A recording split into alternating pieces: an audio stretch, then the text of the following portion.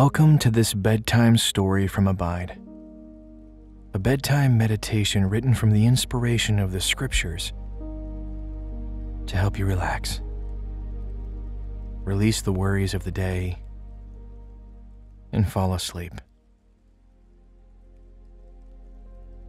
Tonight, remove anything that might be a distraction and make yourself comfortable. Pull the soft covers around you and rest your head on the pillow.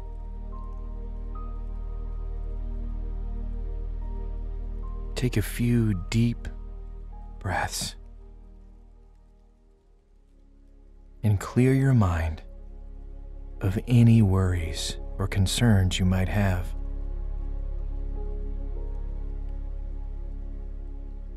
Feel your body relax from head to toe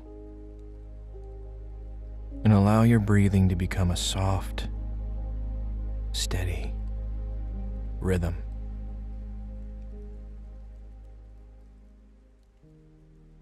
Now, continue to rest peacefully as I pray over you. Holy God, thank you for your presence here tonight. I pray for this listener to find peaceful rest in you. Please help them let go of all worries that are circling around their mind. Remind them that you have everything under control. There's nothing that you aren't aware of. You know everything about them. Assure them of your love and kindness. Please, Lord, rain down your spirit on this beloved child tonight as a gentle rain in spring. Let the comforts of your love cascade over them with gentleness and peace. Thank you, Father, for your presence. In the precious name of your Son, Jesus, I pray. Amen.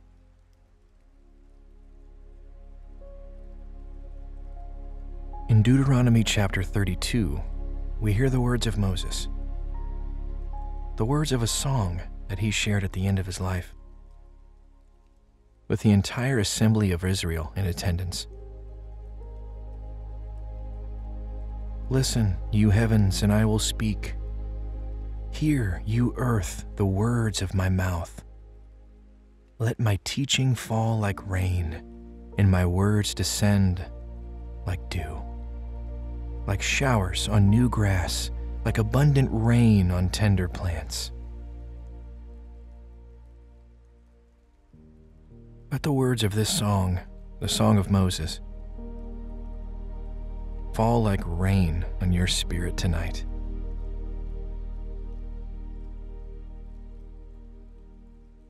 Breathe deeply in and out.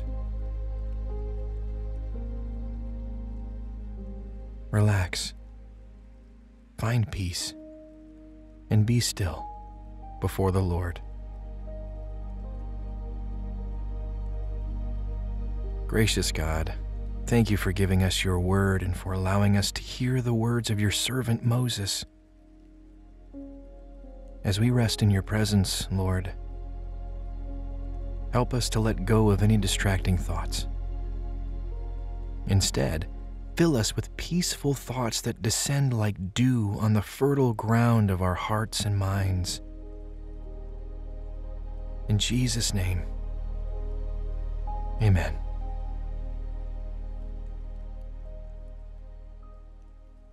Moses continued his song in the assembly of the people.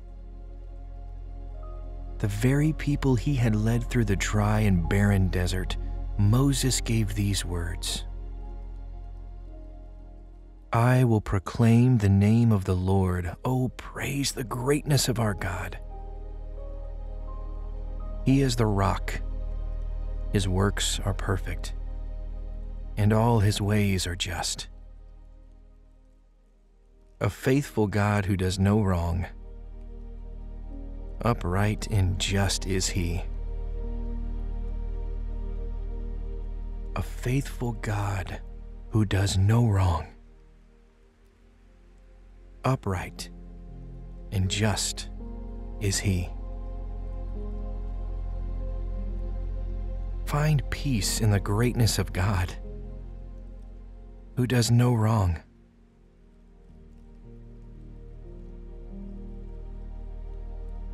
Moses proclaimed God as the rock. There is shelter in the rock of your salvation. He covers you with his righteous right hand. He guards you from the storm.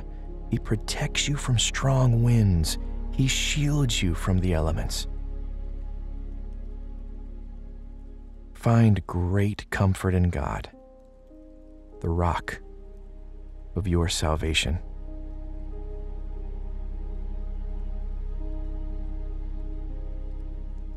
In Psalm 65, we hear beautiful words of God's provision for the dry and thirsty soul. The psalmist says, You care for the land and water it, you enrich it abundantly. The streams of God are filled with water to provide the people with grain, for so you have adorned it. You drench its furrows and level its ridges. You soften it with showers and bless its crops. You crown the year with your bounty, and your carts overflow with abundance. The grasslands of the wilderness overflow.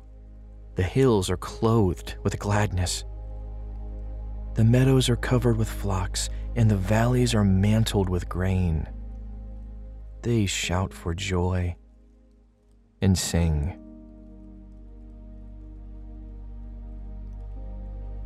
It is the Lord who cares for the land. He waters it, He enriches it. He softens the dry and thirsty ground with showers of rain. Breathe deeply of God's caring provision tonight. Hear the flowing streams of water, the streams of God, flowing through the desert of our souls, providing what is needed for every season. He is the one who has ordained the rains to fall and soften the ground so that the crops can grow. The earth depends on him. And we are reminded of God's sovereignty from Isaiah. My hand laid the foundation of the earth, and my right hand spread out the heavens. When I call to them, they stand forth together.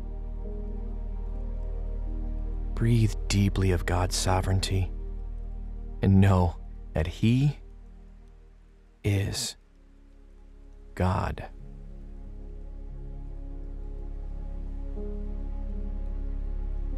Sovereign God, full of mercy and blessing, thank you for sending the rain in due season. You are the giver of all good things. We praise you for giving us such abundance. In every season, Lord, you provide exactly what is needed. And we thank you. By covering of your Spirit, we ask for perfect peace tonight.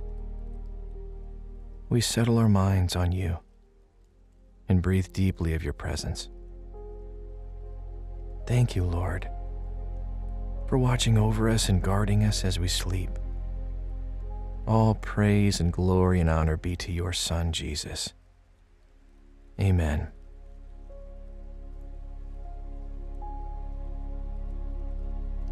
Listen, you heavens and I will speak. Hear, you earth, the words of my mouth. Let my teaching fall like rain, and my words descend like dew, like showers on new grass, like abundant rain on tender plants. Hear the words of Moses again like falling rain. Abundant rain for your tender heart.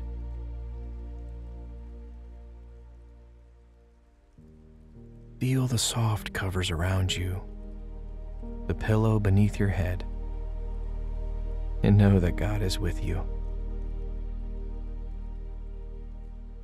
The abundance of His presence fills the room.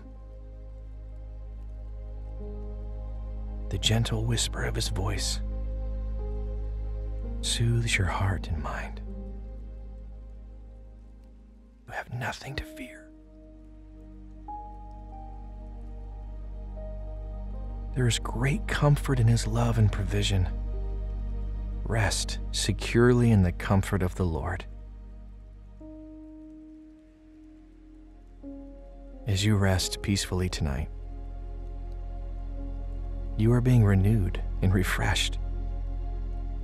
Like a garden of tender plants, carefully cultivated to grow and produce a harvest, your spirit is being cultivated by God's Spirit. Tenderly, he prunes away the dry leaves, the leaves that are not healthy. Then he feeds the roots, giving them strength to go deeper. Allow the Lord to strengthen you in the inmost place.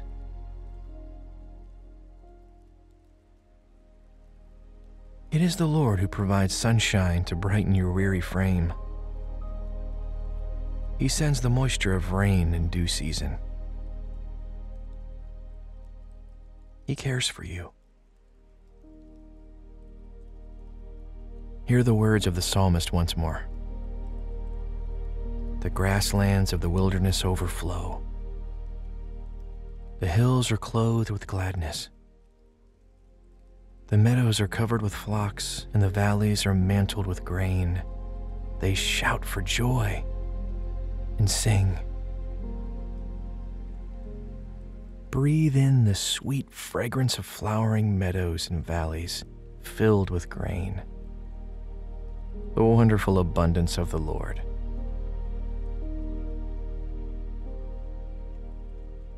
Heavenly Father, I pray over your beloved child tonight that your presence will produce a harvest of righteousness in their life. As you clothe the hills with gladness, I ask that you clothe your beloved with inexpressible joy. As the meadows are filled with flocks grazing on your goodness, I pray this child will be filled with the abundance of all good things. And as the valleys are mantled with grain, shouting for joy and singing your praise, I pray for renewal in the heart of this precious soul. Create in them a heart of praise, O Lord, and comfort them tonight with your perfect peace. In the name of Jesus, I pray. Amen. Breathe in a steady rhythm. Rest in quiet comfort. Remain in God's presence.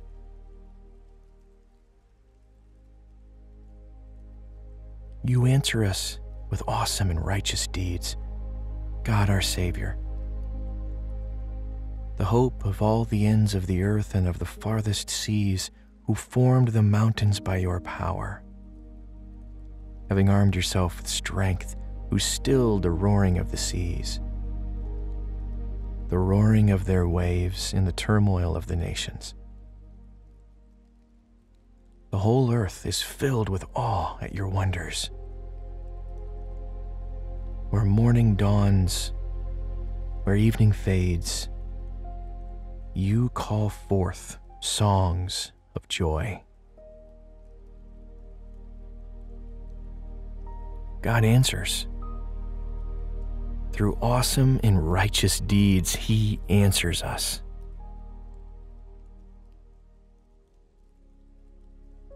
He is our God our Savior, our hope to the ends of the earth. The whole earth is filled with awe at his wonders. Where morning dawns and evening fades, you call forth songs of joy. Hear songs of joy, songs of gladness, songs of peace.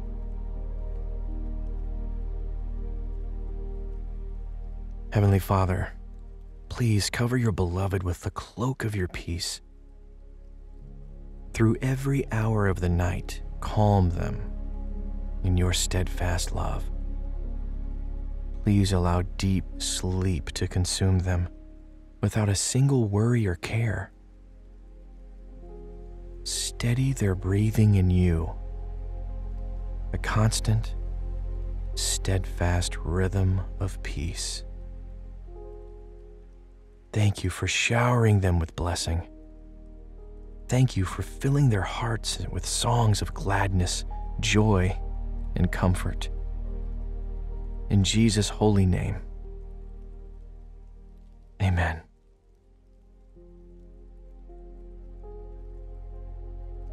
Falling rain on the windowsill, gentle and comforting, like the words of the Lord descending on dry and thirsty souls, drawing them nearer than before. Falling rain on the parched ground, soaking it in without hesitation, like the parched spirit searching for living water, a well that will never run dry. Falling rain, rain of God Fall on your beloved one tonight. Drench them with your love, your peace, your goodness. Lord God, full of care and compassion, please care for this child tonight. In your faithful provision, please take care of their every need. Remove everything that concerns them, Lord let your streams of water flow over them, streams of peace. Provide what their soul longs for most righteousness in Christ. Ordain in them your will, your good, pleasing, and perfect will. And please soften their hearts to receive your blessings I pray these things in the name of your Son, Jesus. You care for the land and water it. You enrich it abundantly. The streams of God are filled with water to provide the people with grain. For so you have adorned it. You drench its furrows and level its ridges. You soften it with showers and bless its crops. You crown the year with your bounty, and your carts overflow with abundance. The grasslands and the wilderness overflow.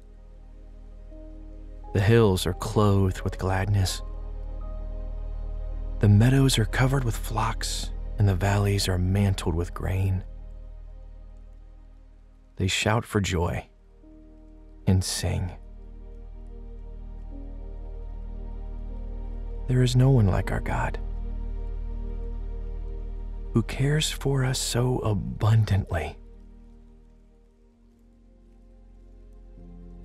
Breathe deeply of God's compassion tonight. Compassion and peace,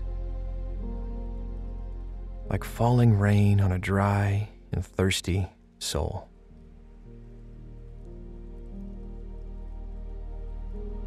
Gracious God, full of compassion, rain down your peace tonight as this child sleeps deeply within the fold of your loving arms. I pray for them to be renewed by the falling rain of your love and provision. continue to guard them through the night, covering them with the sweetness of your presence. In Jesus' precious name I pray. Amen.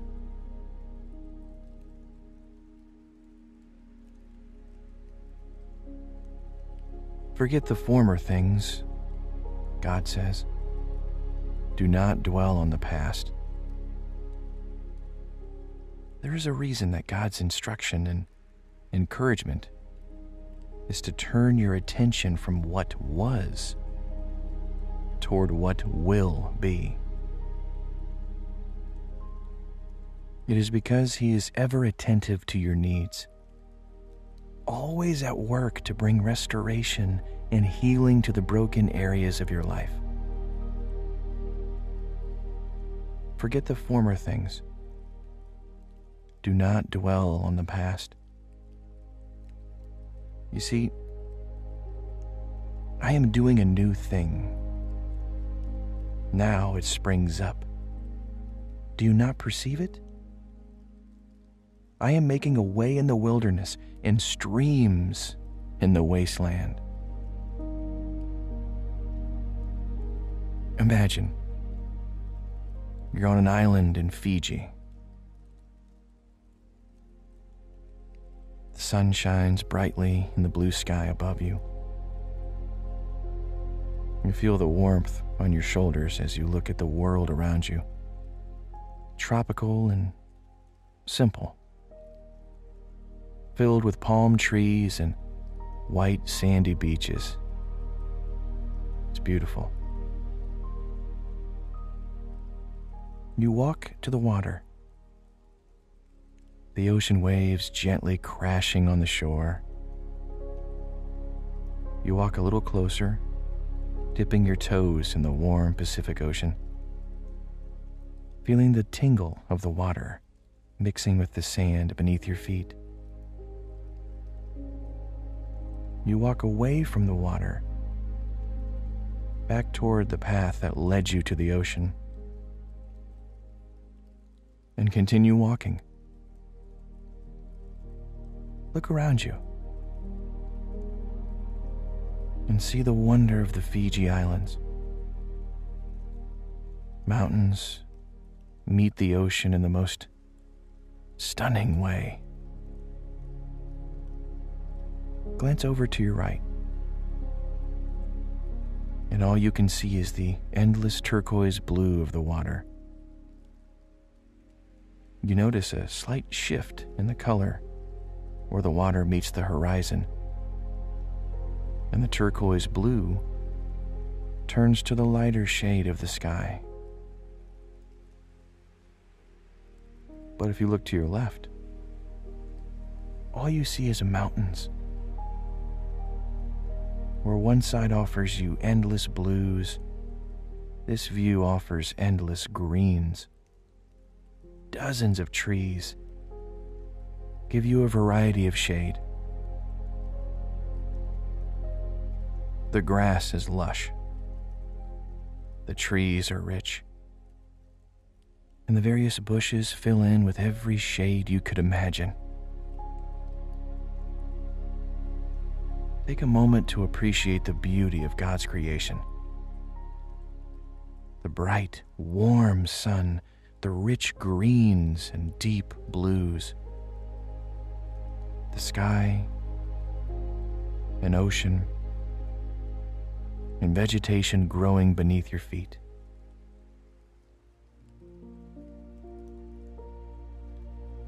You continue along the path and see a guide gathering a group. You are quickly invited in and feel the excitement of a native Fijian leading you on an adventure. Your curiosity gets the better of you and you turn off the road to join them. The guide leads you down a gravel path leading toward an attraction. you find you have been led to a natural hot spring.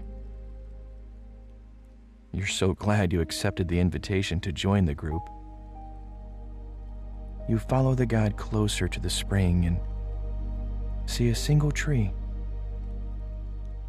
Simple, yet strong and sturdy. The tree sits at the edge of the proclaimed hot spring, the size of a small swimming pool. The body of water is cloudy and mud ridden. The guide instructs you to wade into the water, swimming closer toward the tree to experience the natural hot spring. Incredulous but curious, you indulge the guide and wade into the muddy water. The temperature feels only slightly different from the ocean. The mud is evident, but it seems nothing but a small reservoir tucked in the mountains of Fiji. But then, you feel it. Unexplainable warmth in the water bubbles beneath your feet. You squeal in delight as you look at the guide with an expression of, You're right. I can feel it. See? I am doing a new thing. Now it springs up. Do you not perceive it?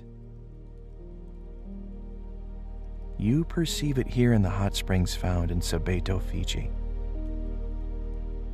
Though you don't understand how it happens, there is no question that hot water is springing up. So it is with the work of God. Though it may seem like nothing is changing, God is active in your life. He is doing a new thing. Now it springs up. Swim in a little further. And you may just see the evidence of his bubbling activity. Working and creating something new in you. Something that forgets the former things and looks toward what is new. See, I am doing a new thing. Now it springs up. Like an unexpected series of dreams that seem to take you from one moment to the next with no travel or change. Imagine now that you are in a desert. The once gentle warmth of the sun now in this place feels assaulting. With nothing but the sand for the sun to reflect off of, you can't help but squint your eyes tightly, trying to see through small slits. It is a wasteland, in every sense of the word. Wasted land, land with no purpose, no hope. Just wilderness and desert. You feel the exhaustion of wandering, and you wonder how long you have been here. Has it only been a moment? Feels more like months. An endless wasteland with nothing but scrap and sand. There is no vegetation. There's no spring. There's certainly no food. You are desperate for water. Having wandered through the wasteland for as long as you can remember, squinting in the sun and desperate for some sign of life. The air is dry, your tongue is parched, and your skin feels too hot from the scorching sun. You look around in desperation, wondering how there could ever be life in this wasteland. And that's when you see it. You rub your eyes in amazement, certain that what you're seeing is a dream, a mirage of sorts that seems more like a nightmare for taunting you with goodness. Unable to contain your curiosity, you walk closer and realize you weren't mistaken after all. It's a stream right there in the middle of the wasteland, right before your eyes. What once was only endless desert now has a river flowing through it. You look to the left and to the right, trying to see where it begins or ends, but it's a futile search. For as far as you can see, the river flows. You walk slowly from the exhaustion, but finally make it to the edge of the stream. Achingly, you fall to your knees and thrust your hands into the clear, cool, fresh water before you. You use your hands to scoop endlessly, splashing water on your face, your neck, and your arms. You scoop the water again, bringing it to your lips and tasting the glorious fresh water on your tongue. Feel the relief of hydration after waiting and longing. Streams in the wasteland. See? He is doing a new thing. God is doing a new thing in you, and through you, and for you. He is taking the places that were once barren and bringing life. He is taking the places that were once dry and He is bringing up streams. He is making a way in the wilderness for you.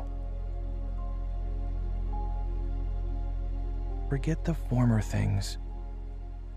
Do not dwell on the past. See? I am doing a new thing. Now it springs up. Do you not perceive it? I am making a way in the wilderness and streams in the wasteland. Through the prophet Isaiah, God offers these vivid pictures to help you see the way that He is at work in your life working for your good and His glory. And He is doing a new thing, giving you the opportunity to embrace a fresh start in the hard and painful areas of your life. Swim further in to experience the new life springing up. Look around you with wonder at the streams appearing in the wasteland. Look to the Lord for your fresh start and walk in confidence that He is doing a new thing. Good and gracious Father,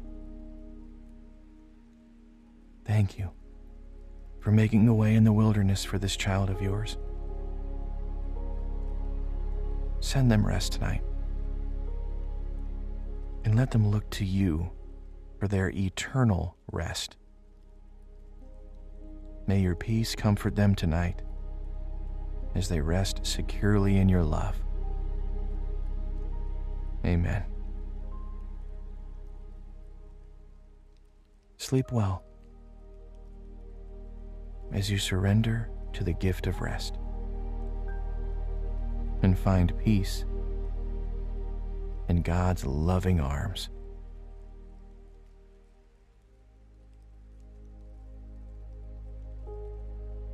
Forget the former things, God says.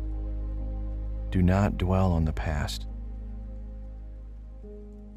There is a reason that God's instruction and encouragement is to turn your attention from what was toward what will be. It is because He is ever attentive to your needs, always at work to bring restoration and healing to the broken areas of your life. Forget the former things. Do not dwell on the past. You see, I am doing a new thing. Now it springs up. Do you not perceive it? I am making a way in the wilderness and streams in the wasteland. Imagine you're on an island in Fiji. The sun shines brightly in the blue sky above you. You feel the warmth on your shoulders as you look at the world around you. Tropical and simple. Filled with palm trees and white sandy beaches. It's beautiful. You walk to the water. The ocean waves gently crashing on the shore. You walk a little closer, dipping your toes in the warm Pacific Ocean, feeling the tingle of the water mixing with the sand beneath your feet. You walk away from the water, back toward the path that led you to the ocean and continue walking. Look around you and see the wonder of the Fiji Islands. Mountains meet the ocean in the most stunning way. Glance over to your right, and all you can see is the endless turquoise blue of the water you notice a slight shift in the color where the water meets the horizon. And the turquoise blue turns to the lighter shade of the sky. But if you look to your left, all you see is mountains. Where one side offers you endless blues, this view offers endless greens dozens of trees give you a variety of shade. The grass is lush, the trees are rich, and the various bushes fill in with every shade you could imagine. Take a moment to appreciate the beauty of God's creation. The bright, warm sun the rich greens and deep blues. The sky, an ocean, and vegetation growing beneath your feet.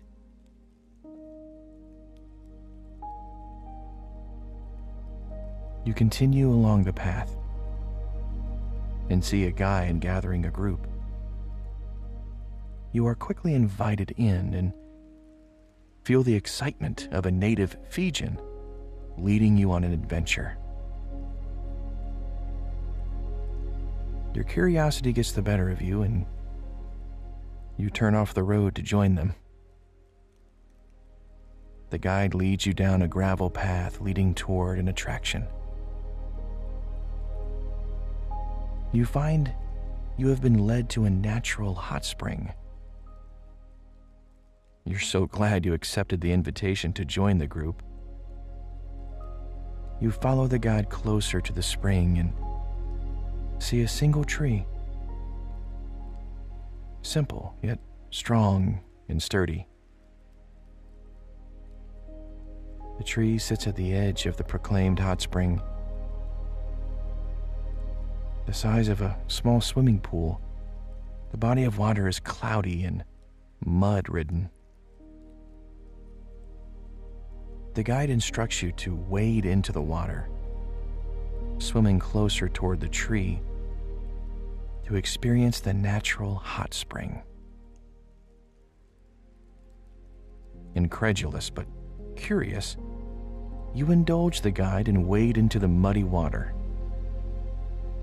The temperature feels only slightly different from the ocean. The mud is evident, but it seems nothing but a small reservoir tucked in the mountains of Fiji. But then, you feel it. Unexplainable warmth in the water bubbles beneath your feet. You squeal in delight as you look at the guide with an expression of, You're right. I can feel it. See? I am doing a new thing. Now it springs up. Do you not perceive it? You perceive it here in the hot springs found in Sabeto, Fiji.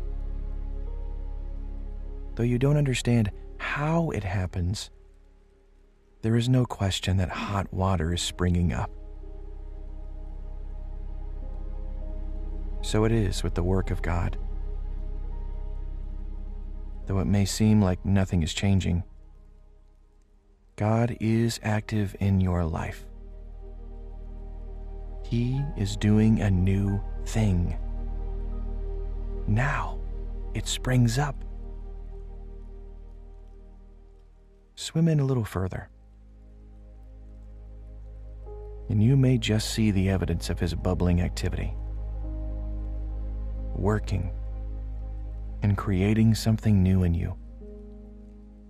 Something that forgets the former things and looks toward what is new. See, I am doing a new thing.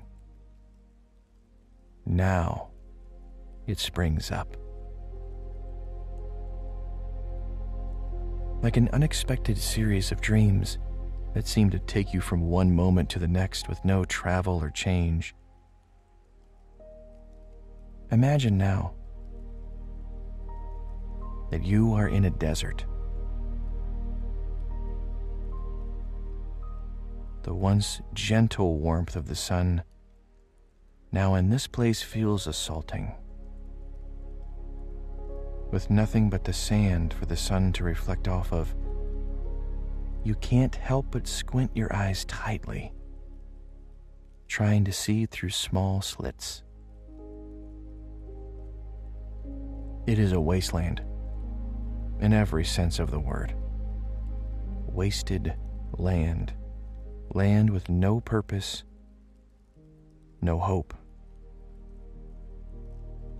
Just wilderness and desert.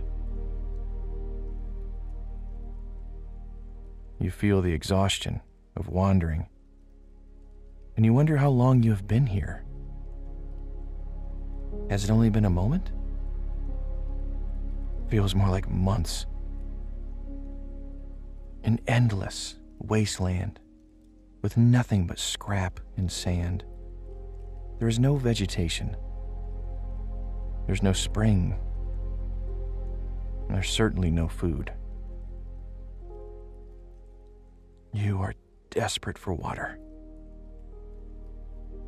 Having wandered through the wasteland for as long as you can remember, squinting in the sun and desperate for some sign of life. The air is dry, your tongue is parched, and your skin feels too hot from the scorching sun. You look around in desperation wondering how there could ever be life in this wasteland. And that's when you see it. You rub your eyes in amazement, certain that what you're seeing is a dream, a mirage of sorts that seems more like a nightmare for taunting you with goodness. Unable to contain your curiosity, you walk closer and realize you weren't mistaken after all. It's a stream right there in the middle of the wasteland, right before your eyes. What once was only endless desert now has a river flowing through it. You look to the left and to the right, trying to see where it begins or ends, but it's a futile search. For as far as you can see, the river flows. You walk slowly from the exhaustion, but finally make it to the edge of the stream. Achingly, you fall to your knees and thrust your hands into the clear, cool, fresh water before you. You use your hands to scoop endlessly, splashing water on your face, your neck, and your arms. You scoop the water again, bringing it to your lips and tasting the glorious fresh water on your tongue. Feel the relief of hydration after waiting and longing. Streams in the wasteland. See? He is doing a new thing. God is doing a new thing in you, and through you, and for you. He is taking the places that were once barren and bringing life. He is taking the places that were once dry and he is bringing up streams. He is making a way in the wilderness for you. Forget the former things. Do not dwell on the past. See, I am doing a new thing. Now it springs up. Do you not perceive it? I am making a way in the wilderness and streams in the wasteland. Through the prophet Isaiah, God offers these vivid pictures to help you see the way that He is at work in your life, working for your good in His glory. And He is doing a new thing, giving you the opportunity to embrace a fresh start in the hard and painful areas of your life. Swim further in to experience the new life springing up. Look around you with wonder at the streams appearing in the wasteland. Look to the Lord for your fresh start. And walk in confidence that He is doing a new thing. Good and gracious Father, thank you for making a way in the wilderness for this child of yours. Send them rest tonight and let them look to you for their eternal rest. May your peace comfort them tonight as they rest securely in your love. Amen. Sleep well as you surrender to the gift of rest and find peace in God's loving arms. God speaks the words for you tonight that He spoke to Moses I will be with you. He wants these words to burn bright and clear before you like the fire that burned before Moses. He wants His words to break through your darkness, to penetrate deep into your inner being, to grow in you confidence and love. God is a blazing fire of goodness, warmth, and hope. Yet it is often difficult for us to see him and to hear his faithful words I will be with you. These were words that Moses had trouble hearing and trusting too. His life before the burning bush had been strange and messy. Nothing about his life made it obvious that God would choose him to lead his people out of slavery to freedom. He was the baby sent down the river in a basket. A Hebrew raised in the palace of the Egyptian king.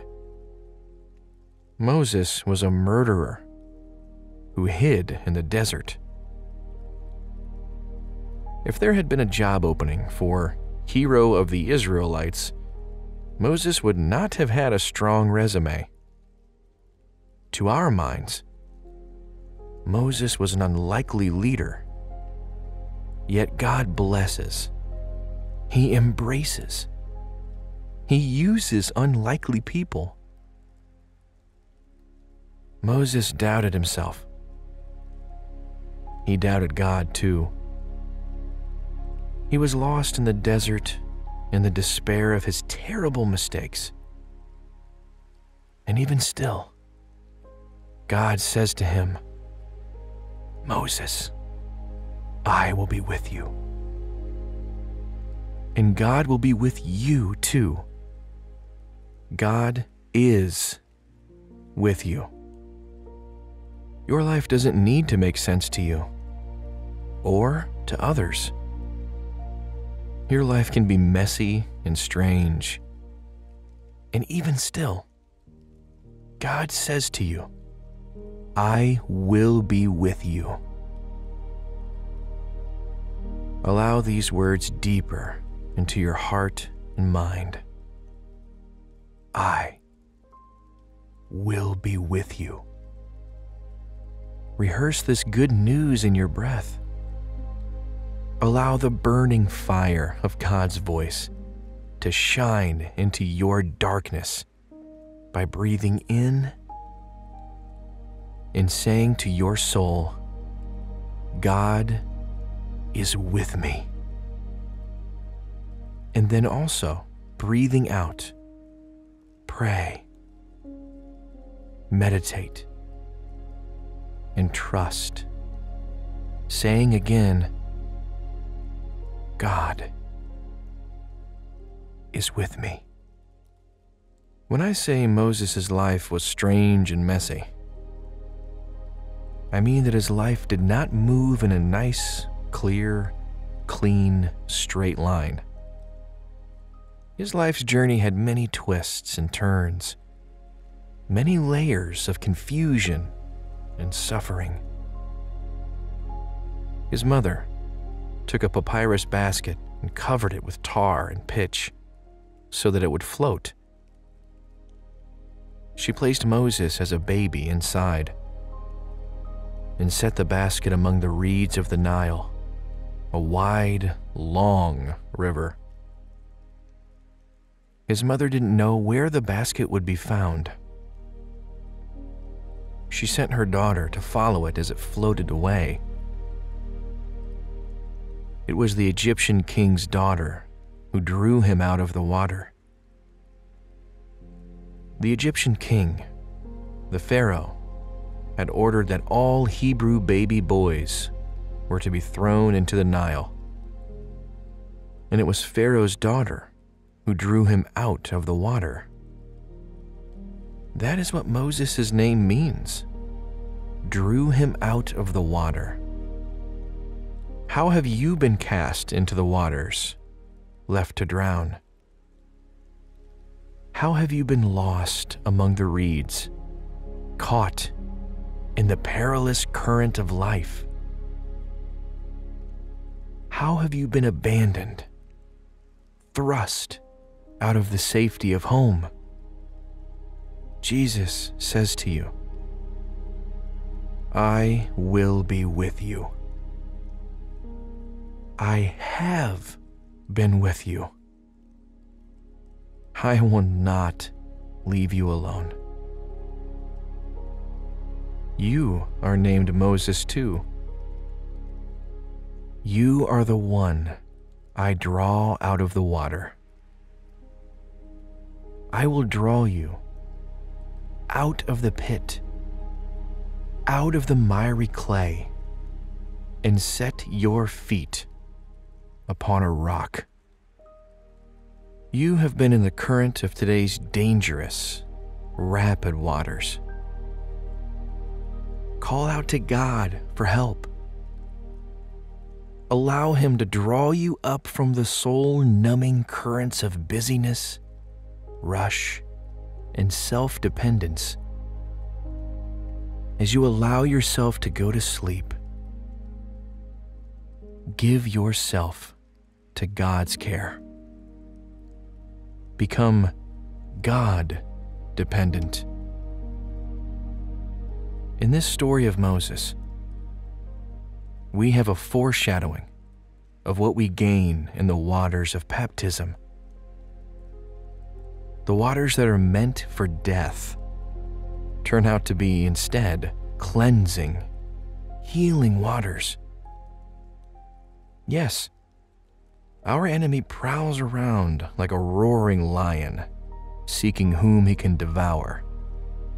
Yes, like the Egyptian king, our enemy wants to drown you. He wants you to be covered by the dangerous waters of life. Yet through this danger, through these very same waters, Jesus meets you. He reaches out to rescue you. He draws you out of death into new life. Allow these waters to wash you, ending a day, giving yourself to sleep, resting in God's love.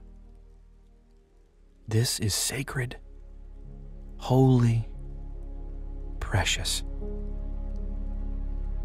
As you are being washed, you are more and more free to be near God, to enjoy His presence, to trust in his watchful care. Rest. Sleep. Believe, allowing these words deeper into your heart and mind. I will be with you. See the burning bush of God's presence, speaking goodness into your heart. Rehearse this good news in your breath, breathing in, saying to your soul, You are with me. And then also breathing out, pray, meditate, and trust, saying again, You are with me. Moses' life had been strange, messy, and confusing. When he came of age, he began to sort out the things that mattered most to his life. He understood in deeper ways that he was an alien and a stranger in the house of Pharaoh. He was a Hebrew, one of the oppressed, benefiting from the riches of the oppressor was troubling. How could he enjoy any good thing when his own people were enslaved, working tirelessly for the brutal king of Egypt? When he saw an Egyptian beating one of his Hebrew brothers one day, he was given a chance to prove his identity as an Israelite.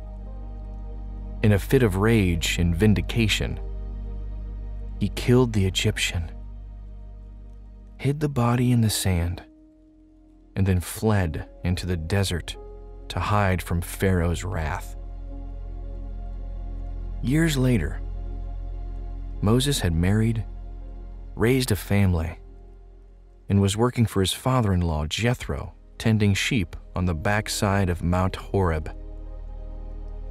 Moses was no doubt content to be removed and hidden from his previous life as the son of Pharaoh's daughter. He had no expectation that God had any special plans for his life. He had no idea that his life was about to change. There, on the backside of Mount Horeb, this was a wilderness place where God spoke to Moses in a burning bush. You likely have not experienced a literal burning bush, but you have had some kind of burning bush experience. This would be that turning point when you came to accept the truth of God in a way that changed the direction of your life.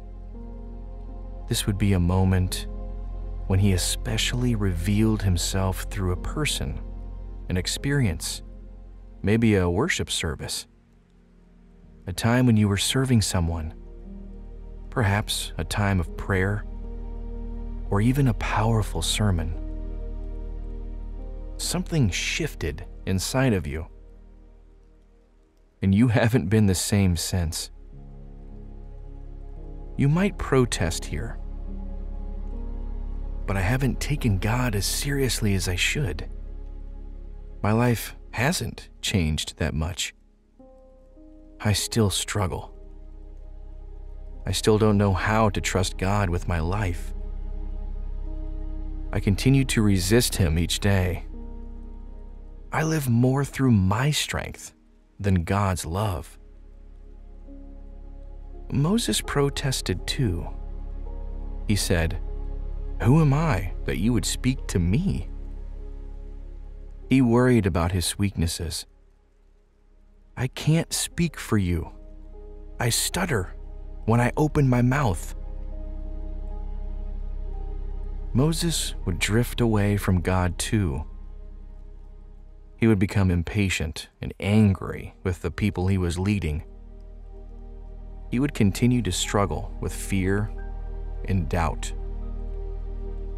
Even still, God says to Moses, I will be with you. And God still says to you, I will be with you. No matter how much doubt or fear that stir inside of you, God still says, I will be with you. No matter how much stubbornness and anger, God still says, I will be with you. Once again, place yourself before the burning bush of God's presence rest, sleep. Believe these words deeper into your heart and mind. I will be with you. Rehearse this good news in your breath. Breathing in, saying to your soul, My God is with me. And then also breathing out, pray, meditate, and trust, saying again, My God is with me. As we bring this meditation to a close, I invite you to consider one more part of Moses' story. God instructs Moses to say to Pharaoh, Let my people go. Moses fusses. But how can I go back? How can I speak for you? Why would the king of Egypt listen to me? God replies, Tell Pharaoh that I am sent you. I am. The great I am is with you. The great I am sends you. He is the true, true. He is the real, real. God is being behind and before all other things. He is the one by whom everything else in the universe was created. He is the one in whom all things hold together and have their being. The great I am says to you tonight, I am with you. I am the being who will always be with you. In peace, give yourself to sleep. Rest in God's faithfulness, for He alone can make you dwell in safety. May the Lord bless you and protect you as you sleep. May his face shine upon you like the radiance of a burning bush. May he be gracious and kind, granting you deep, healing sleep. May you be filled with peace continue to allow yourself to let go of today by rehearsing in your breathing in and breathing out. My God is with me. My God is with me. My God is with me. Amen. Relax in the peace of God as I say a prayer over you tonight. Heavenly Father, please cover your beloved one as they find true rest in you. Please help them know that you are with them. Please cover them with your love and your goodness. As a soft blanket, envelop them in the comfort of your peace. In the name of Jesus, I pray. Amen.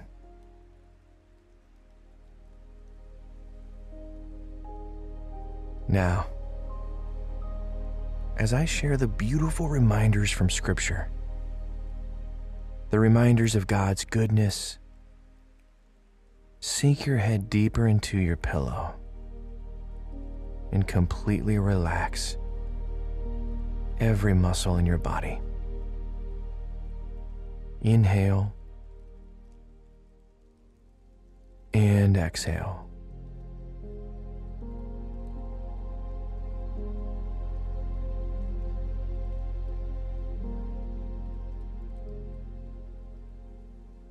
It was the Apostle Paul in the book of Acts who reminded the people of Lystra that God's goodness could always be counted on.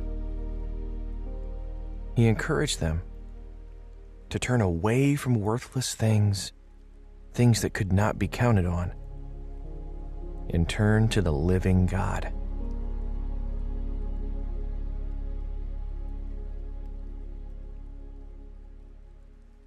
Now, Lystra was an ancient village, built upon a modest hill rising from the surrounding plains of Asia Minor. With the grandeur of mountains to the west and to the south, this Roman colony was mentioned as the hometown of Timothy, one of the young men Paul mentored in his faith. Paul visited Lystra on more than one occasion, preaching the gospel and healing a man who had been lame from birth. On one of his visits, Paul encouraged the believers of Lystra that even though the Lord had allowed the nations to walk in their own ways, he never left them without evidence of himself and his goodness.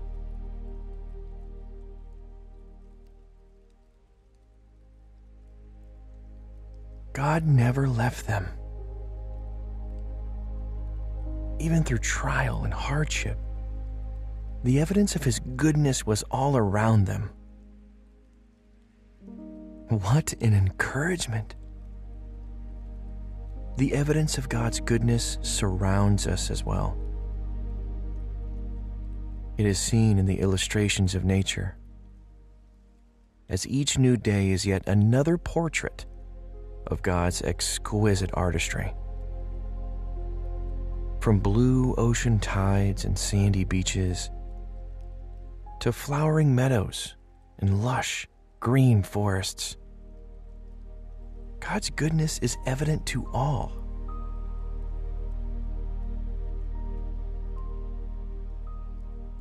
Be assured of God's goodness, of His presence in your life. No matter what is going on in the world, the Lord is with you every step of the way. Allow that thought to surround you with peace tonight.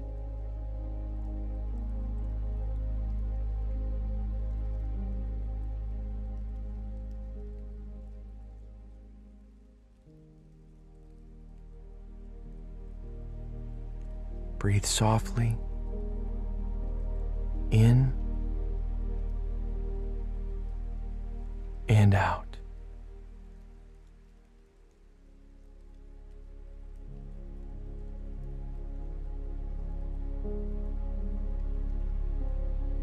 as Paul continued to encourage the believers in Lystra with the beautiful testimony of the Lord, he pointed out that it is God who sends the rain, provides good crops, and gives joyful hearts to his beloved.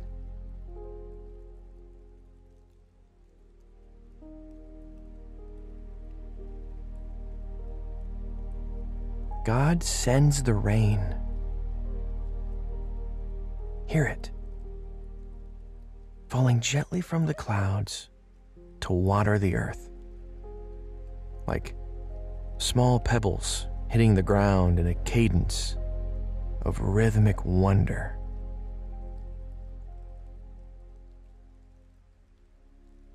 Sometimes the raindrops fall so softly they can barely be heard.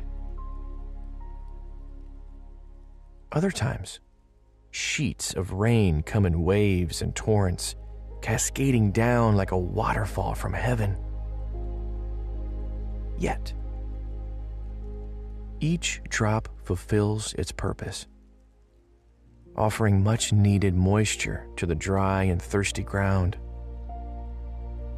The earth drinks in the rain and silently begs for more.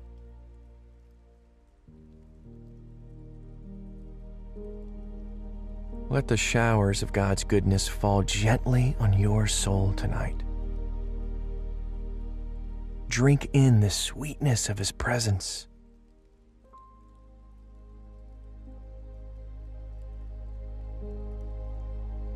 Inhale and exhale.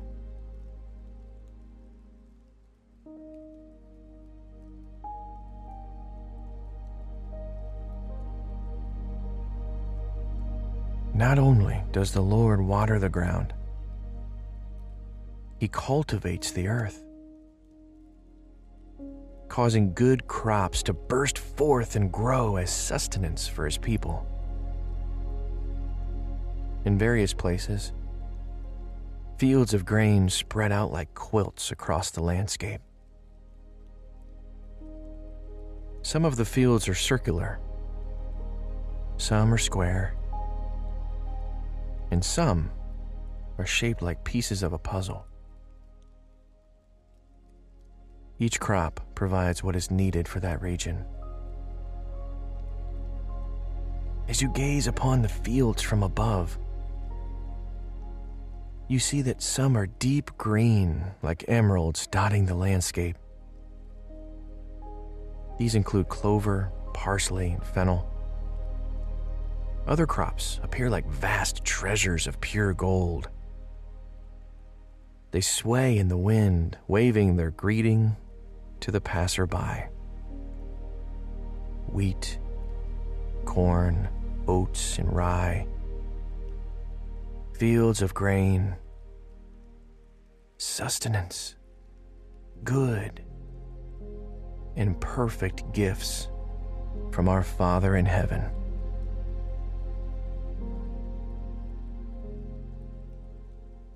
Bask in the abundant blessings of the Lord tonight. Continue to breathe gently in and out in steady rhythm, allowing your body to fully relax. Inhale and exhale as I pray over you.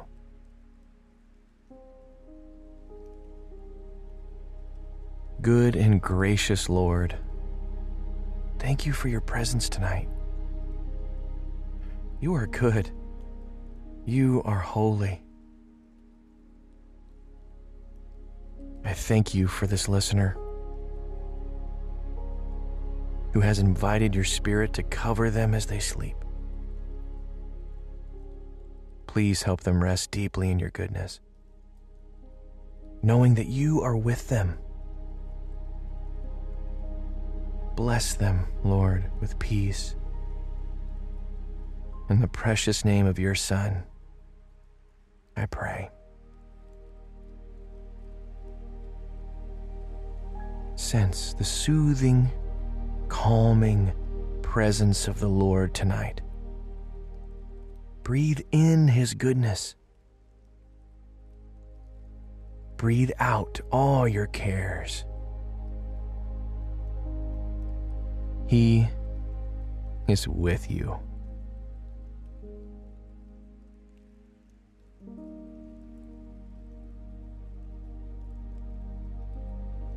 Paul finished his message to the people in Lystra by reminding them that God is the giver of joyful hearts. Allow the Holy Spirit to fill your heart with joy tonight.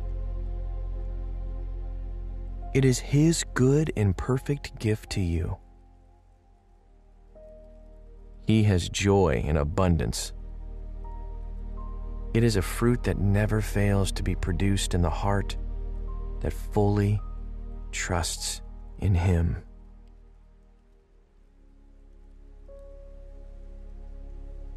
Oh, taste and see that the Lord is good. Blessed is the man who trusts in Him. Taste and see the Lord is good.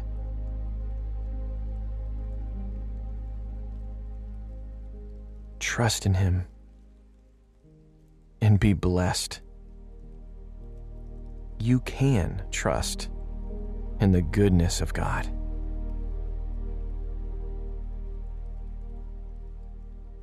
Breathe softly in and out.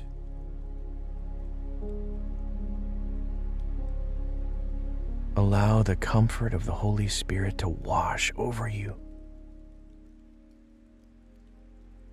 He gives you the deepest sense of peace, not as the world gives, but deeper peace than anything you've ever known.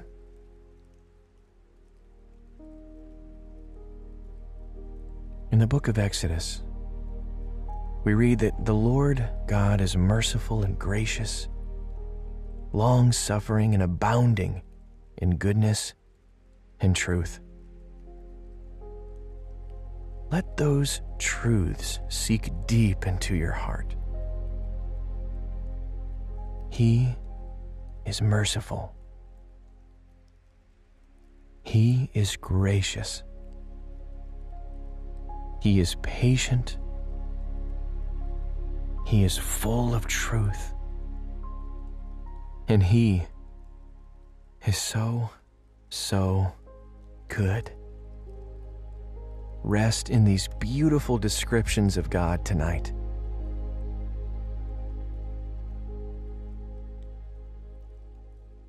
As you gaze into the heavens on a starry night, there is no doubt that the glory of the Lord fills every bit of space, unwavering, unchanging. For every good and perfect gift is from above, coming down from the Father of the heavenly lights, who does not change like shifting shadows. Every good and perfect gift comes from the Father. Let that promise reassure your heart tonight.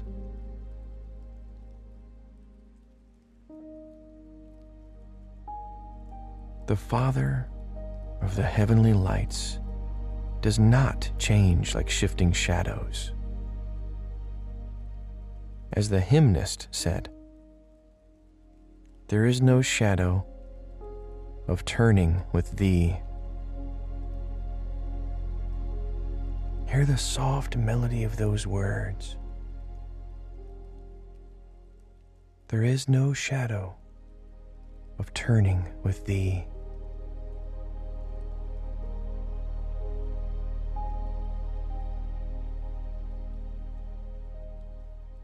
Remain in the comfort of God's unfailing love Stay in the presence of His Spirit. Rest in the silence for several moments.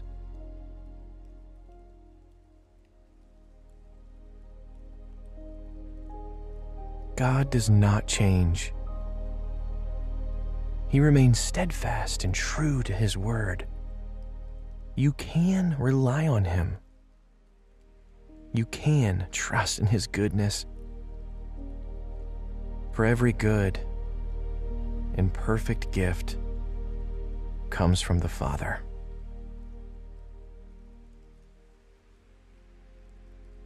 Slow your breathing in and out.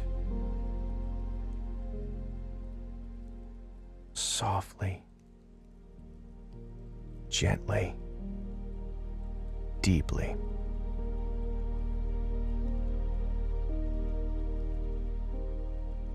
God is so good to us. I am reminded of the simple chorus God is so good. God is so good. God is so good. He's so good to me.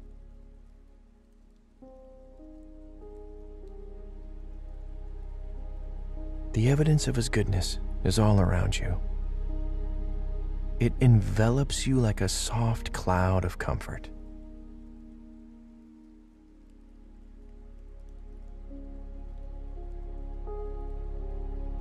Sink deeper under the covers.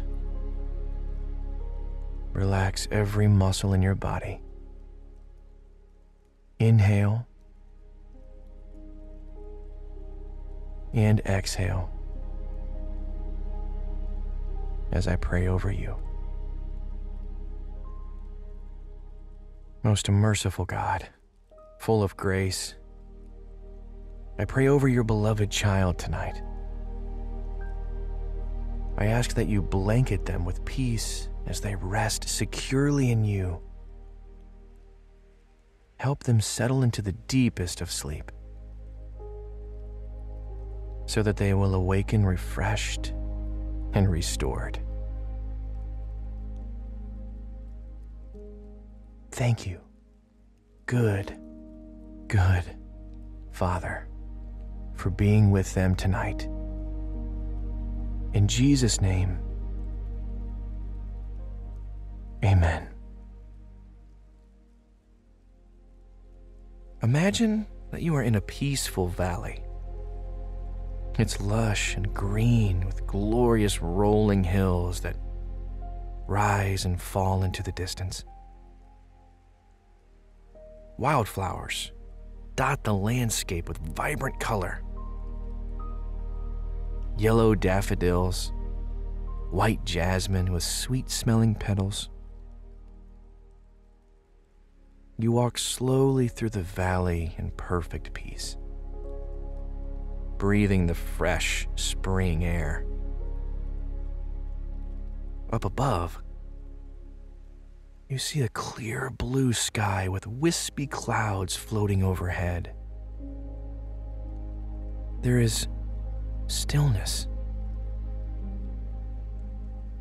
and peace all around you are fully content and fully relaxed in the valley. Jesus is there with you. He is happy that you want to spend time with him here. See the glow of his smile as you walk side by side. you hear Jesus speak Psalm 121 out loud to you. The words fill the valley, alive with His Spirit. They calm your heart, mind, and soul. I will lift my eyes to the hills. Where does my help come from? My help comes from the Lord, who made heaven and earth. He will not allow your foot to be moved. He who keeps you will not slumber. Behold, he who keeps Israel shall never slumber nor sleep. The Lord is your keeper.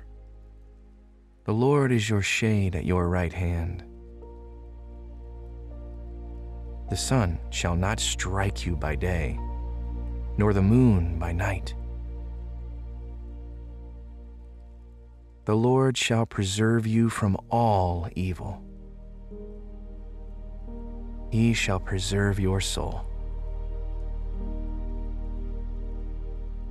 The Lord shall preserve your going out and your coming in from this time forth and even forevermore.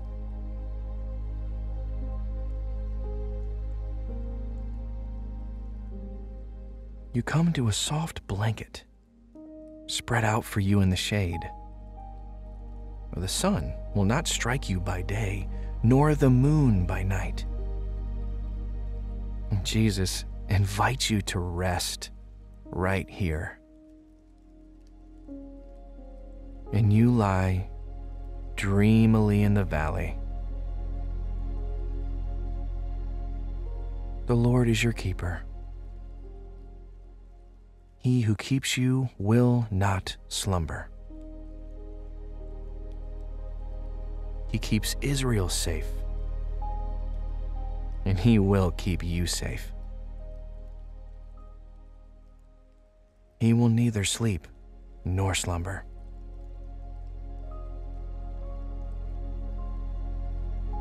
Your heart fills with the comfort that God is your keeper, your protector, your guide.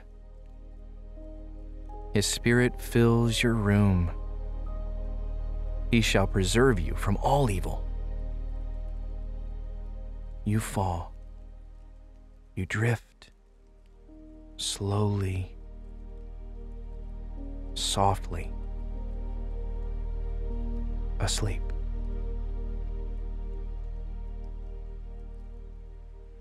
Your mind is refreshed. Your arms and back feel light and restored from deep sleep. Jesus walks again with you through the valley. He continues speaking Psalm 121 over you slowly, like a command, making each word true. I lift up my eyes to the hills. From where does my help come from? As you walk through the beautiful green valley, the gentle rolling hills rising up all around you. You know where your help comes from. He is standing right beside you in glowing robes. the risen Lord. He is so peaceful. You are immersed in a sense of stillness and security. As you look around at the magnificent landscape, you know, just by the beauty of creation, that God is your creator, your provider, your help.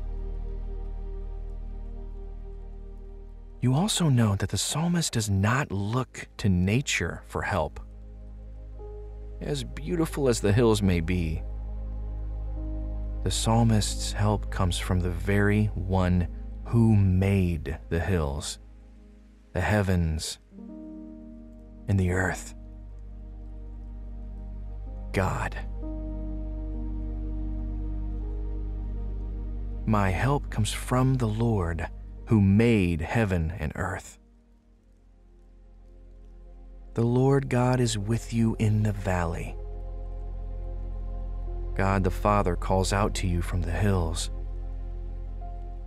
Your heart rejoices at his voice. You call out to him, and before a word is even on your tongue, he knows it. He is already sending the help you need at just the right time and in just the right way. He will not let your foot be moved. He who keeps you will not slumber. Behold, he who keeps Israel will neither slumber nor sleep. You are amazed by the faithfulness of God the one who does not slumber or sleep. He never grows weary. Of that you can be sure. He is a constant presence in your life. You feel His presence now. Your feet are steady on solid ground. You have nothing to fear. The Lord is your keeper. The Lord is your shade on your right hand. The sun shall not strike you by day, nor the moon by night. The warmth of the sun is shining down on you, and you bask in its light. And when it becomes too hot, God becomes your shade the coolness on your face. He is your keeper and guardian. You allow yourself to relax fully in His loving arms. He is guiding you in the way you should go. Even in the night watches, when the way seems dark and unfamiliar, your foot does not stumble. His Spirit is there to lead you. Feel Him leading you tonight. No matter how dark it seems, your footsteps are sure. The Lord will keep you from all evil. He will keep your life. The safety you feel in the fold of the Lord's loving arms is the most secure feeling in the world. All the cares of life have faded into the night. You are able to breathe deeply and know that you are completely safe. No evil can touch you, for the Lord is keeping you from everything that is harmful or contrary to His love for you. Your very life is held fastly in the palm of His hand. You've never felt so protected. It's as if walls of love have been placed around you so that nothing can reach you. You are surrounded by God's perfect peace.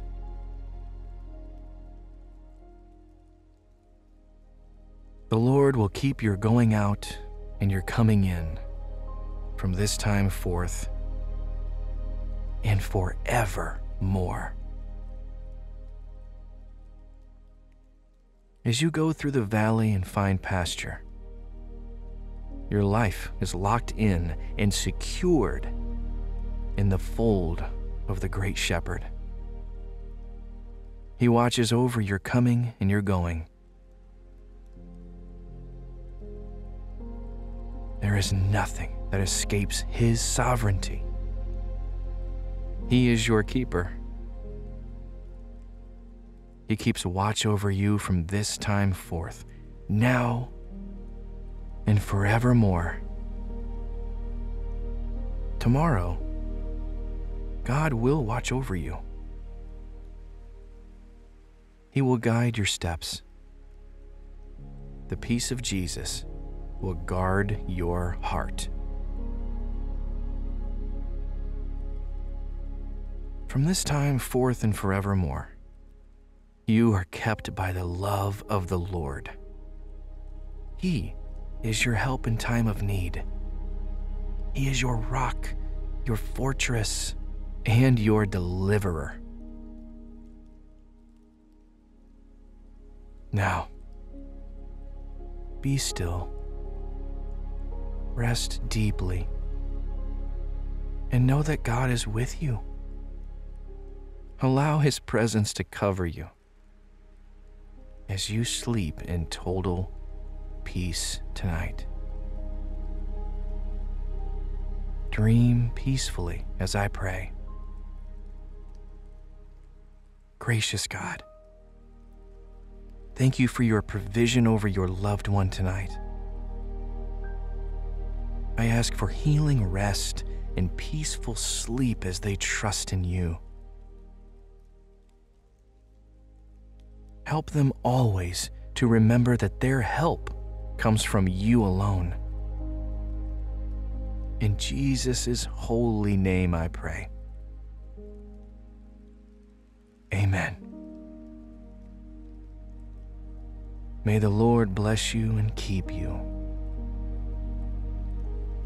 May the Lord make his face shine on you and be gracious to you.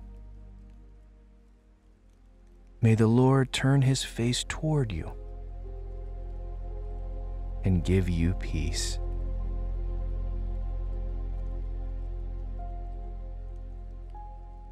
Sleep is the cessation of labor. It is the time of day that we let go of every unfinished task. We surrender it to the hands of the Father he will take care of it. He will guard what we have committed to Him. take a moment to commit everything to God.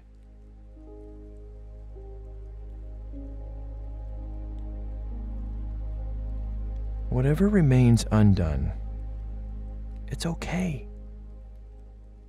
Let it go. Rest peacefully in the Savior tonight. Don't worry about a thing. He's got this. He's got you. Often, when sleep eludes us, it's because we're holding on to the cares of this life. We struggle to let go of them because we struggle to trust God. We forget that God is the head of our households. He is sovereign over us. As the psalmist says in Psalm 127 Unless the Lord builds the house, those who build it labor in vain. Unless the Lord watches over the city, the watchman stays awake in vain. Dear one, the Lord is watching over you tonight. There is no need to stay awake with your worries or concerns. For the Lord does not slumber nor sleep. He will keep watch over you. Rest in that comforting thought for several moments.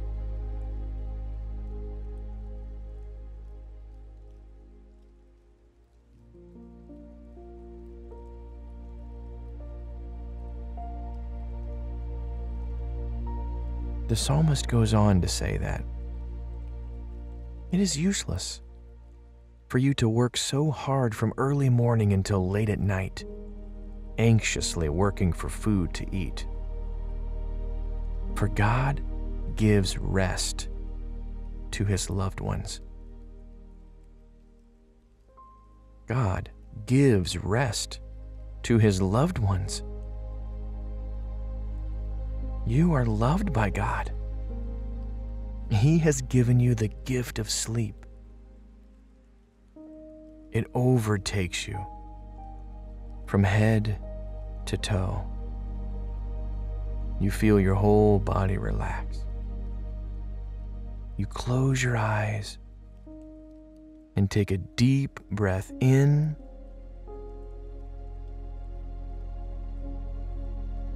and slowly let it out.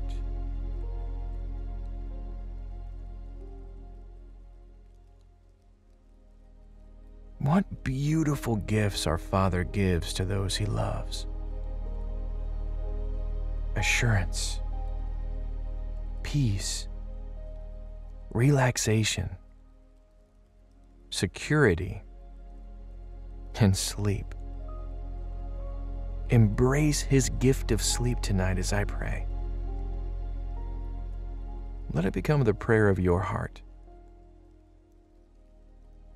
Heavenly Father, thank you for your gift of sleep. And what a precious gift it is. I am so thankful for your presence tonight. Your love comforts me. Your gift of sleep restores me. Thank you. Lord, I believe you are sovereign over all things, over my life, my work, and my rest. I release all of my anxieties to you. Thank you so much for gifting me with peace and rest tonight. In Jesus' name, amen. Now, sink your head deeper into the pillow and pull the covers around you. Allow your breathing to fall into a steady rhythm. In and out. In and out.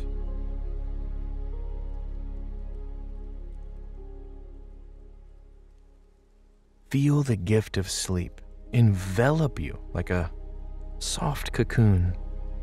Gently, it wraps around you, securing you in the loving arms of the Father.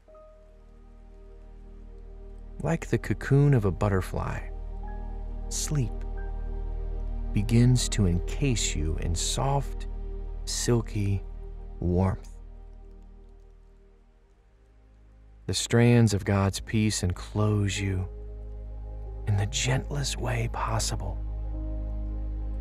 For He is a gentle Father, kind and good.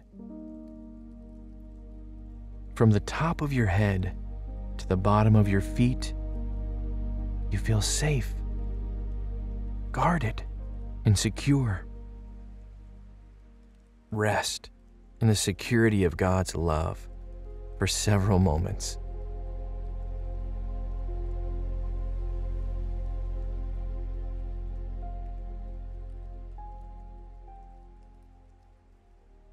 Sleep is a gift for our bodies, for it allows processing, restoring, and strengthening to take place. As we drift through sleep cycles, our minds are able to process the day's events. We are able to organize information, file it away, and remember what is most important. Each cell in our body benefits from sleep. It rejuvenates us, repairs our tissues, and restores us from a long day of hard work. Oh, what a beautiful gift from our Heavenly Father. He knows just what our bodies need. He created us. He created sleep. Rest in that assurance for a few moments.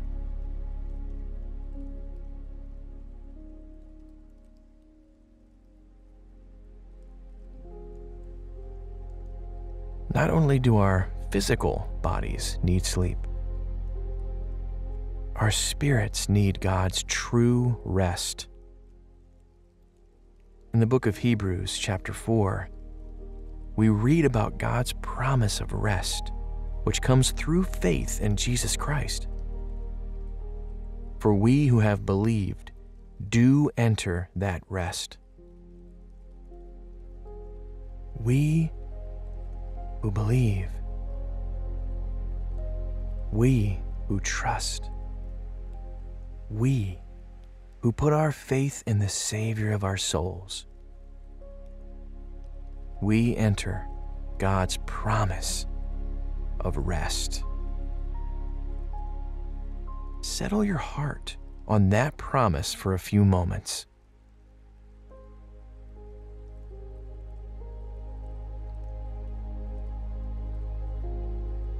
Now, please allow me to pray over you again. Lord, thank you for restoring your beloved one tonight. Every night as they sleep, thank you for rejuvenating them. You know just what they need. You are good. You are sovereign. You are holy. Please allow true rest to come to your child tonight as they trust in you.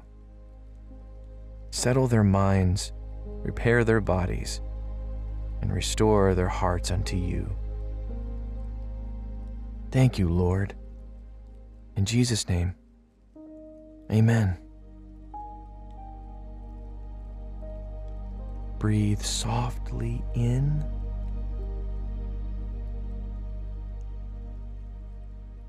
and out. Inhale the sweet presence of the Lord. He is with you. Exhale the remnants of a long day. Release it all to Him. Hear the words of the psalmist again from Psalm 127, a psalm of Solomon. It is useless for you to work so hard from early morning until late at night, anxiously working for food to eat. For God gives rest to his loved ones.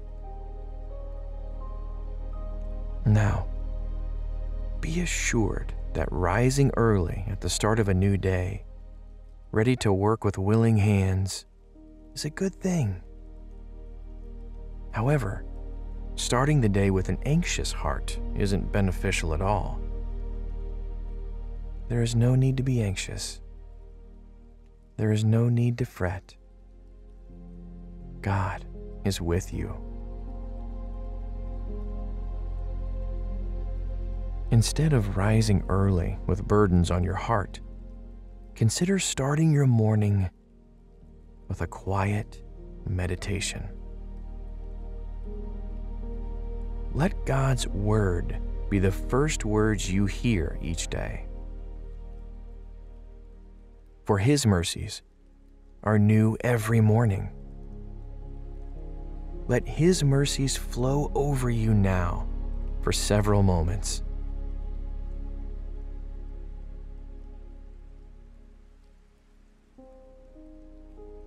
Then, as you move through your day, no matter what comes, you can recall the sweet words of wisdom you heard that morning. In the quiet hour, before anyone else was awake, you heard from the God of all creation. You can carry His word with you as a guide, a comfort, and a peaceful meditation.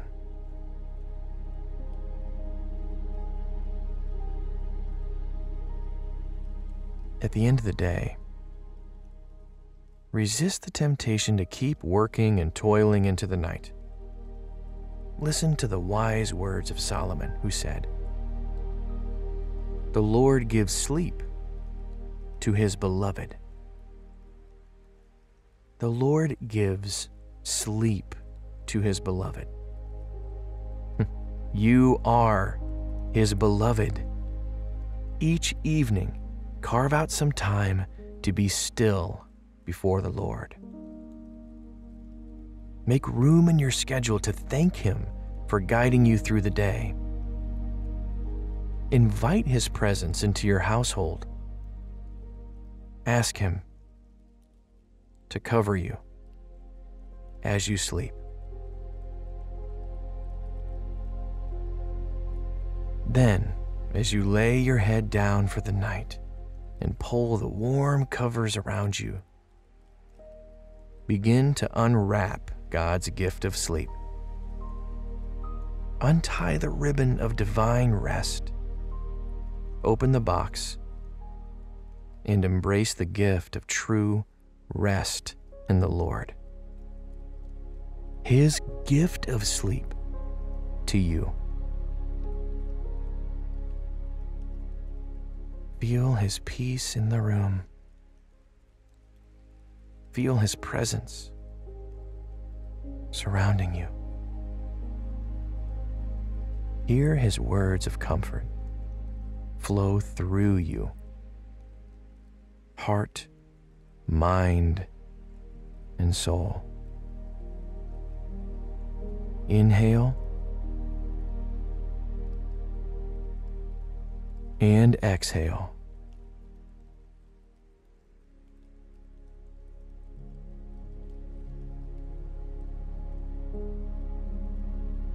Continue to breathe softly in and out as I say a prayer over you. Heavenly Father, In the name of your Son, Jesus, I pray over this beloved one tonight. I ask that you help them surrender their lives to you and receive the gift of true rest. I pray that they find comfort and peace in your presence. Please help them let go of anything that is on their mind or heart tonight. Thank you for loving them. Thank you for watching over them. And thank you for the gift of sleep. Amen. If you've ever heard the word anointed before, it may have been in the sense that God anointed certain people to be set apart to serve Him. In fact, Jesus Himself talked about anointing in Luke chapter 4 when He said, The Spirit of the Lord is upon me, because He has anointed me to proclaim the good news to the poor. The anointing of the Lord is precious and purposeful. Settle your mind on God's anointing for several moments.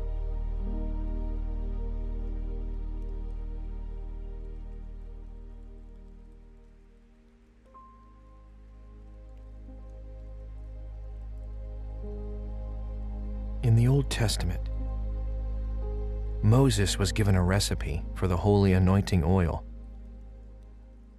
The Lord told him in Exodus chapter 30 to take the finest spices of myrrh, sweet smelling cinnamon, aromatic calamus, cassia, and olive oil. These were valuable spices that the Lord called Moses to gather. He wanted only the finest ingredients for his holy anointing oil. The purest of myrrh, also called the myrrh of freedom in Hebrew. Sweet smelling cinnamon, a rare spice that was much valued in that region aromatic calamus from the reed of a plant that grew close to the water. God was specific about choosing the finest spices. And from these spices, Moses was commanded to make a holy anointing oil, an ointment blended according to the art of the perfumer to be used as an oil of consecration. Inhale the sweet smelling aroma of the holy anointing oil as it fills the room.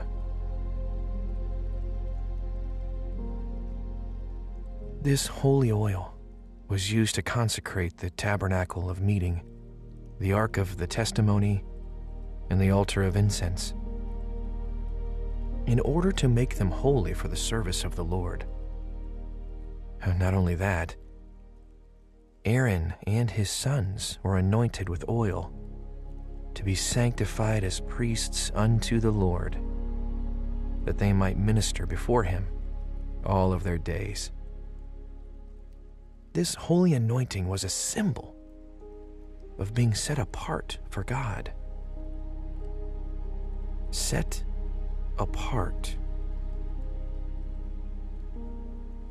Let those words sink in for several moments.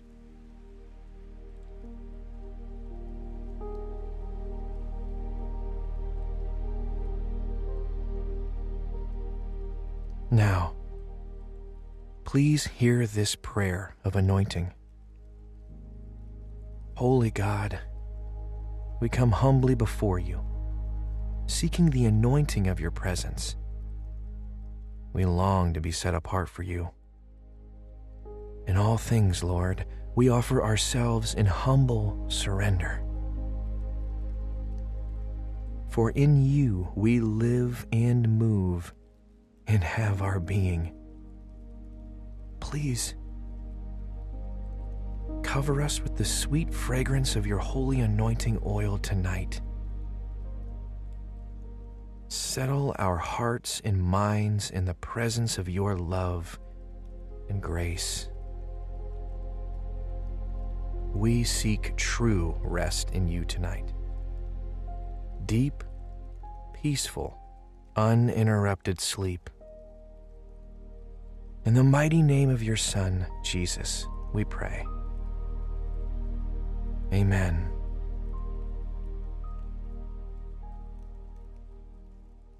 In Psalm 45, a psalm of love and declaration, we read these words about God's anointing over his Son. Therefore, God, your God, has anointed you with the oil of gladness more than your companions.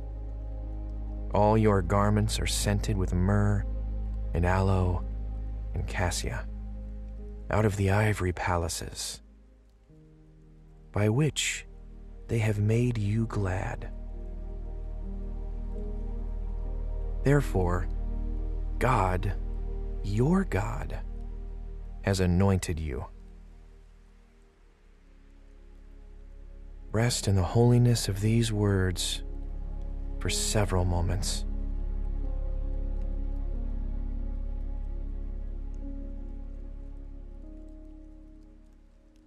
All your garments are scented with myrrh and aloe and cassia. The scent of his garments, or covered in the holy fragrance of God's anointing oil. Each strand of Jesus' sacrifice was woven into place by the good, pleasing, and perfect will of the Father. Just as a person weaves beautiful tapestry, ensuring that each thread appears in its proper place. God the Father wove his perfect plan through the life of his Son so that we could live for eternity with him. Allow the tapestry of God's love and grace to secure you in His peace tonight.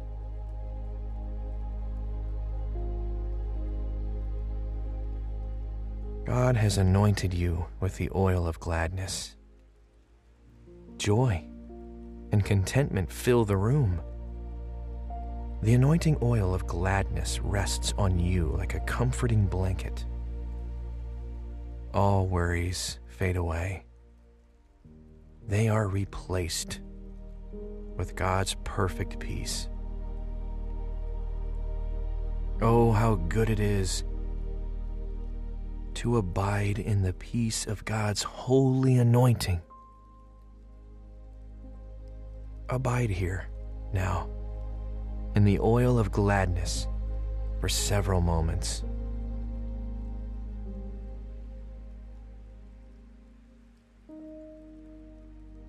This beautiful passage in Psalm 45 describes the Lord Jesus as the Anointed One.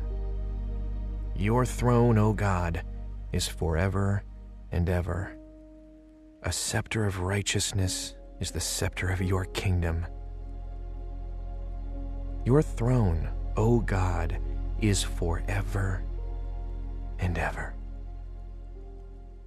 The security of knowing that God is on his throne allows us to rest assured that he is in control. Over everything that concerns us, he reigns. Above every earthly kingdom, God rules. Let the eternal comfort of God's sovereignty settle deep in your heart for several moments.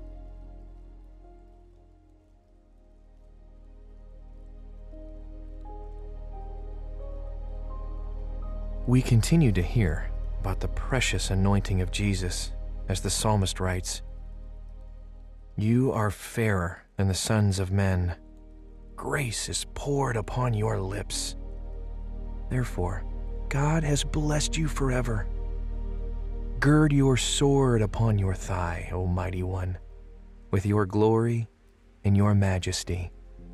And in your majesty, ride prosperously because of truth, humility, and righteousness. Fairer than the sons of men, grace poured upon your lips with glory and majesty because of truth, humility, and righteousness. Rest in those beautiful descriptions of the Lord Jesus.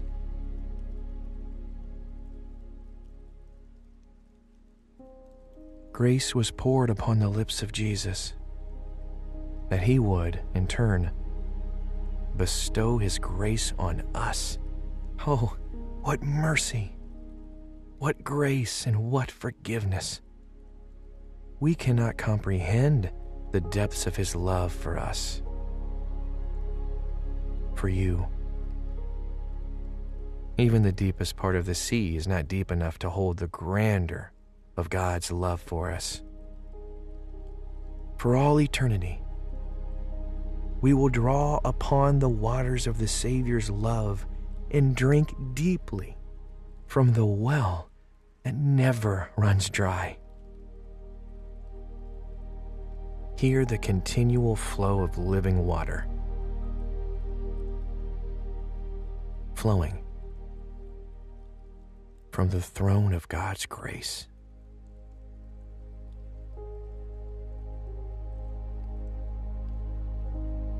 Dear one, Jesus was anointed to bear our sin and shame. He fixed his eyes on the cross out of his unwavering love and mercy over us. His ultimate sacrifice is the foundation of our holy anointing. By his grace, through faith, we are saved, not by our own works but by the gracious gift of the Father. Breathe deeply. A breath of thankfulness to the God who saves.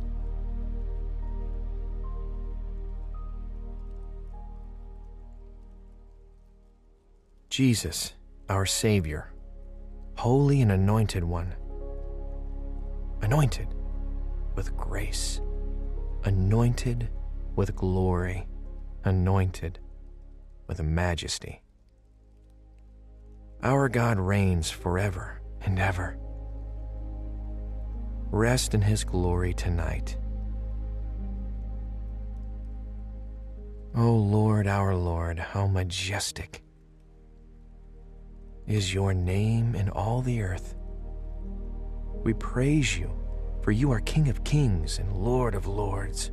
There is no one like you. In your righteousness you reign forever and ever. And in that truth we find peace. By your anointing, we are yours. You are true to your word, and you never fail us. You lead us in truth and righteousness. Thank you, God. We praise you. In the name of Jesus.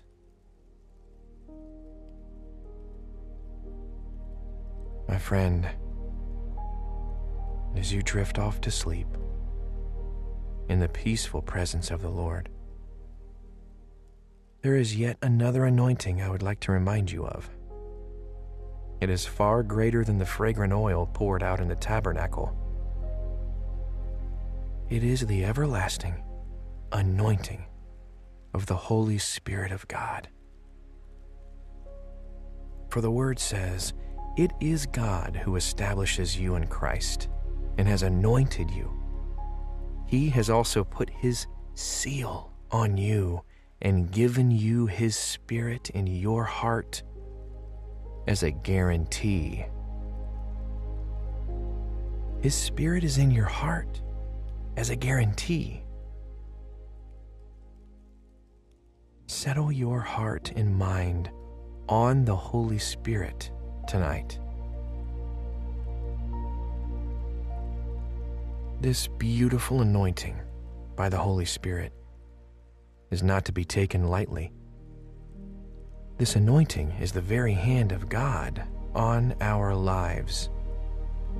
The very same Spirit who raised Jesus dwells in us. God has anointed us, sealed us, and inscribed on our hearts the guarantee that we will be with Him forever. God's promises are immovable, unchangeable, and unfathomable.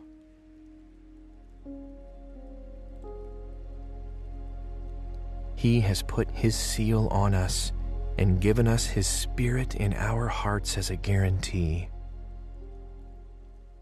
Breathe deeply in that unchangeable, immovable blessing right now.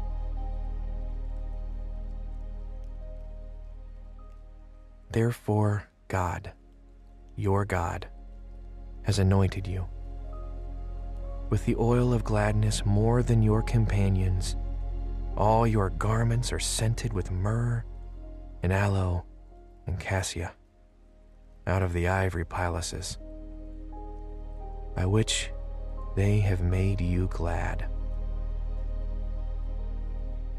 With the sweet smelling aroma of God's holy anointing oil surrounding you with peace, breathe softly. In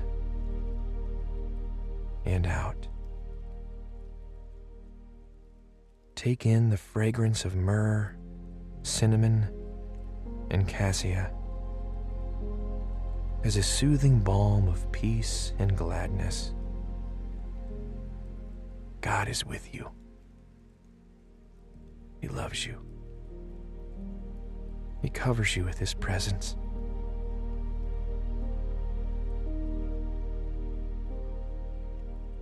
Most holy God, we receive your anointing hand upon us tonight. We rest in the presence of your Holy Spirit. In the stillness of the room, we breathe in the fragrance of your love. You are holy and just. We abide in your holiness now, hushed and settled. For you alone lead us to safe and quiet places. Thank you, Father. Thank you for your anointing over us. By the seal of your Spirit on our hearts. In Jesus' name, amen.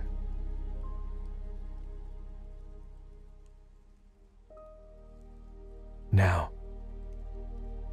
Hear the melodious words of these lyrics from the worship song, Holy and Anointed One. Let them wash over you with comfort and peace. Jesus, Jesus, Holy and Anointed One, Jesus, Jesus, Risen and Exalted One. Your name is like honey on my lips your spirit like water to my soul. Your word is a lamp unto my feet. Jesus, I love you. I love you. Jesus, Jesus, holy and anointed one. Rest in perfect peace under the anointing of Jesus, the holy and anointed one. Feel the hand of the Father as He pours His oil of consecration over your life. You are set apart for Him. You are sealed by His Spirit for all eternity. rest in that truth. Remain in His presence. Receive His anointing.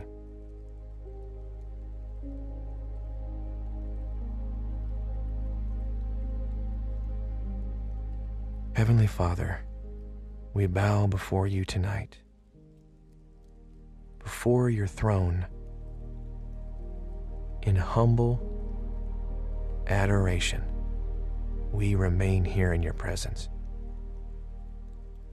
There's no place we'd rather be.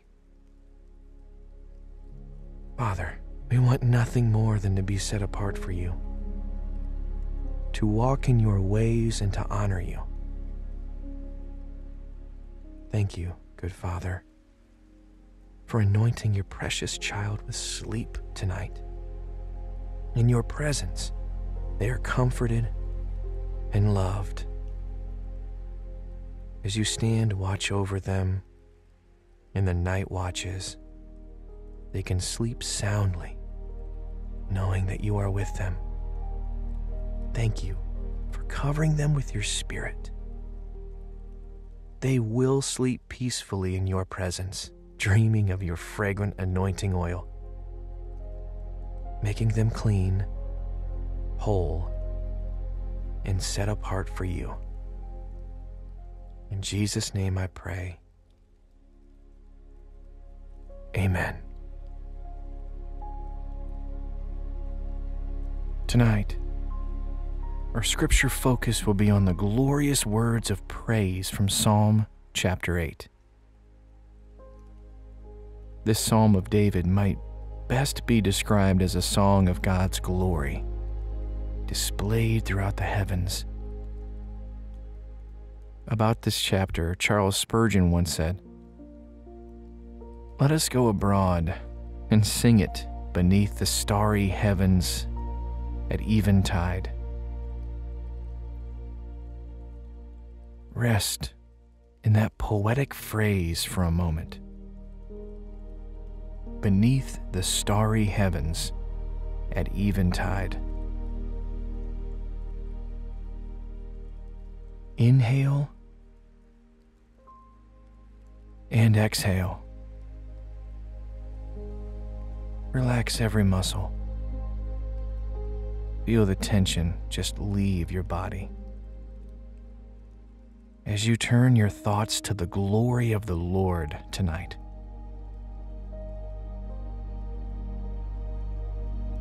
In a moment, you will hear the words of David as he offered a beautiful tribute to the God of all creation and to the glory of the Lord seated high above the heavens. But before we visit this psalm of praise, please join me as I pray. Holy Father, your glory rises far above the heavens, so vast, so boundless. We just can't comprehend it. Yet, by the works of your hands, you give us glimpses into your magnificent glory. And for that, we're so thankful. Tonight, Lord, open our ears to hear the wonderful words of praise from the mouth of David. Join our hearts with yours as we meditate upon your glory for our own good. Help us to release all distracting thoughts and just focus only on you and your perfect word. Settle us, Lord, in the goodness of your presence. And I pray these things in the beautiful name of Jesus. Amen. And now, hear the words of David. O Lord, our Lord, how excellent is your name in all the earth, who have set your glory above the heavens. Out of the mouth of babes and nursing infants, you have ordained strength. Because of our enemies, that you may silence the enemy and the avenger. When I look at your heavens, the work of your fingers, the moon and the stars, which you have set in place, what is man that you are mindful of him, and the Son of Man that you care for him? What is man that you are mindful of him? How is it possible that the creator of the universe has time to be mindful of us? Surely he, he has better things to think about. And yet, God's thoughts over us are thoughts of love and acceptance. After all, not only did his hands set the moon and stars in place, but his hands fashioned each of us in his own likeness. Dear one, the Lord is mindful of you tonight. Think about that.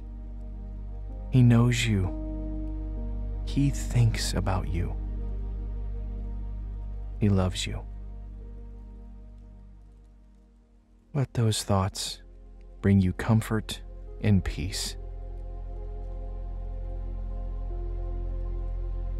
What is the Son of Man? That you care for him. Oh, how God cares for you. He cares about the smallest details regarding your life. Feel that. Feel His nurturing presence watching over you as you fall asleep. You are His beloved child, and you are held in His loving hands.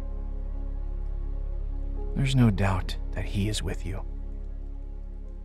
For the scriptures declare that He is Emmanuel, God with us.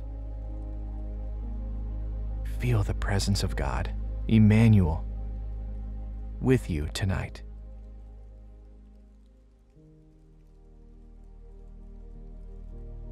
The Lord has set His glory above the heavens he has set the moon and stars in place.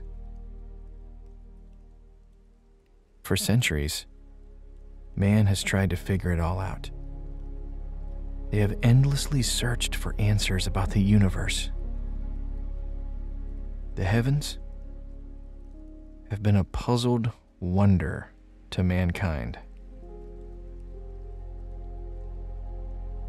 But know this God has it all figured out. Nothing is a puzzle to him. He has put all the right pieces together in just the right way. Beyond our scope of understanding, He designed the universe, the heavens, the earth, and our lives for His glory and our good.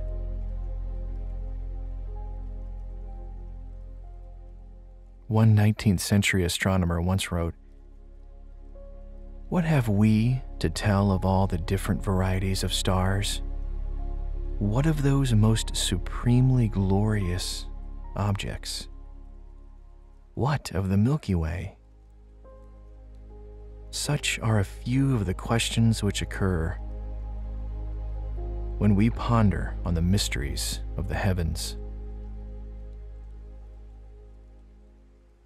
The mysteries of the heavens are no mystery to their Creator, for He has set His glory above the heavens.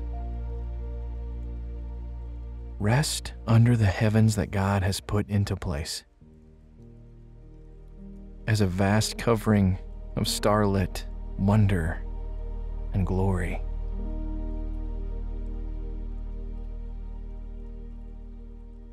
Lord God, Please bless this beloved one who is resting in the glory of your presence tonight. Bless them with peace, hope, and trust in you. Settle their breathing into a soft rhythm. helping them sink into a deep, peaceful sleep. Lord, as they rest quietly, I ask that you allow them to dream of the beautiful works of your hands, the works of your fingers that set the moon and stars in place, the works of your magnificent glory, found high above the heavens. In the name of Jesus, I pray. Amen. On each of the historical flights of the Space Shuttle Discovery, the crew was awakened each morning by song. These wake up calls were a tradition of the NASA program, and the songs were selected by Mission Control. One Sunday morning during orbit, John Glenn and the rest of the crew woke up to a song called Hallelujahs. A song that speaks of cratered moon and sparrow's wings, oh, thunder's booms and Saturn's rings. Unveil our Father as you sing, and my soul wells up with hallelujahs. The writer of the song, Chris Rice, was overwhelmed by the thought of his humble song being played for the astronauts in space. As they hovered far above the Earth, with a miraculous view of God's handiwork,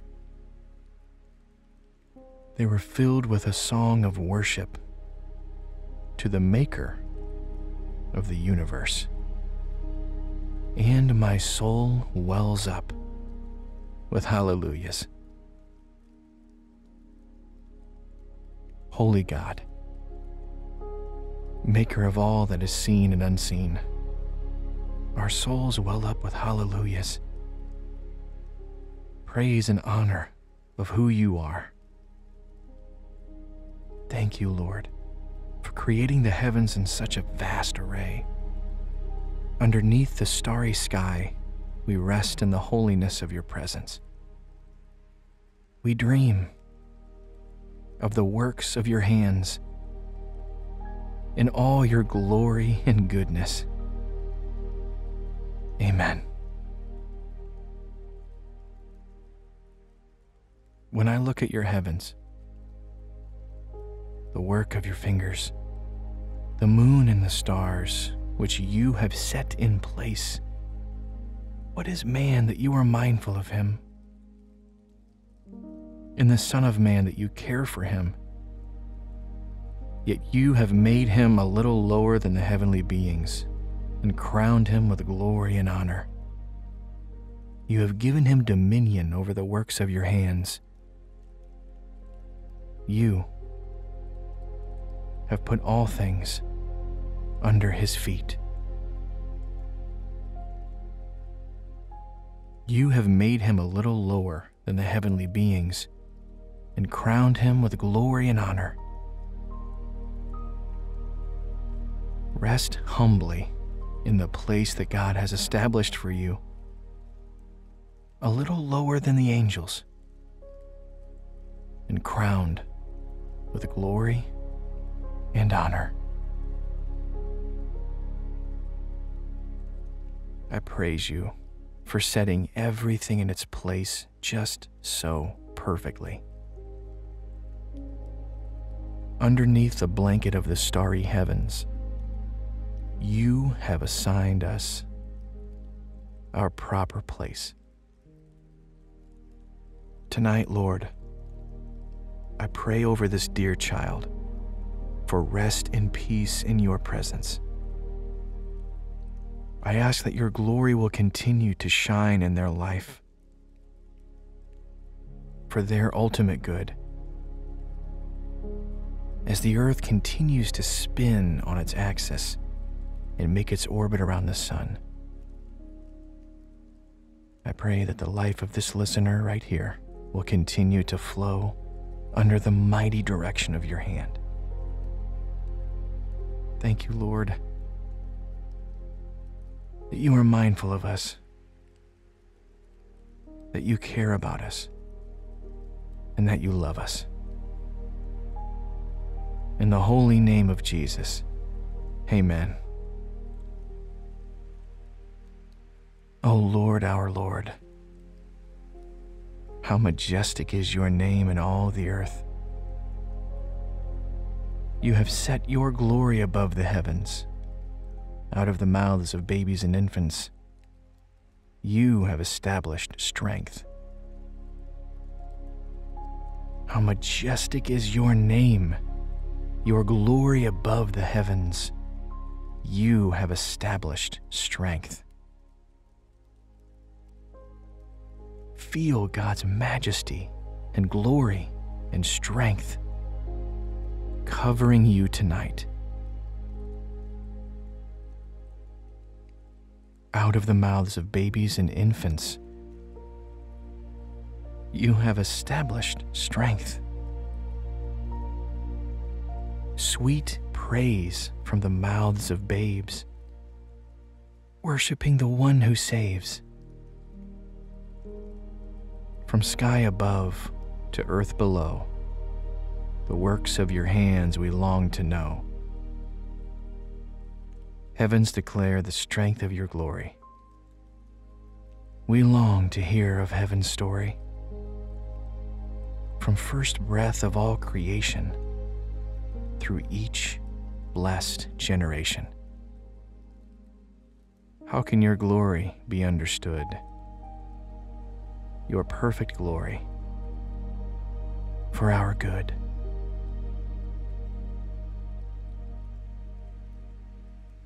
Heavenly Father, Father of glory and goodness, remain over this beloved child tonight as they sleep in peace. Help them to get enough rest to feel renewed at morning light and to awaken with a sense of refreshment. Thank you, Lord, for being that constant in their life, that constant source of hope in faith. I pray for the blessing of your presence to stay with them through the night and continue as they face a new day. I pray all these things in the precious name of your Son, Jesus. Amen. The psalmist expresses his love for the Lord because God hears and answers his children when they call to him. Throughout the Psalms, he recalls the many troubles and sorrows he has already encountered, and how gracious and compassionate the Lord has been to him. The Lord heard his cry, and the Lord rescued him. In the 138th Psalm, David expresses gratitude to God. This psalm helps us focus on the Lord's goodness.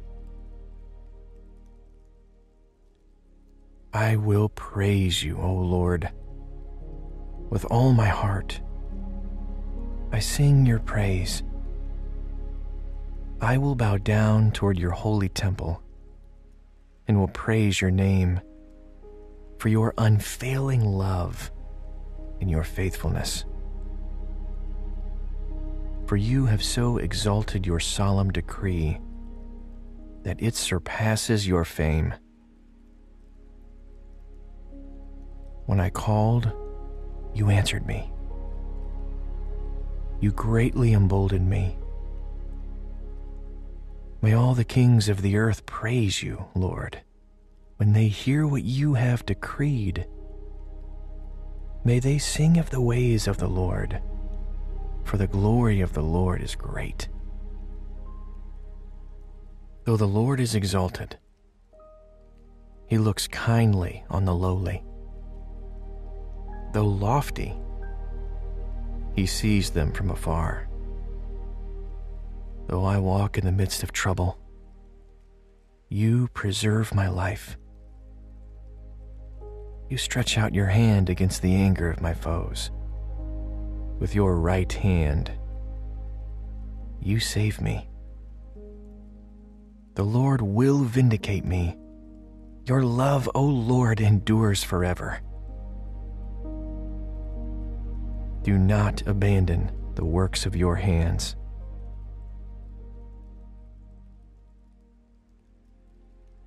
As you snuggle further into your bed, your body sinks deeper into your mattress. May God bring you holy rest.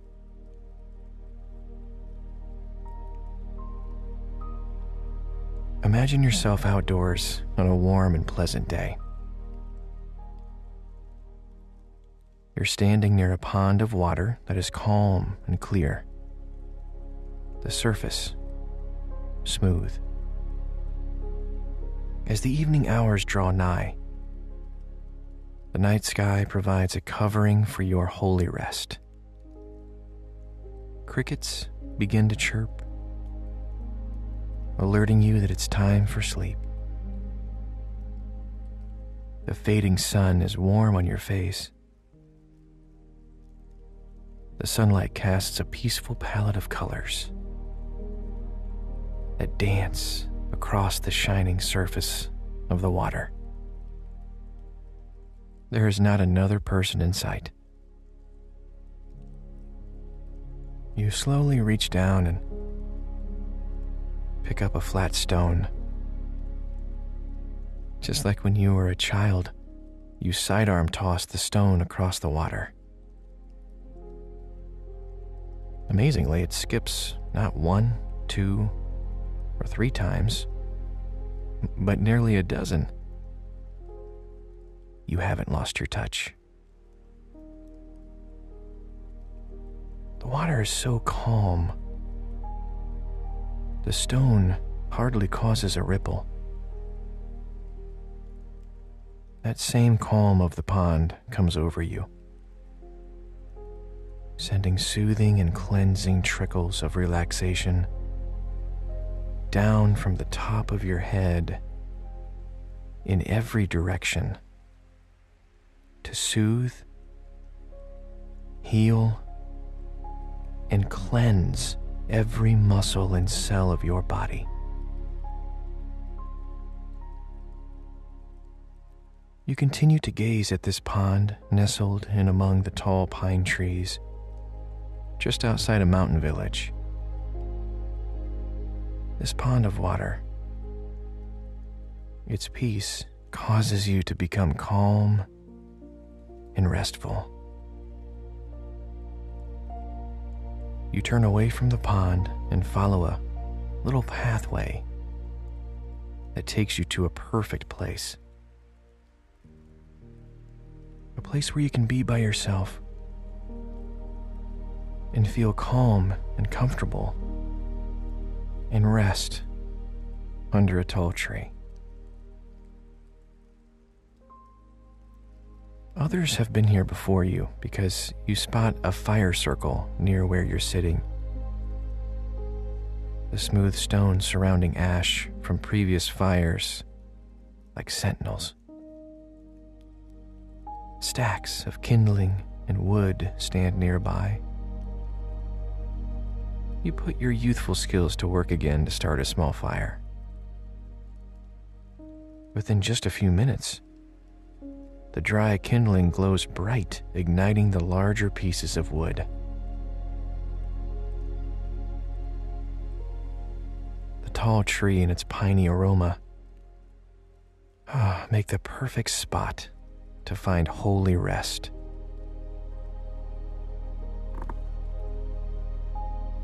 Your tensions begin to melt away the busyness of city life.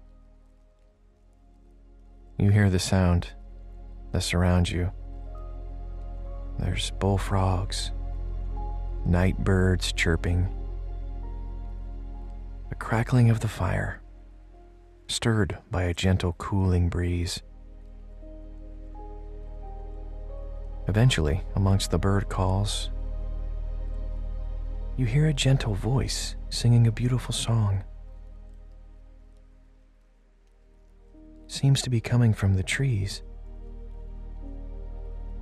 You hold very still as you listen. The words coming to you gently on the breeze. I have loved you with an everlasting love, the voice sings. With unfailing love, I have drawn you to myself. Your heart sings with this sweet voice as it continues. The Lord is good to all. He has compassion on all He has made.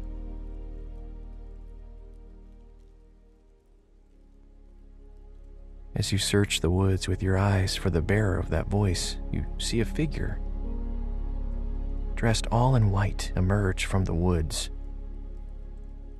You have no fear, because the words of their song have filled your heart with joy and peace. As the figure walks towards you, the singing continues. The words, For the Lord is good, and his love endures forever. His faithfulness continues through all generations. Finally, they are close enough for you to recognize it's Jesus. He comes closer, still singing of his love for you, and he sits beside you to the fire. Your heart bursts with joy your Savior and Lord is here by your side. You sing in response, Sovereign Lord, you are good. Your covenant is trustworthy, and you have promised these good things to your servant. The sweet dialogue between you continues. With his words and your response, as you sit side by side in perfect peace. He says, Taste and see that the Lord is good. Oh, blessed is the one who takes refuge in him. You respond, The Lord is good, a refuge in times of trouble. He cares for those who trust in him.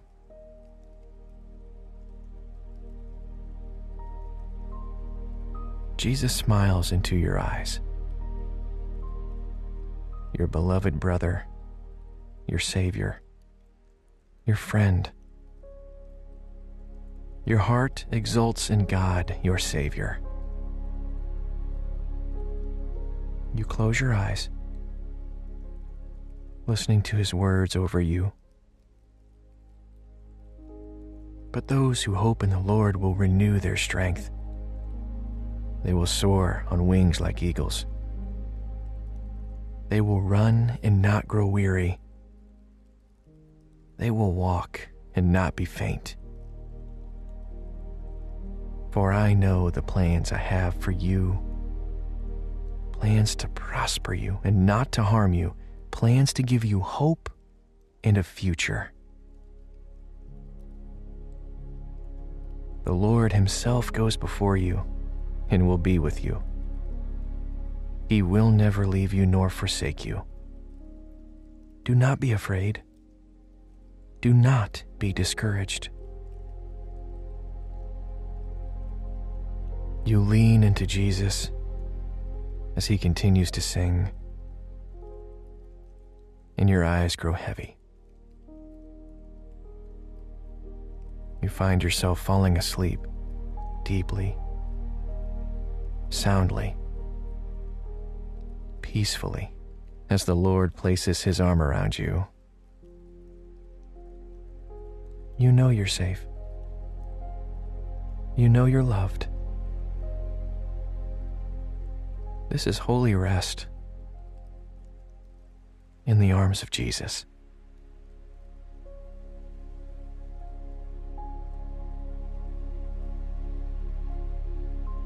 As your breathing gets deeper and your eyes grow heavier through your encounter with Jesus, you have found holy rest.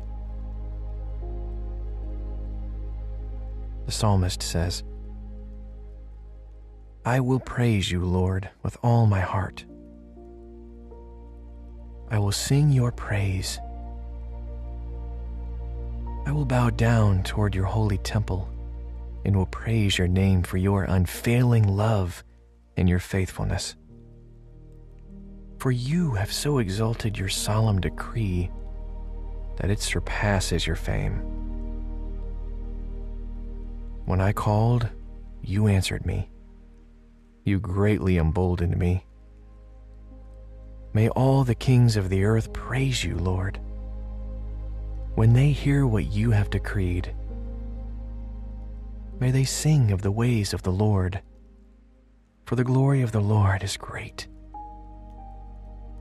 Though the Lord is exalted, he looks kindly on the lowly.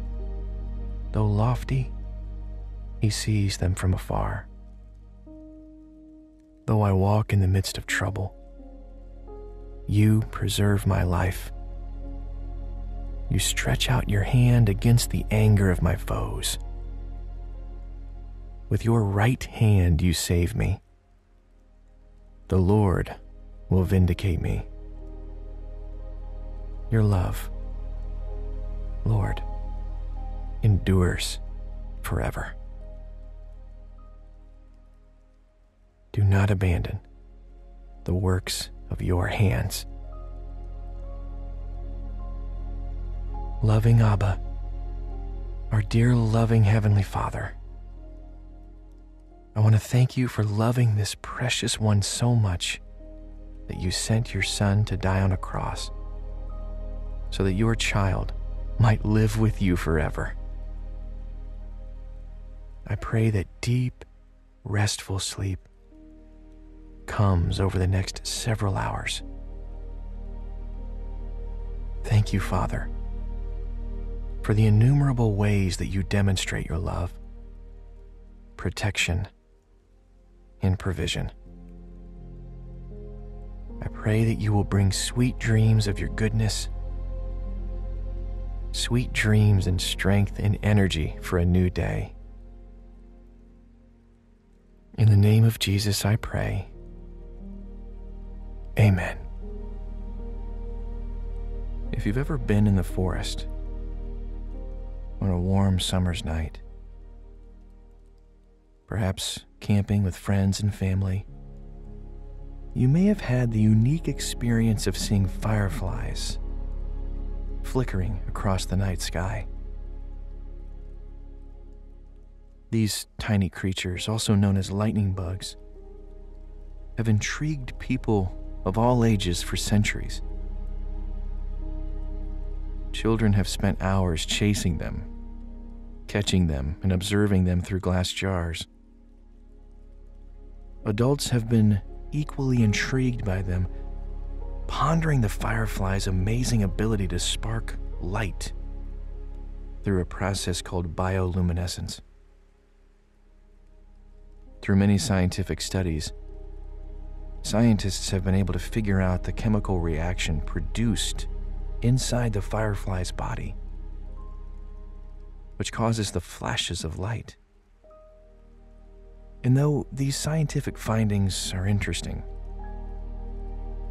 we know who should get all the credit. All glory and honor goes to our God for our Creator is marvelous in all his works. And his wondrous creations, such as the firefly, cause us to lift our voices in praise. You are worthy, O Lord,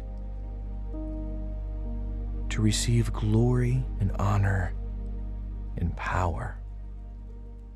For you created all things and by your will, they exist and were created. Please allow me to lift a voice of praise to our wonderful Creator tonight. Glorious God, Master of all creation, we marvel at the works of your hands. You are worthy, Lord, worthy of all honor, glory, and power. We see the intricate details of your creation, and we are astounded. Even in the tiny light of a firefly, we see your mighty works, and we praise you. Thank you, Lord, for creating all good things for us to enjoy. We rest here tonight in the fullness of your presence and in the precious name of your Son, Jesus. Amen.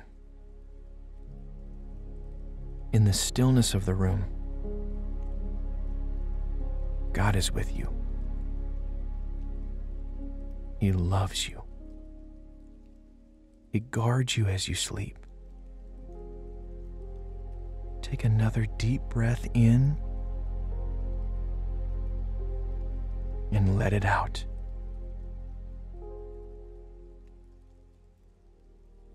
As the firefly moves through the night, a flickering lamp of illumination in the sky, so we have a light within us to be mirrored in a dark world. Jesus has affirmed this by his word in Matthew chapter 5, verses 14 through 16. He reminds his followers of this. You are the light of the world. A city set on a hill cannot be hidden. Nor do people light a lamp and put it under a basket, but on a stand, and it gives light to all in the house. In the same way, let your light shine before others, so that they may see your good works and give glory to your Father who is in heaven. You are the light of the world.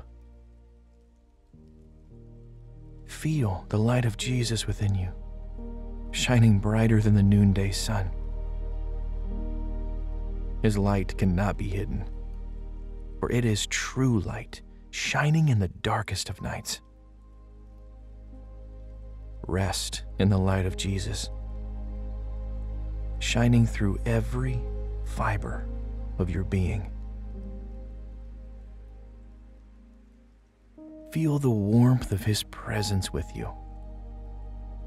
Nothing can dim the light of His love around you, in you, and through you.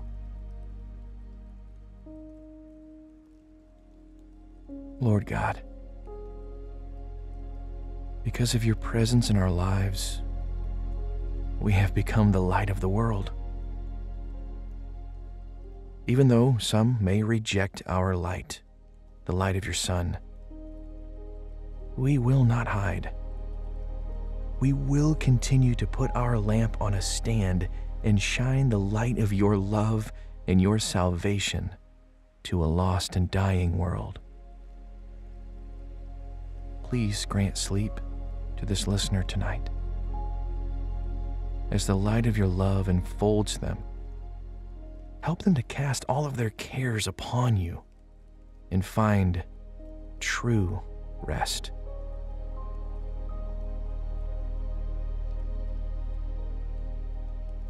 Fill their minds with pleasant dreams of the wonders of your creation, such as fireflies flickering on a warm summer's night, and children chasing after them in childlike wonder. I pray these things in the precious name of your Son, Jesus Christ. Amen. The firefly does not even think of hiding his light. He boldly flutters through the night sky, flashing a warning attracting a mate, in doing what he was created to do. His purpose was set by a loving creator who spoke him into existence, who fashioned him with unfathomable design. And so, you were created with a specific purpose to be a light on a hill, a lamp on a stand, and a spark of truth to a lost and dying world. Rest in God's beautiful purpose for your life.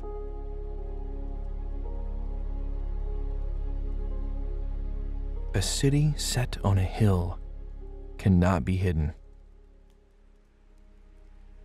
The quiet village, tucked away on a mountainside, hardly noticed by day, comes to life as the sun sets behind the peak. And one by one, the lights of the village sparkle in the night, making its existence known. A city on a hill cannot be hidden. Inside the homes of that village are lamps that are being turned on as evening falls. Mothers read quietly by the light of those lamps. Fathers finish their work. And children sleep with the security of a nightlight, casting a soothing glow across the room. And there is peace Breathe in the peace of God's presence tonight. Exhale any remaining tension. Heavenly Father, Creator of all, I ask you to be with this beloved one tonight. I pray that the warmth of your love will cover them like the softest blanket. I ask that the light of your sun will fill them with such peace. They will sleep soundly without a single care. As they sleep, Lord, I pray that they will dream of quiet places where your light shines in the darkness. I ask that they will awaken renewed and refreshed in the morning as the light of the sun comes through the window. Thank you, Father, for creating them to be the light of the world and strengthening them as they sleep to rise up and do your will. It is in the precious name of Jesus I pray these things. Amen.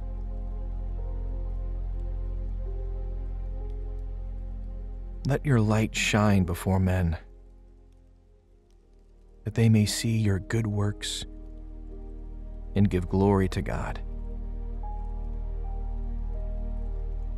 Let your light shine before men as boldly as the lightning bug shines in the night.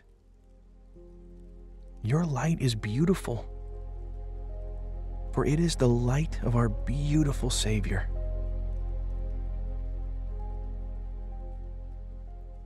The patterns of light emitted by fireflies are unique to their kind.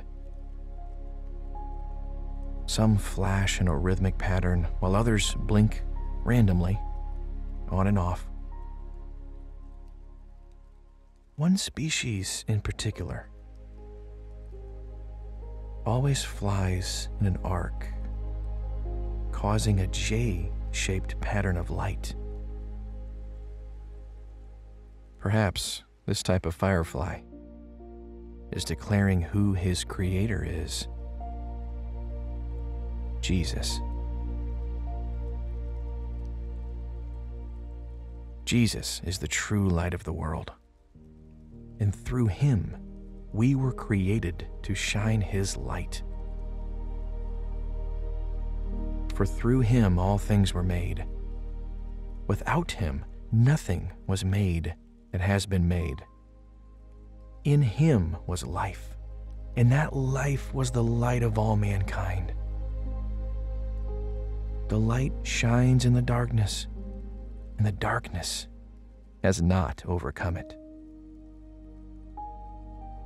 Those words from John chapter 1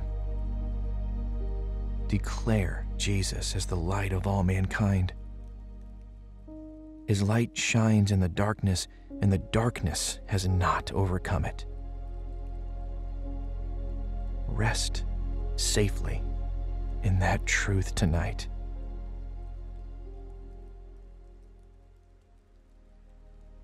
Holy God, Maker of all that is seen and unseen, allow your child to find rest and peace in you tonight. Please make them feel safe and secure in the light of your love. Help them to know that without a doubt, you are the light of all mankind. In you, there is no darkness at all. No matter what's going on in this world, the darkness has not overcome them. Thank you, God. Thank you for holding us in the light of your love for all eternity. We rest in the name of your Son, Jesus.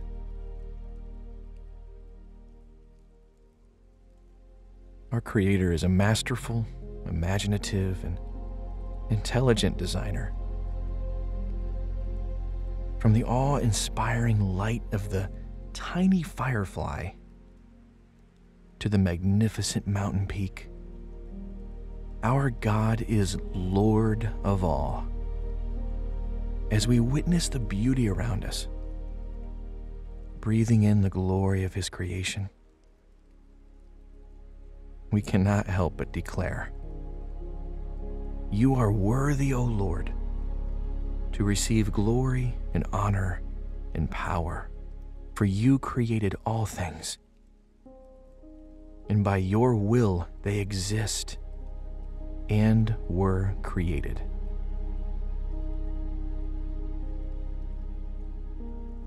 Be at peace in his glory tonight for he is worthy. Honor and glory and power belong to the Lord.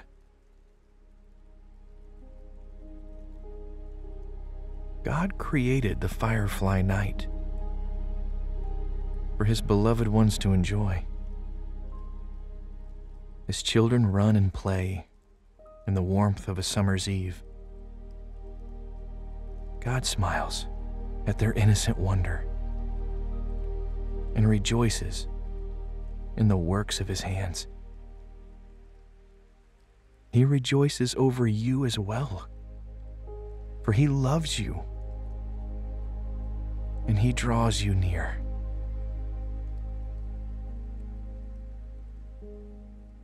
Thank you, Lord, for drawing this child close to your side. Thank you for enfolding them in the warmth of your presence. Speak into their hearts and minds as they sleep, reassuring them of your love and goodness. Please cover them from head to toe, guarding them as they sleep deeply without a care.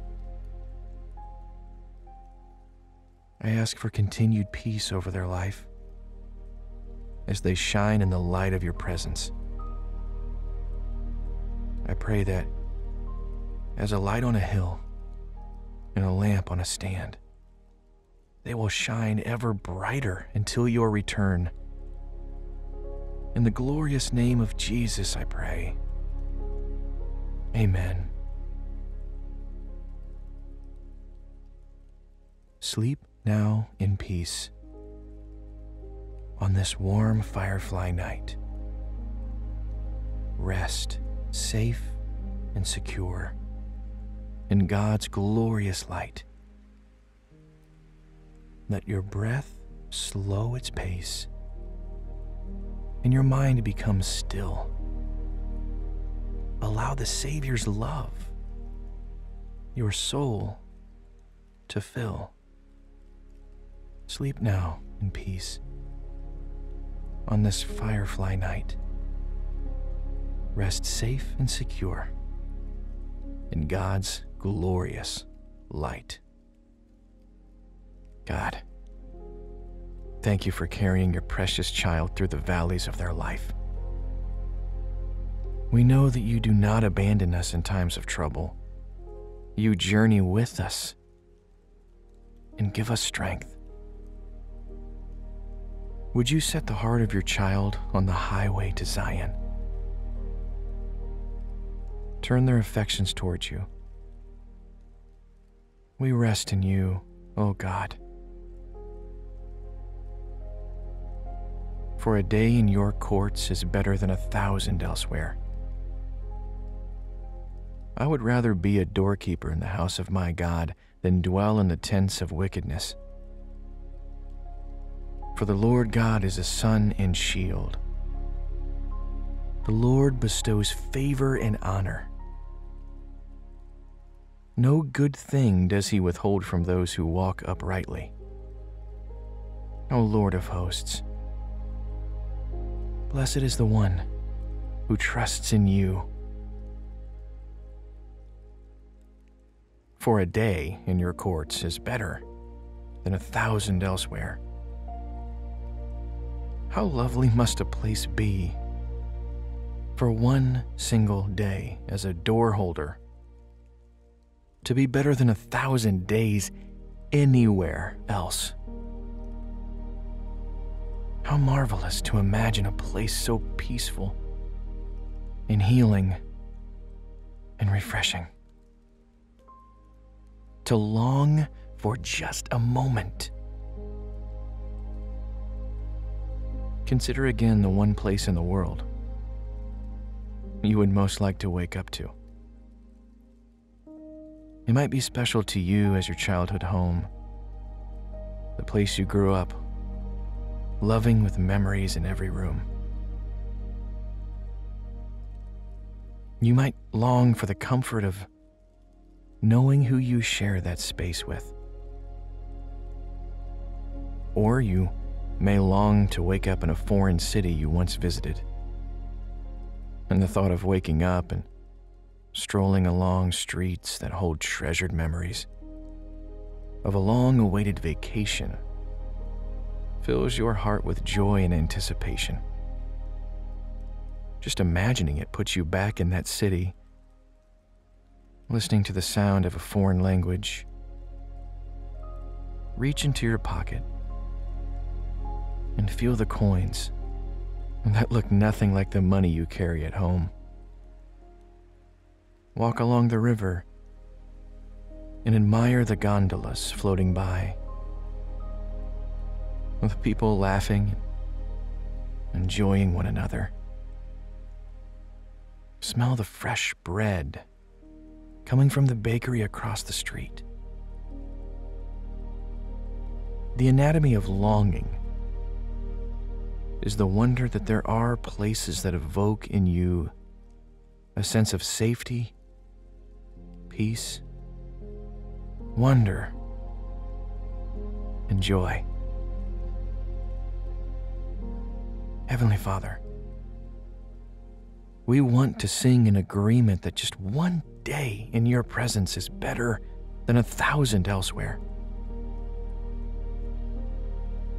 Help your child to treasure your presence as they find rest in you. Yes, the places we long to return to here on earth are lovely indeed. But if one day is better than a thousand, how much more beautiful is the place that holds the presence of God? Imagine now that you are approaching the temple. Listen to the changing sound of your steps. As you move from the sandy gravel that has led you along the majority of this journey to granite you long anticipated reaching. Feel as it changes to the hard stone beneath your feet. As you draw near, notice the sounds that are changing from the few voices of those journeying with you to the sound of a bustling crowd in the temple courts. Oh, listen to the sound of singing as many sing praises to God. They have finally arrived. Listen to the chatter coming from the courts. Hear the diversity of language in the voices of many who have come from near and far, seeking, along with you, to meet God in his dwelling place. Look at the variety of people who have traveled to this precious place. See mothers with babies swaddled to their chests, and little hands holding theirs as they walk. See the joy in the eyes of the gray haired men and women. After longing all their lives, they have made it. See the fathers holding tight to their little ones as they make their way through the crowd. See friends laugh together as they agree the journey was well worth it. And with many from all over join their song. Together they sing how lovely is your dwelling place, O Lord of hosts. That place you most long to be, it is nothing compared to the wonder of God's presence. For the safety, peace, wonder, and joy that you long for is found most fully in His presence. Find safety in the comfort of a God who sees you and protects you. Find peace in a God who is for you and near to you. Find wonder in the majesty of a God more extravagant than you could ever imagine. Find joy in a God who delights in you and brings you good things for His name's sake. For even 1,000 days in your most treasured destination could not compare to the majesty found in the temple of God. How lovely is His dwelling place! for even the most celebrated position or greatest honor, pales in comparison to that of a doorkeeper in the temple of God. For the doorkeeper is immersed in his presence. The doorkeeper is surrounded by his nearness. The doorkeeper is resting, secure in the peace that surpasses all understanding. enter into his presence and find this peace. In the Old Testament, the temple that we've been talking about was the actual dwelling place of God, the place where his presence would abide. But things are different now. Things are different because when Jesus came on the scene, everything changed. And when Jesus ascended into heaven, he promised to leave us his Holy Spirit. As a believer in our glorious Lord Jesus Christ, you are now the dwelling place of God because the Holy Spirit dwells within you. Salvation was won by Jesus on the cross and He sent the promised Holy Spirit to dwell within you. Your access to the dwelling place of God is not predicated on an arduous journey to the temple, It does not depend on your ability to be in the right place at the right time. Instead, your access to the dwelling place of God is promised to you by a gracious Father. For the same Spirit that raised Christ from the dead now dwells in you. Oh, how lovely! It is no longer a journey you must make. It's just a reality for you to recognize. You are the dwelling place of God. What a profound shift. The God of heaven came near to us in the person of Jesus, and now he dwells in us through the Holy Spirit. How lovely is your dwelling place, O Lord of hosts. How profound that you choose to dwell in your beloved Father God. It is a privilege beyond what we can comprehend. And I pray that your child will recognize the gift of the Holy Spirit in dwelling within them we cling to your presence, knowing that in you we find rest, peace, grace, and joy to carry us through our days. No matter what your journey looks like day by day, no matter what fills your schedule, what relationships you have, or what work you do, you have access to the presence of God here and now. Find rest in the promise that the presence of God is no longer a destination for you to reach only by an arduous journey, but rather the presence of God is a treasured companion through all of your journeying, for all of your days. Take a deep breath as you give thanks for the profound gift God has given you, not only in His Son Jesus, but in His promised Holy Spirit.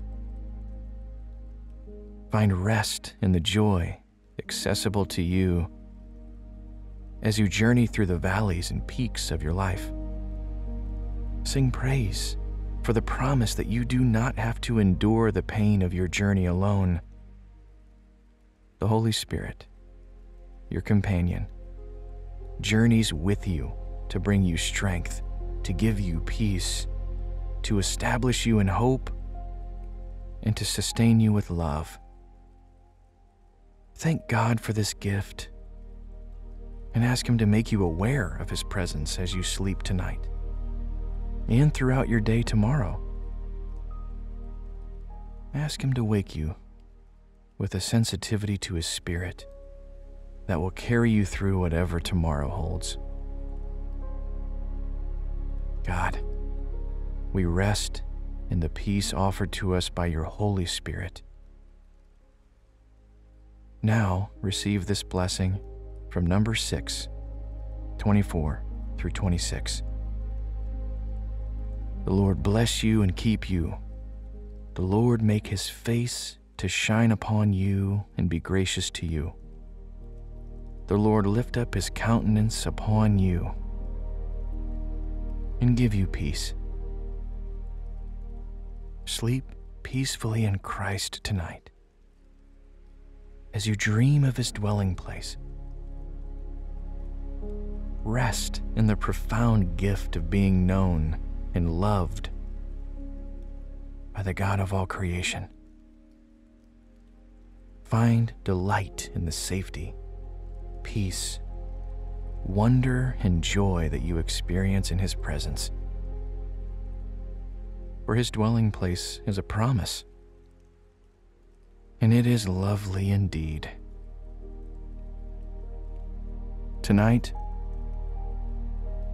our sleep story takes us through the Great Smoky Mountains in the beautiful state of Tennessee. Down the old state highway, through winding country roads, we come to an historic, covered bridge tucked away between lush, towering trees. Hear the rustling sound of leaves as the mountain air flows through the treetops. Inhale the fragrance of the Great Smoky Mountains, both spicy and sweet. One of the most heavenly fragrances on earth. The historic bridge in Tennessee, known as the Harrisburg Covered Bridge, is a picturesque sight that draws visitors to stop and appreciate the tranquil setting. Built in the late 1800s, the bridge was used to connect two separate parts of the community. Divided by the Little Pigeon River, the Harrisburg Covered Bridge provided passage for the people and allowed them to grow and expand. If you were to walk along the wooden planks, fastened neatly side by side, you would enter the covered portion of the bridge and find the river below hushed by the tall trusses on either side. Perhaps a bird would fly in and perch on the beam above. The sound of its melody would echo through the archway. Hear the song of the meadowlark echoing in the rafters. The bird flies away in search of another place to land and share her heart song. You look out one of the windows of the old covered bridge and watch the birds soar high in the sky. Your hands run along the weathered beam, and you wonder how many people have stood in the exact same spot, gazing at the river below. This wooden bridge reminds you of Jesus, the bridge to the Father. as your hands feel the roughness of the timber. You can't help but imagine the crudeness of the wooden cross upon which Jesus died. Jesus made a way, the only way. Find great comfort in Him tonight. Gracious God, thank you so much for making a way when there seemed to be no way. We look to the sacrifice of your Son as he provided a bridge through his death on a wooden cross. Please, Lord, help this listener feel completely connected to you tonight.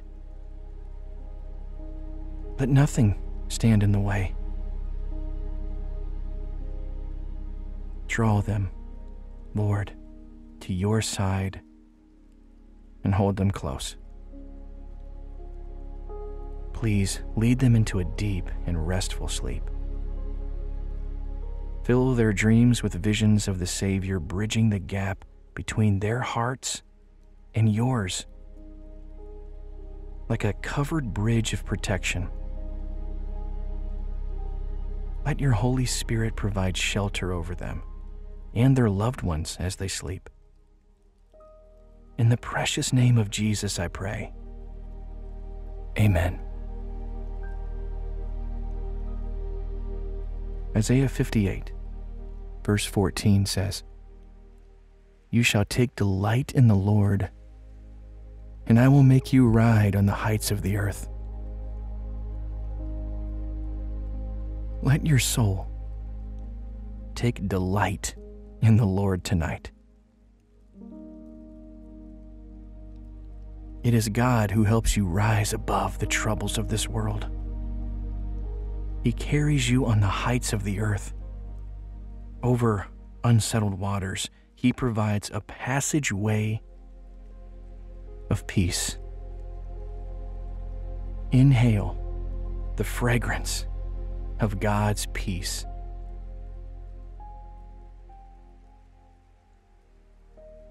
Although the Harrisburg covered bridge was a beloved thoroughfare, it was washed away by a flood in 1875. Nevertheless, the people of the community came together to rebuild a passageway that would stand the test of time. In unity, they gathered what was needed to build a strong framework, a faithful trust that could withstand every storm. Dear one, the Lord your God is with you through every storm. He provides everything you need to stand the test of time. Remain in the strength of the Father tonight.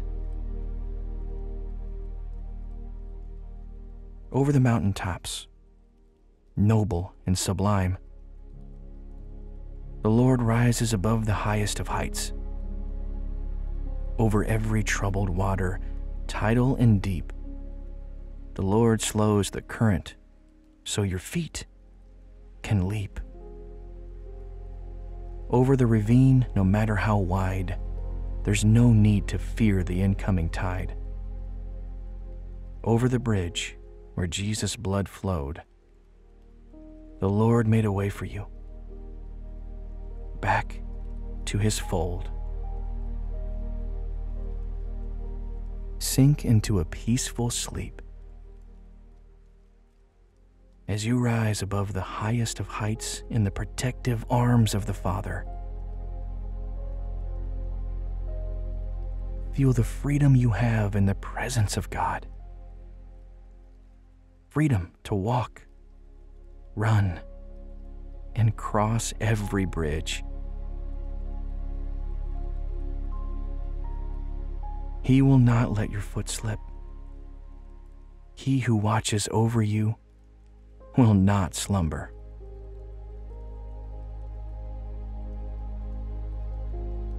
Holy God, please watch over this child tonight. No matter what has risen against them, let them know that you are greater. You never sleep nor slumber. Nothing exists beyond your wisdom help this beloved person rise above the fray as they keep their eyes on you. For nothing in this world can overtake them when they are sheltered by your love. Please shelter them in your love tonight. In Jesus' holy name. The Lord will guide you continually and satisfy your soul in drought, and strengthen your bones. You shall be like a watered garden, and like a spring of water whose waters do not fail. Those from among you shall build the old waste places. You shall raise up the fountains of many generations, and you shall be called the repairer of the breach the restorer of streets to dwell in. Allow the Lord to guide you, even as you sleep. Let Him guide you to peaceful pastures with flowing water that satisfies your soul. There is no drought in the presence of living water. Feel the strengthening of your frame as you breathe deeply of the Holy Spirit. Your bones, your muscles, and your tendons are being rejuvenated as you rest. Holy Spirit, please flow through this person bringing healing and restoration to their weary frame. Like a spring water whose waters do not fail, you do not fail us, O God. Your love is a continual flow for all eternity. Help us remain here, now, washed by the waters of your holiness. Cleansed, made pure, restored, made whole, renewed. Thank you for these things. It is not by chance that the Harrison covered bridge is still standing today. Though it was nearly torn down in the 1970s, people fought to keep it in place. Together, they raised money that was needed and made the necessary repairs to make it the upstanding bridge it is today. In unity, people came together when it mattered most What was important to their community became a central focus and a unified purpose. Be in unity with the Father.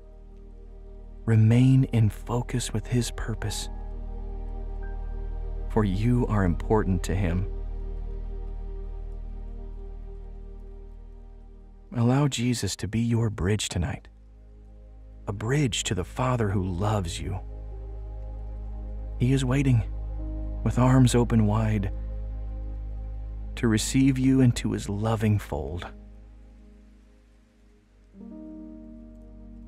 Heavenly Father, please cradle this beloved person in your loving presence. Whisper words of truth and peace. Let your Holy Spirit remain with them, covering them through the night. Thank you, Holy Father, for welcoming us so completely just as we are. We come to you now, just as we are. We ask you wash over us like a peaceful river of forgiveness and mercy. With sounds of leaves rustling in the trees and rushing water below, lull us into dreams of your precious Son, Jesus, Emmanuel, God with us. He is the one we seek tonight. As we sleep contentedly in your presence. For Jesus, our Savior, is the only bridge to you, to your heart. And we cross that bridge willingly tonight in rest, in peace, and in full assurance of your love. We cross that bridge tonight to sleep.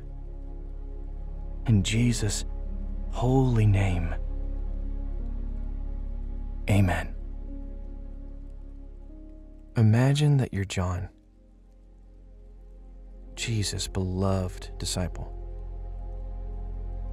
You've been following Jesus for a while now, and you've seen him doing amazing things. You've seen the sick healed. You've seen the hungry fed. In fact, just the other day, Jesus took five loaves of bread and two fish and somehow fed hungry crowds of thousands of people with baskets of food left over after everyone had eaten their full. You've traveled with Jesus, and you've listened to him teach crowds nearly every day. But tonight, Jesus invites you to do something different. Come with me, he says, up to the mountain to pray.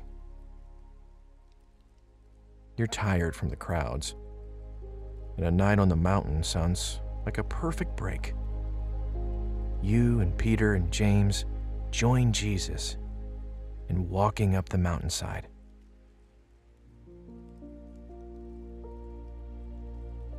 Conversations quiet, and the sounds of the town below you fade until all you hear as you walk is the sound of your sandals slapping the dusty path. Your own breath in steady puffs, and the occasional rustle of animals off the path. The sun begins to set, and the wind picks up, drying your sweat and providing a welcome break from the heat.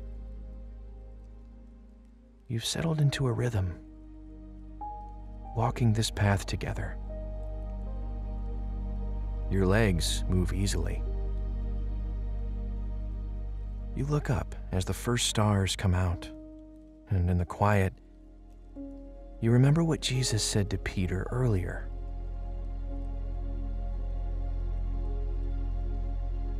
Jesus had asked you all as you lounged eating dinner together one night Who do the crowds say that I am? You and the others told Jesus the whispers you'd heard, the rumors that had spread around Nazareth. Some people said that he was John the Baptist.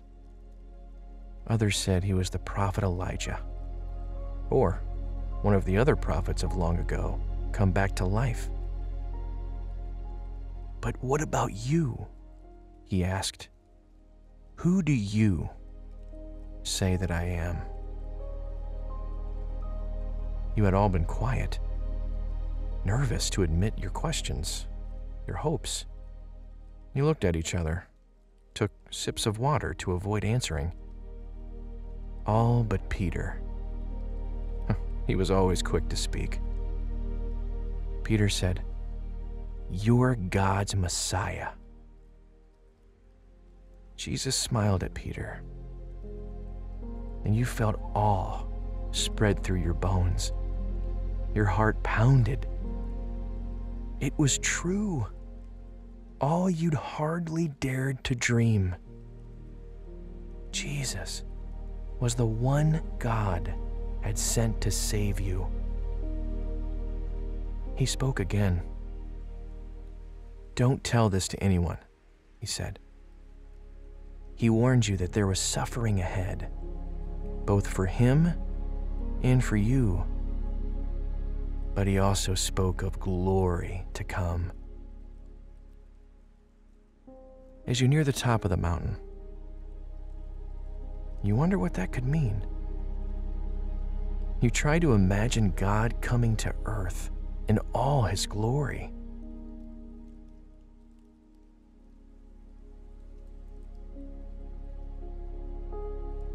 Let's rest here, Jesus says, breaking you out of your reverie. You sit, finding a large stone to lean against, and set down your bag next to you. It's beautiful on the mountain tonight. A light chill in the air. The heavy, smoky scent of oak trees perfuming the night. The sky is clear, and the thousands of stars remind you of the promise God made to your ancestor Abraham. You realize that Jesus has started praying. You join him and Peter and James, and you think of the thousands of people who have prayed to this God. You're joining a host of people who have waited and prayed to God for a Messiah. But now you're praying to God with the Messiah. Words of praise from the Psalms spring to your heart. Give praise to the Lord. Proclaim his name. Make known among the nations what he has done. Sing to him. Sing praise to him tell of all his wonderful acts. Glory in his holy name. Let the hearts of those who seek the Lord rejoice. Look to the Lord in his strength. Seek his face always. remember the wonders he has done, his miracles, and the judgments he pronounced. You, his servants, the descendants of Abraham, his chosen ones, the children of Jacob, he is the Lord our God. His judgments are in all the earth. He remembers his covenant forever, the promise he made for a thousand generations, the covenant he made with Abraham.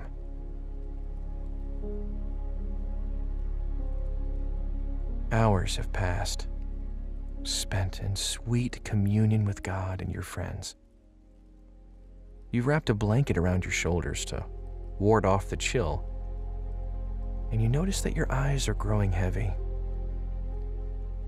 A peaceful night invites you to rest. Lightning in the sky. No, it's not lightning. It's Jesus. You know it's him, but he looks different in a way you can't find words for.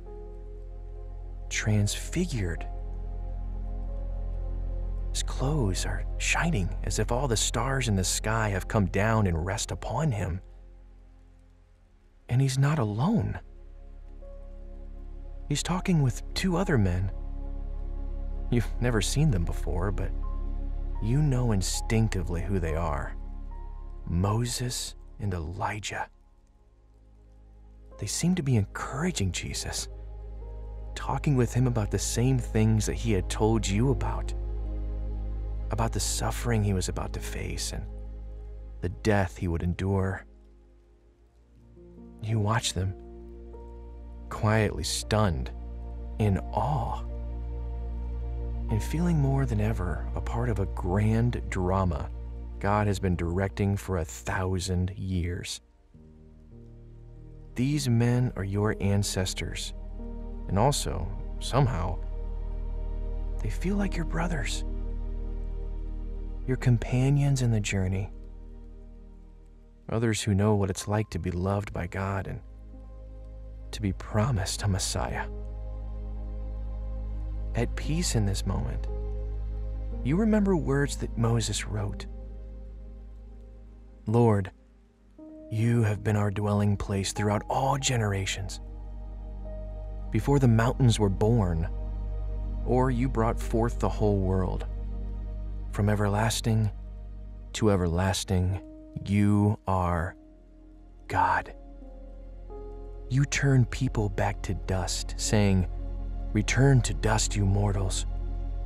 A thousand years in your sight are like a day that has just gone by, or like a watch in the night.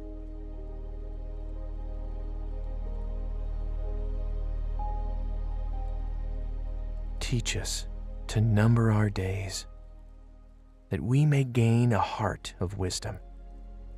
Relent, Lord. How long will it be? Have compassion on your servants. Satisfy us in the morning with your unfailing love, that we may sing for joy and be glad all our days. Make us glad for as many days as you have afflicted us, for as many years as we have seen trouble. May your deeds be shown to your servants, splendor to their children May the favor of the Lord our God rest on us. Establish the work of our hands for us. Yes, establish the work of our hands.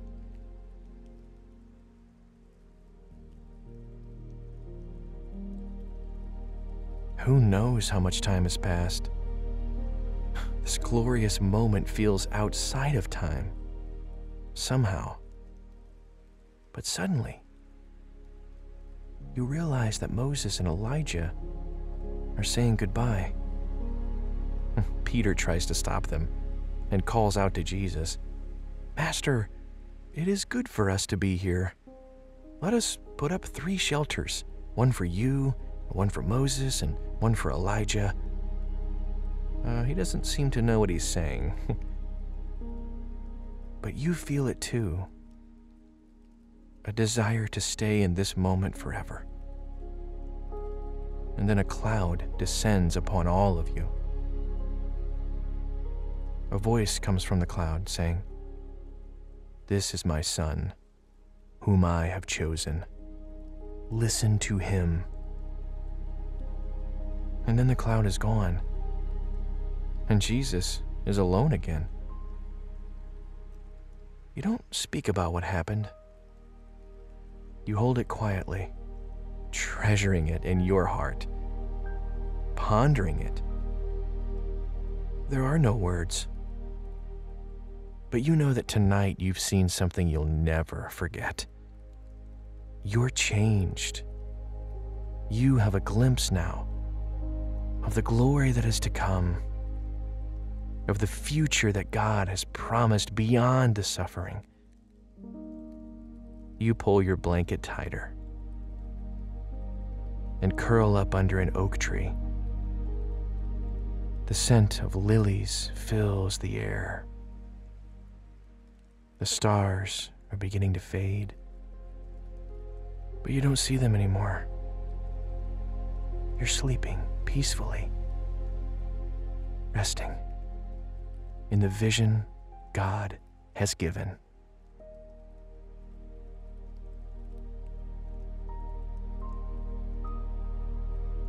God loves you.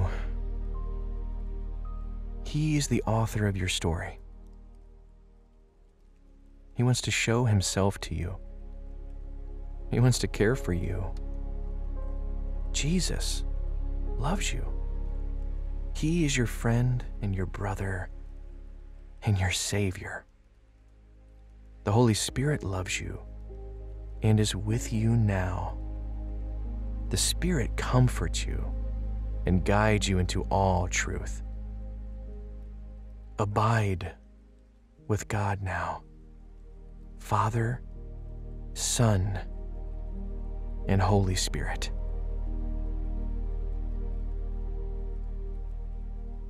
Let me pray for you. Glorious God, thank you for inviting this child of yours to be part of your story. Thank you for folding them into your family. Thank you for revealing yourself to them. Thank you for giving this child a heart that desires to know you more. Help them now to rest peacefully, to be refreshed and restored, and to be filled with your Spirit. It's in Jesus' name that I pray. Amen.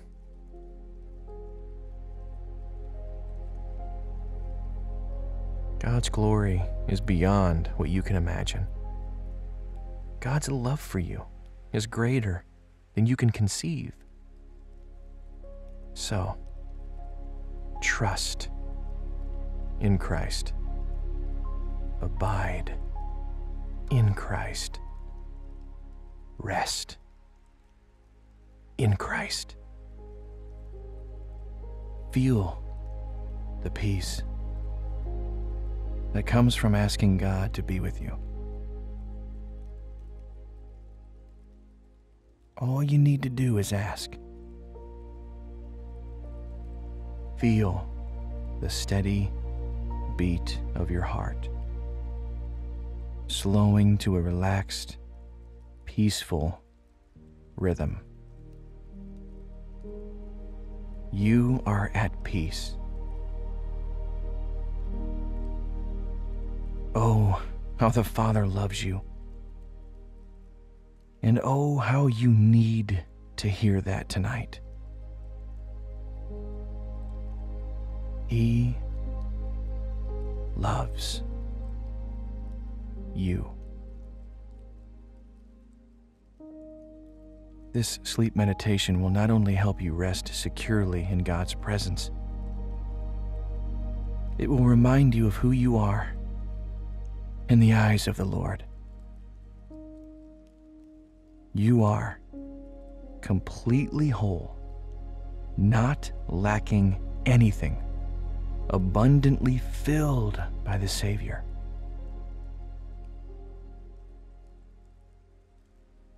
Rest in the fullness of Jesus Christ, your personal Savior. Let's pray. Lord Jesus, thank you for being our all in all. Nothing can make us whole or complete like you can. Only you can fill the empty spaces, the parts of us that feel insecure and lacking. We surrender our longings to you tonight. As we hear from the scriptures, open our minds, our hearts, and souls to receive your beautiful affirmations. Many of us come to you with bruised hearts, with minds filled with all kinds of mistruths about ourselves. Oh, how we need healing and comfort.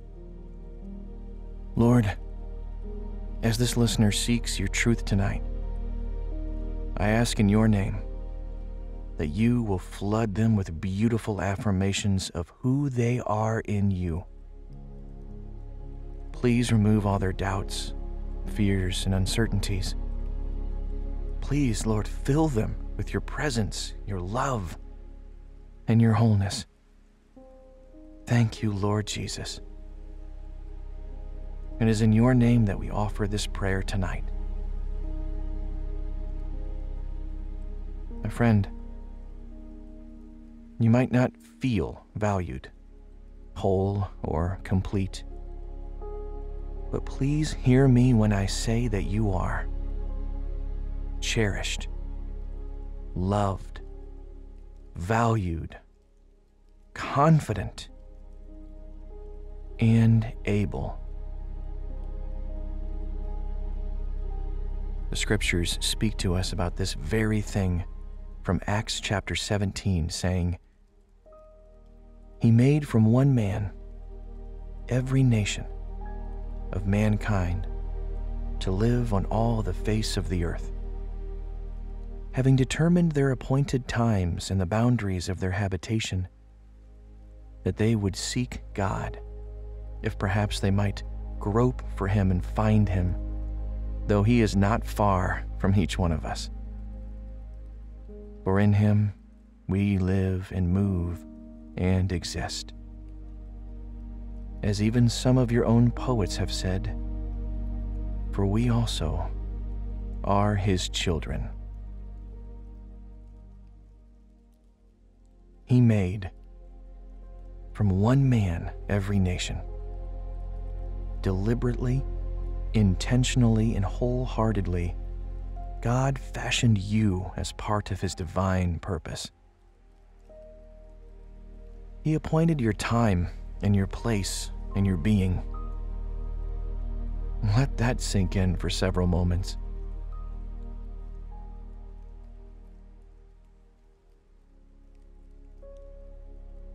Heavenly Father, Thank you for creating this beloved child. They are purposed in you. Their life has been appointed for this exact time in history. Their life is not a mistake or an afterthought. Your word says that you created all nations from one man, Adam. And we know that it is your desire that every person from every nation would seek you and find you. You are not far from us. In you we live and move and have our being. Be with us tonight. Reassure this listener of your presence and remind them of how valuable they are.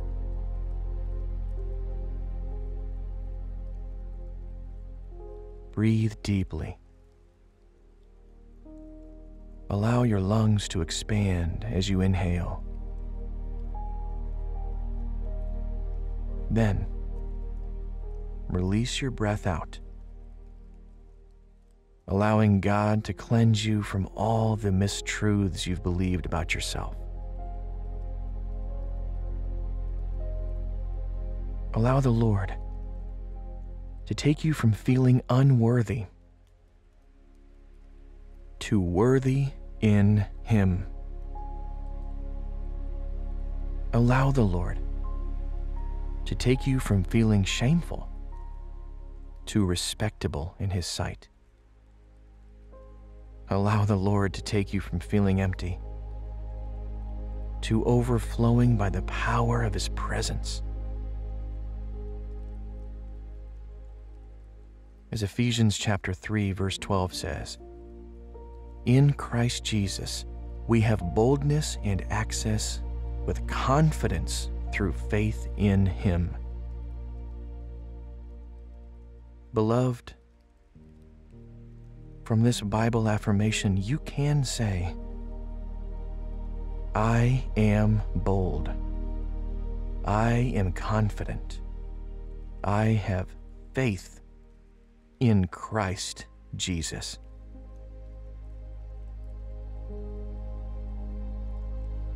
Feel the confidence rising in your soul, not self confidence, but Christ confidence. Bold, fearless, strong, complete. Thank you, Lord, for the confidence we have in you. Nothing can stand against us when we remain in the fullness of who you are.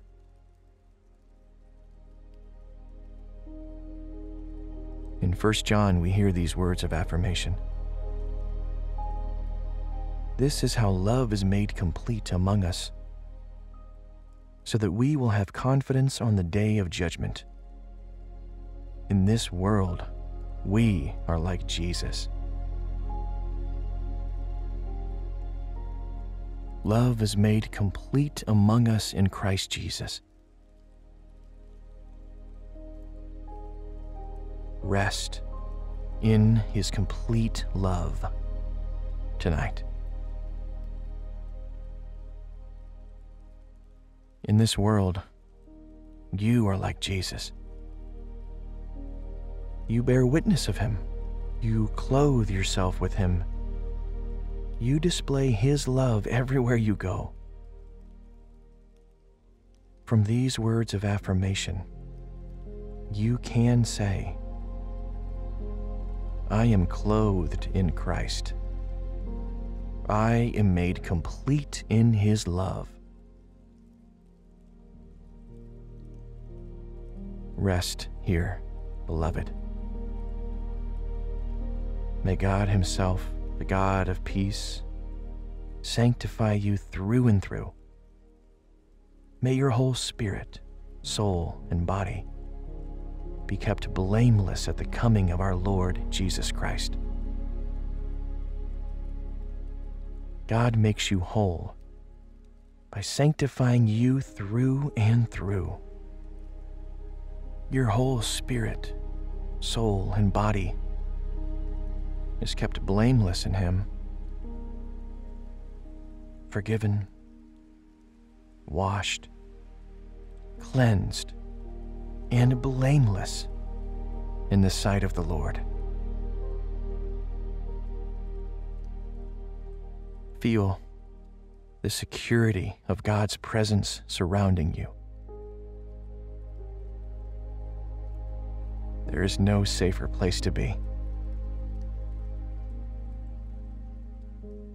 Jesus is with you and in you.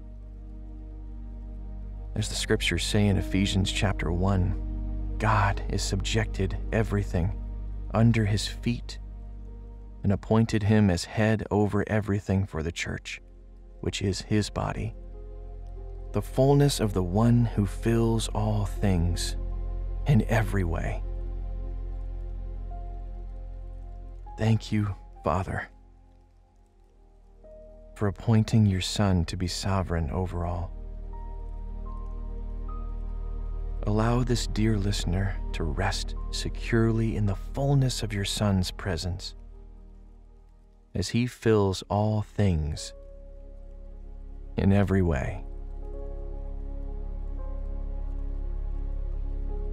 From these biblical affirmations, you can say, I am guarded, filled, and whole in my Savior. Rest under the blessed covering of these truths tonight.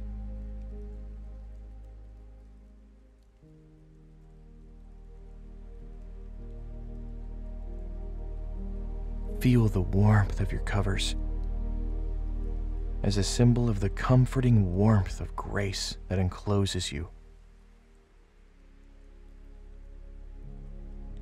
Hear the faint sounds in the room fading away as you allow yourself to drift into peaceful sleep. Gracious God, please protect this beloved child tonight. Lull them with your affirmations of peace and provision. Assure them of your love for them calm their souls and speak words of wholeness into their hearts. Fill them to the full. In the name of your Son, Jesus. Amen. As the scriptures tell us in Colossians 2 from the New Living Translation, For in Christ lives all the fullness of God in a human body. So you also are complete through your union with Christ, who is the head over every ruler and authority.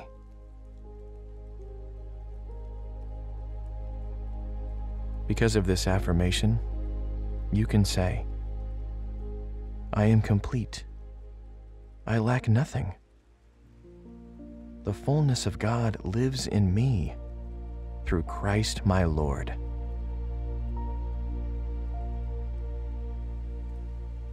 Beloved one, you are kept, held, safe, complete, whole.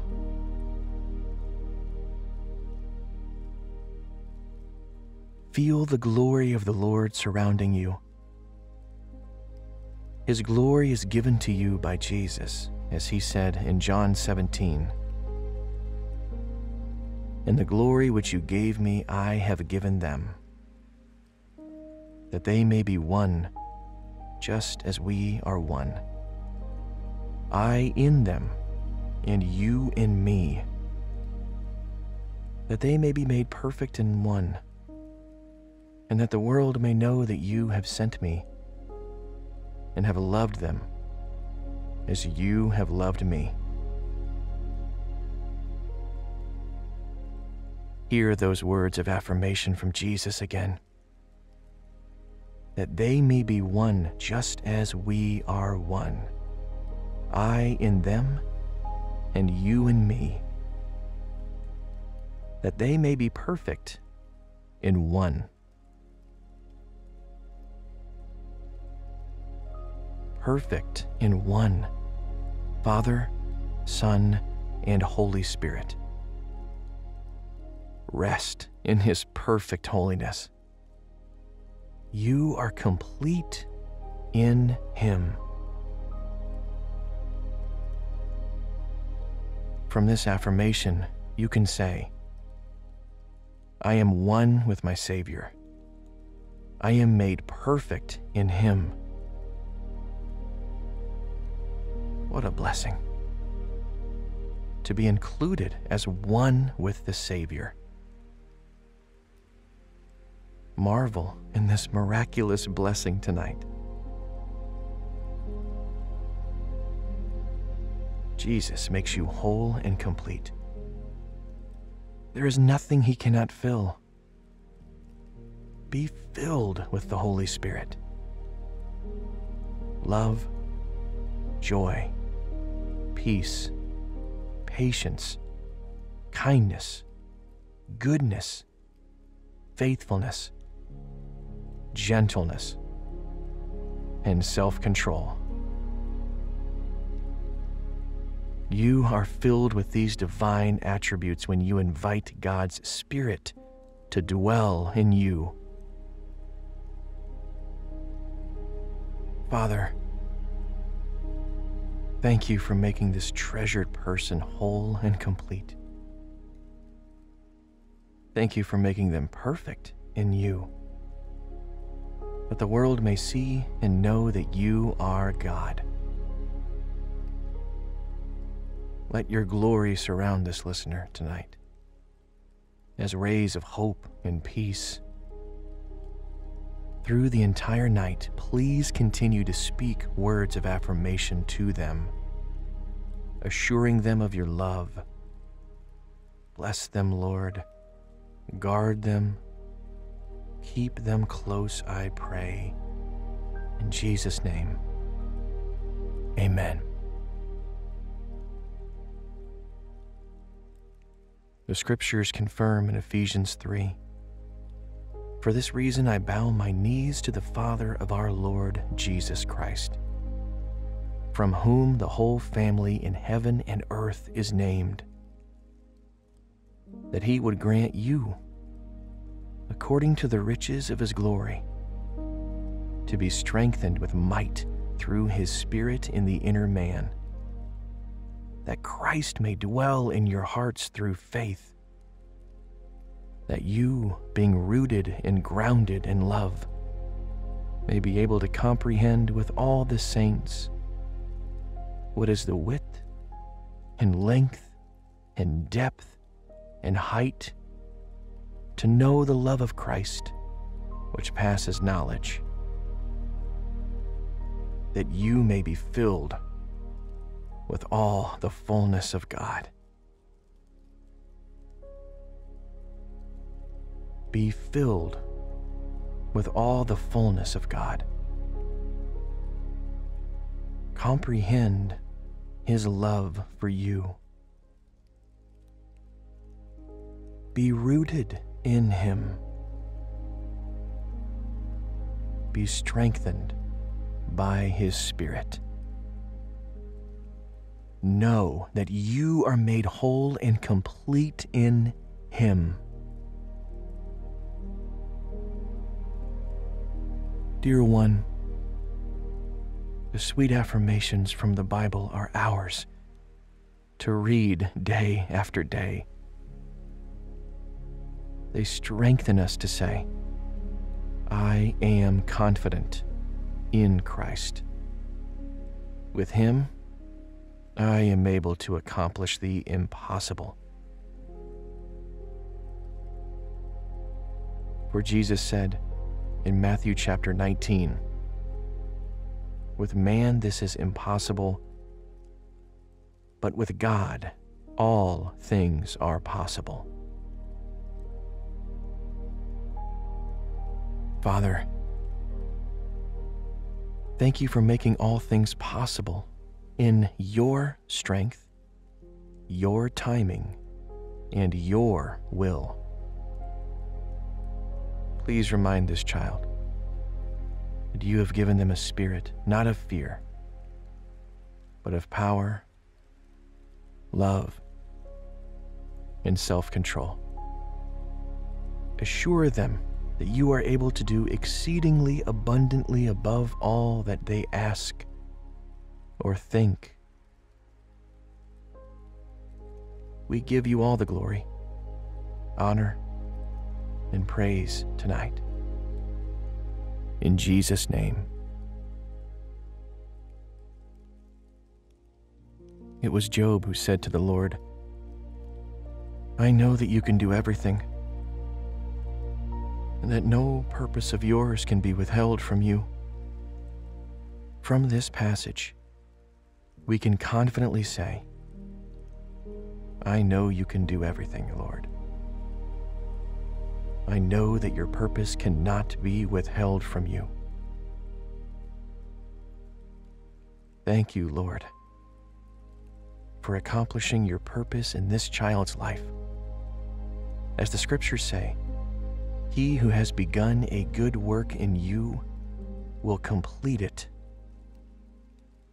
until the day of Jesus Christ.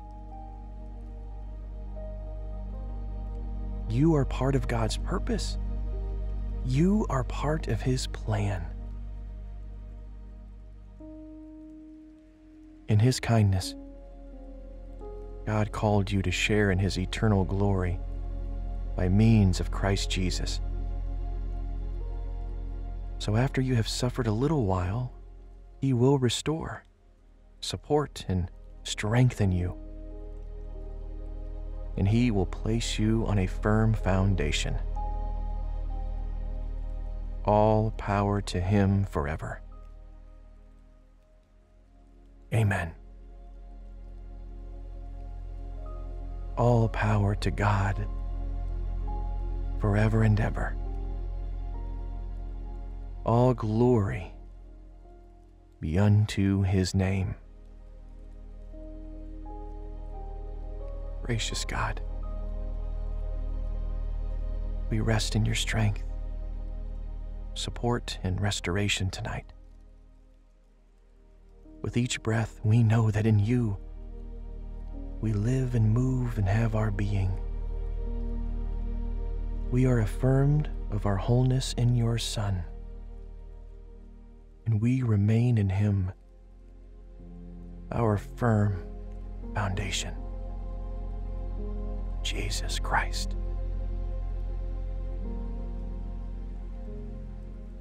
Welcome to this Abide Bedtime Story. I'm Tyler Boss. Tonight, you will be lulled into a peaceful, calming sleep with several different translations of Psalm 23. From the traditional King James Version to the fiery Passion Translation, you will hear this beloved psalm brought to life. As you prepare to fall asleep quickly to the Word of God, make yourself comfortable in your bed.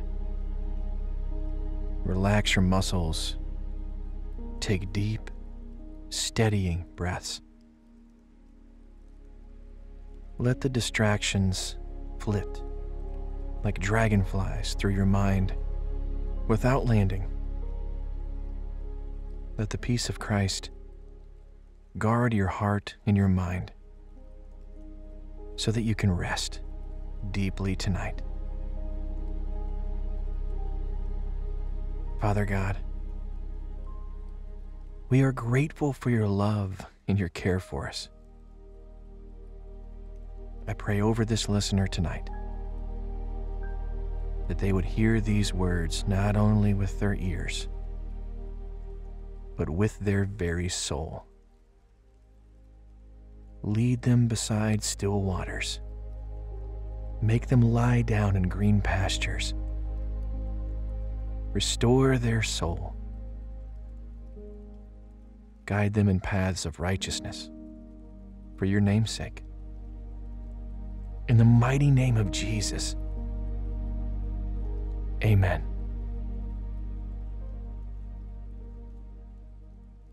King James Version. The Lord is my shepherd. I shall not want. He maketh me lie down in green pastures. He leadeth me beside the still waters.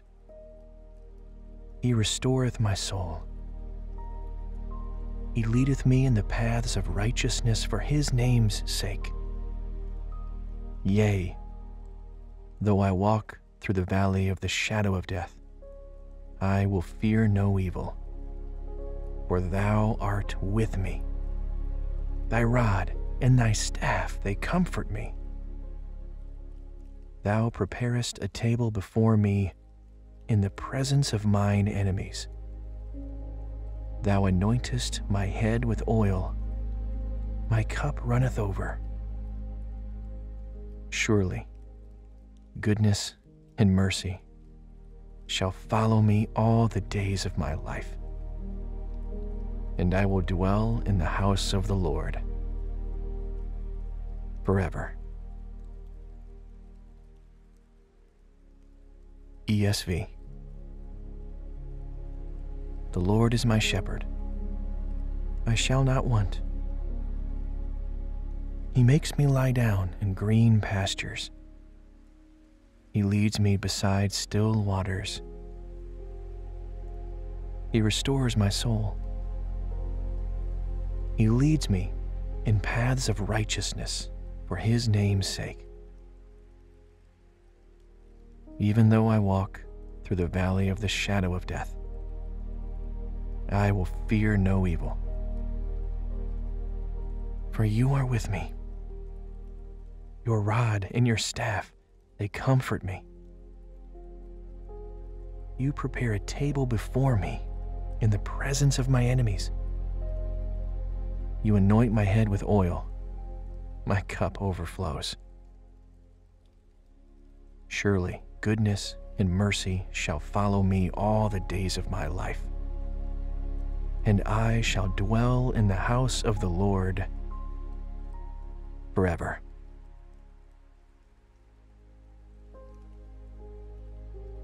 CEB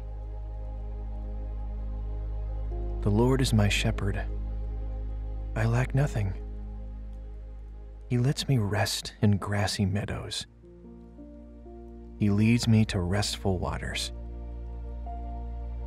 He guides me in proper paths for the sake of his good name. Even when I walk through the darkest valley, I fear no danger because you are with me.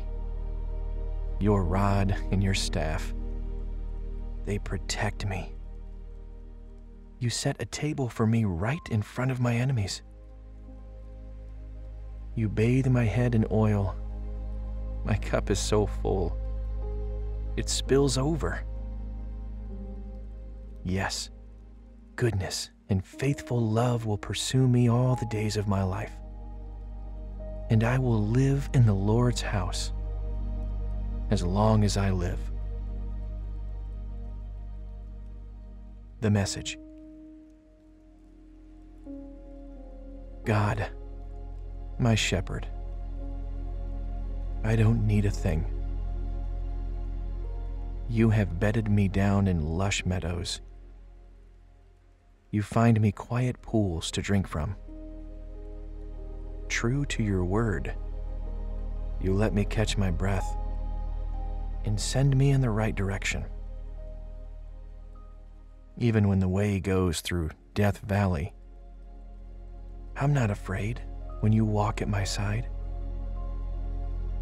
Your trusty shepherd's crook makes me feel secure. You serve me a six course dinner right in front of my enemies.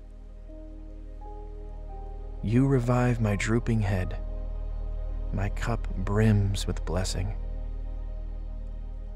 Your beauty and love chase after me every day of my life. I'm back home in the house of God for the rest of my life.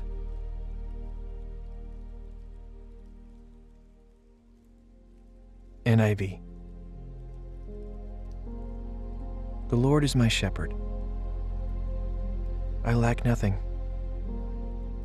He makes me lie down in green pastures.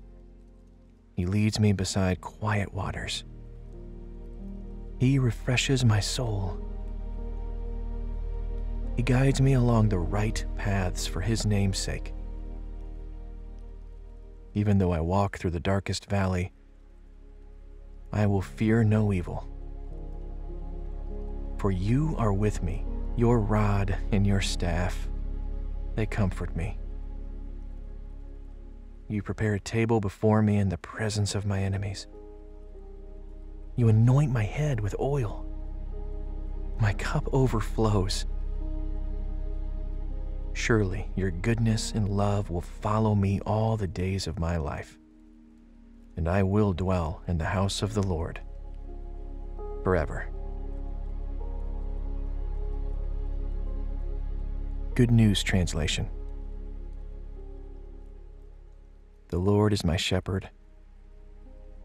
I have everything I need. He lets me rest in fields of green grass and leads me to quiet pools of fresh water. He gives me new strength. He guides me in the right paths, as He has promised. Even if I go through the deepest darkness, I will not be afraid. For you are with me, Lord. Your shepherd's rod and staff protect me. You prepare a banquet for me where all my enemies can see me. You welcome me as an honored guest and fill my cup to the brim. I know that your goodness and love will be with me all my life. In your house will be my home as long as I live. NLT The Lord is my shepherd. I have all that I need. He lets me rest in green meadows. He leads me beside peaceful streams.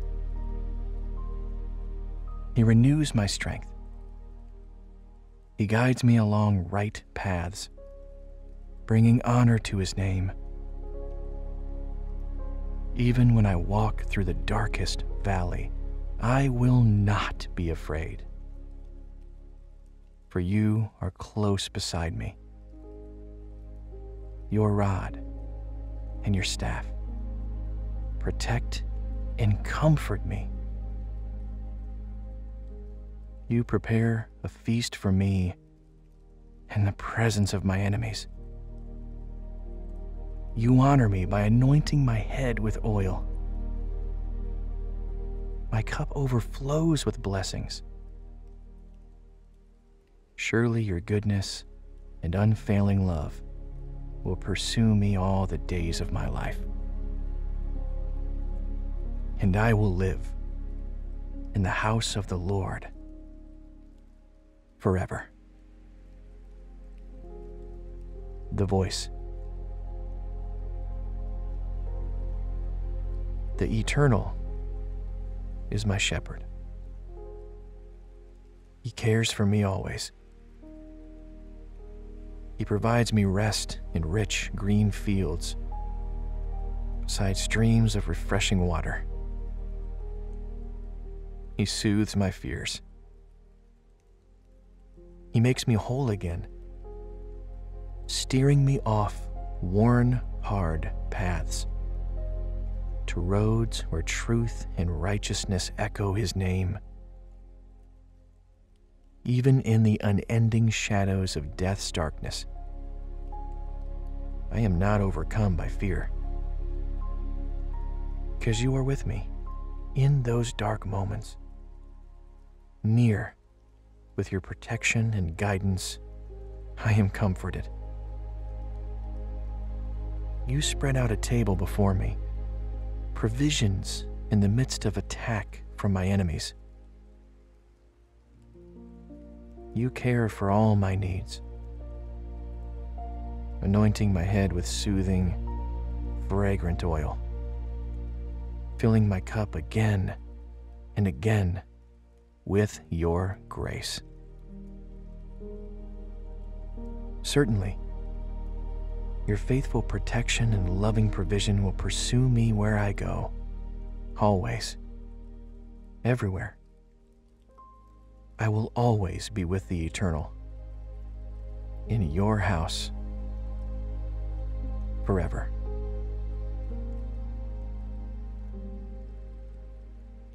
The Passion Translation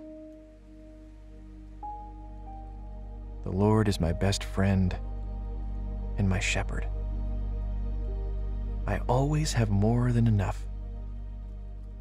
He offers a resting place for me in His luxurious love. His tracks take me to an oasis of peace, a quiet brook of bliss. That's where He restores and revives my life. He opens before me pathways to God's pleasure and leads me along in His footsteps of righteousness so that I can bring honor to His name. Lord, even when your path takes me through the valley of deepest darkness, fear will never conquer me, for you already have. You remain close to me and lead me through it all the way. Your authority is my strength and my peace. The comfort of your love takes away my fear. I'll never be lonely, for you are near. You become my delicious feast even when my enemies dare to fight. You anoint me with the fragrance of your Holy Spirit. You give me all I can drink of you until my heart overflows. So why would I fear the future? For your goodness and love pursue me all the days of my life. Then, afterward, when my life is through, I'll return to your glorious presence to be forever with you.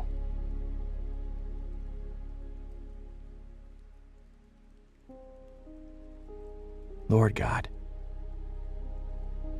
lover of your people, protector, shepherd, savior, we praise you and worship you for your goodness and your kindness. I pray over your beloved child tonight that they would rest in your presence sleep in your arms, trust you with their whole being. May your goodness and mercy abound in them forever and ever as they abide in you. In the precious name of Jesus, I pray. Amen. When I said, My foot is slipping, your unfailing love, Lord, supported me. When anxiety was great within me, your consolation brought me joy. Rest on the word consolation for a moment.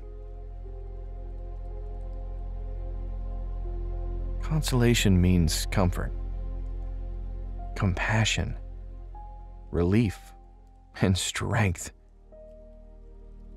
Your consolation comes from the unfailing love of God through Jesus Christ, his Son. I'm reminded of a beautiful passage of Scripture that tells of a man named Simeon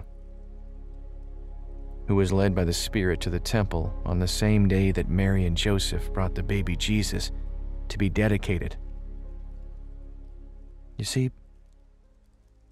Simeon had long awaited the birth of the Messiah, the consolation of Israel. And by the divine providence of God, his eyes beheld the newborn king. This is what Simeon said when he took Jesus in his arms Lord, now you're letting your servant depart in peace. According to your word, for my eyes have seen your salvation, which you have prepared before the face of all peoples, a light to bring revelation to the Gentiles and the glory of your people Israel. according to the word of the Lord. Jesus came to be the consolation of Israel, a light to the Gentiles, and the glory of his people. He is your consolation, your light, and your glory. Through comfort, compassion, relief, and strength, Jesus casts all anxiety away and replaces it with perfect peace. There is no need to be anxious anymore. Every need you have is covered in Jesus. He comforts you, He offers compassion and relief from every worry. He strengthens you and leads you into the assurance that He has everything under control. Release everything to Him. When anxiety was great within me, your consolation brought me joy. Rest in the joy of the Lord. Feel his peace wash over you like a healing balm. In him, you have received healing and renewal. The old things are gone and the new has come. All anxieties are taken away and replaced by God's consolation of peace. In Psalm 119, we hear these words Remember your promise to me, and is my only hope. Your promise revives me. It comforts me in all my troubles. Remember God's promises. They are your hope. They comfort you in every trouble. He promises to uphold you with his righteous right hand. He promises to love you with an everlasting love. He promises to be with you always, never leaving you or forsaking you. Rest deeply in the promises of God tonight. Doubt cannot remain where God's truth abides. Fear is cast out where God's peace resides. Anxiety runs dry as God's presence fills. Worries are calmed as the Holy Spirit stills. Gracious God, please remember this beloved listener tonight as they sleep soundly in your presence and in your grace. Bless them as they rest in you.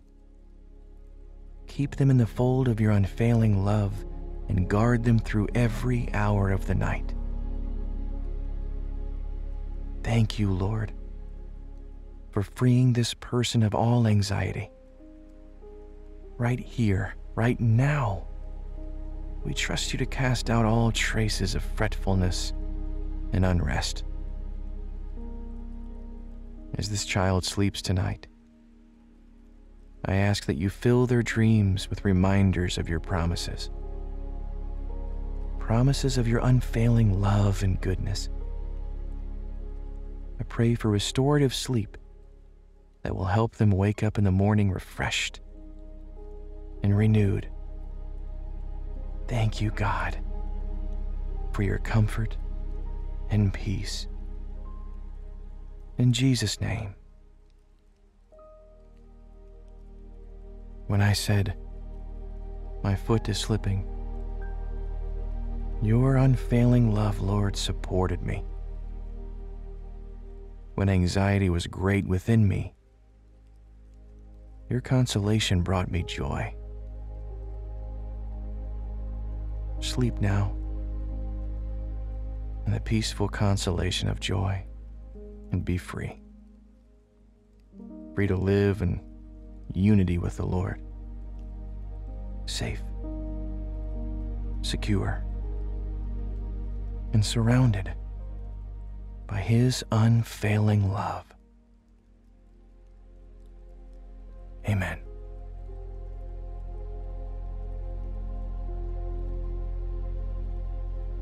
Listen to these comforting words from Psalm 94, verses 18 and 19.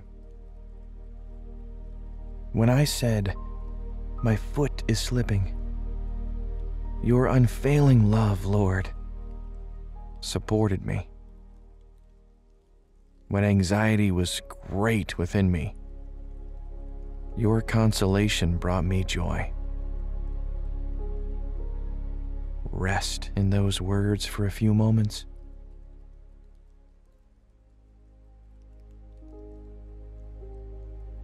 Each of us, at different times in our lives, has felt as though our feet were slipping, either by our own choices or habits or by life circumstances of which we have no control. We've found ourselves slipping away and even falling a time or two. If this describes you, please know that you're not alone.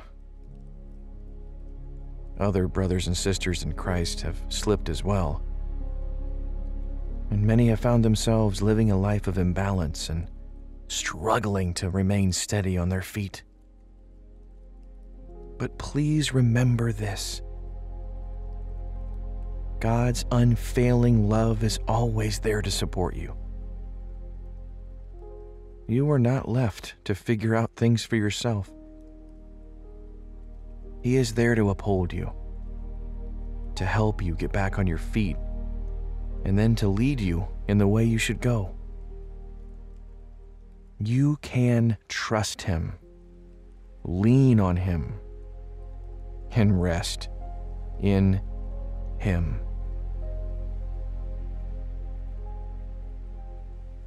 There is great peace in knowing that God's unfailing love never leaves you. He supports you every step of the way. Steady, strong, unchanging, unfailing. That's what God's love is. Rest in the stillness of the room and feel God's unfailing love surrounding you, supporting you, and setting you free. Let's pray. Precious God, Holy God. As the remnants of worry and anxiety decrease, we feel your love increase more and more. Thank you. We praise you. We rest in your presence and find freedom in your spirit. For where your spirit is, there is freedom. Tonight, Lord. Break every stronghold of anxiety in the life of this listener. Cut the chains of fretfulness and unrest. Open wide the window of your peace and usher in the sweet fragrance of joy. It is in the name of Jesus we pray these things. Amen. Listen again to our Bible passage of comfort and joy. When I said, My foot is slipping, your unfailing love, Lord, supported me. When anxiety was great within me, your consolation brought me joy. Rest on the word consolation for a moment. Consolation means comfort, compassion, relief, and strength. Your consolation comes from the unfailing love of God through Jesus Christ, his Son. I'm reminded of a beautiful passage of Scripture that tells of a man named Simeon who was led by the Spirit to the temple on the same day that Mary and Joseph brought the baby Jesus to be dedicated. You see, Simeon had long awaited the birth of the Messiah, the consolation of Israel. And by the divine providence of God, his eyes beheld the newborn king. This is what Simeon said when he took Jesus in his arms Lord, now you're letting your servant depart in peace according to your word, for my eyes have seen your salvation, which you have prepared before the face of all peoples, a light to bring revelation to the Gentiles, in the glory of your people Israel. According to the word of the Lord, Jesus came to be the consolation of Israel, a light to the Gentiles and the glory of his people. He is your consolation, your light, and your glory.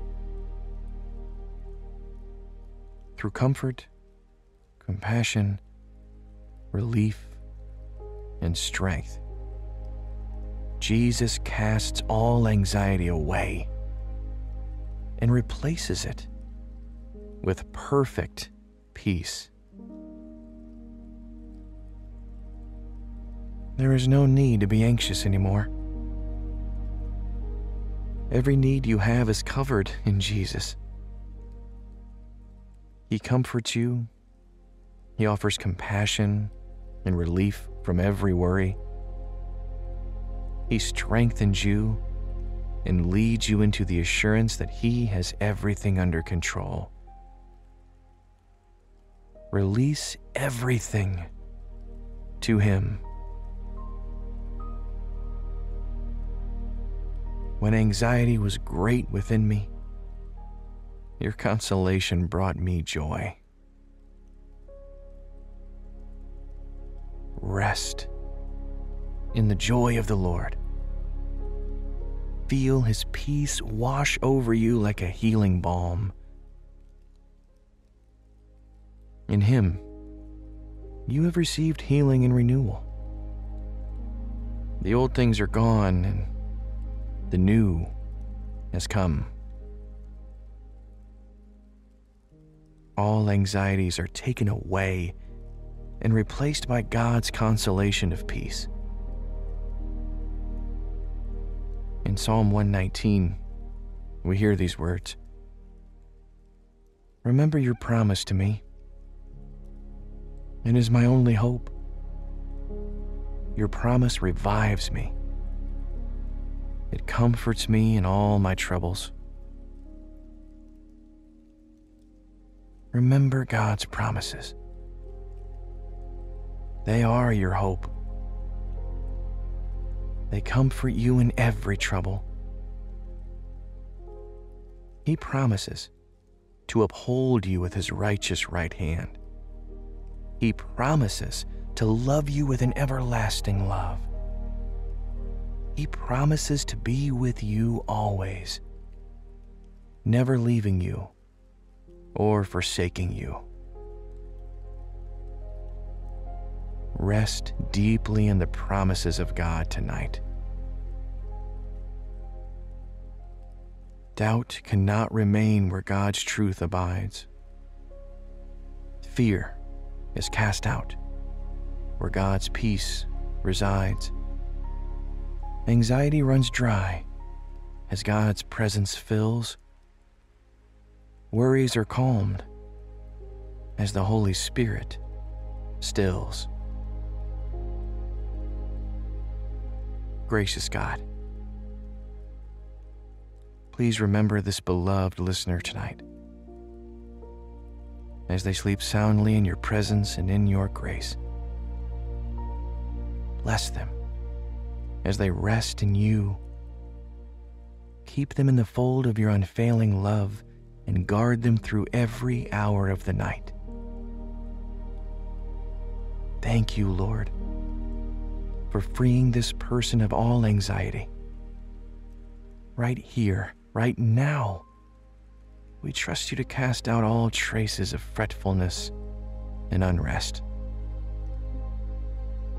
As this child sleeps tonight, I ask that you fill their dreams with reminders of your promises.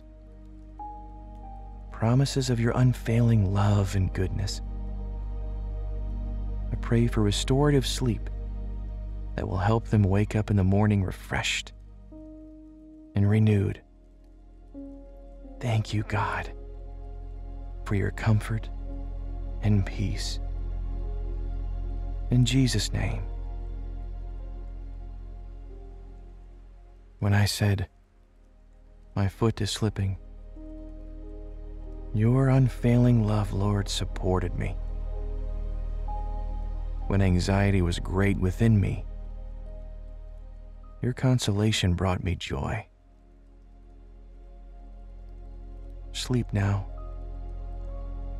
in the peaceful consolation of joy and be free. Free to live in unity with the Lord. Safe, secure, and surrounded by His unfailing love. Amen.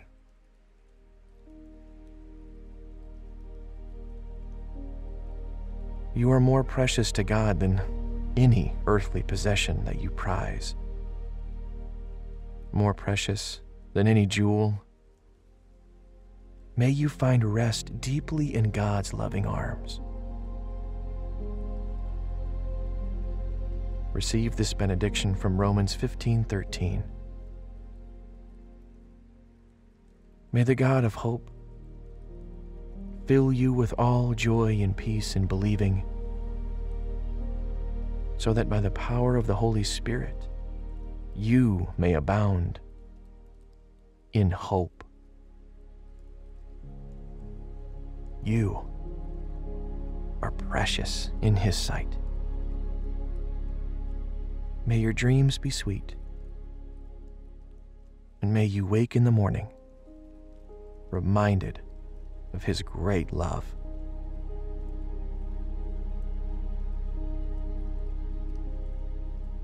In 1 John chapter 3, in the message translation, the apostle John writes these stunning words.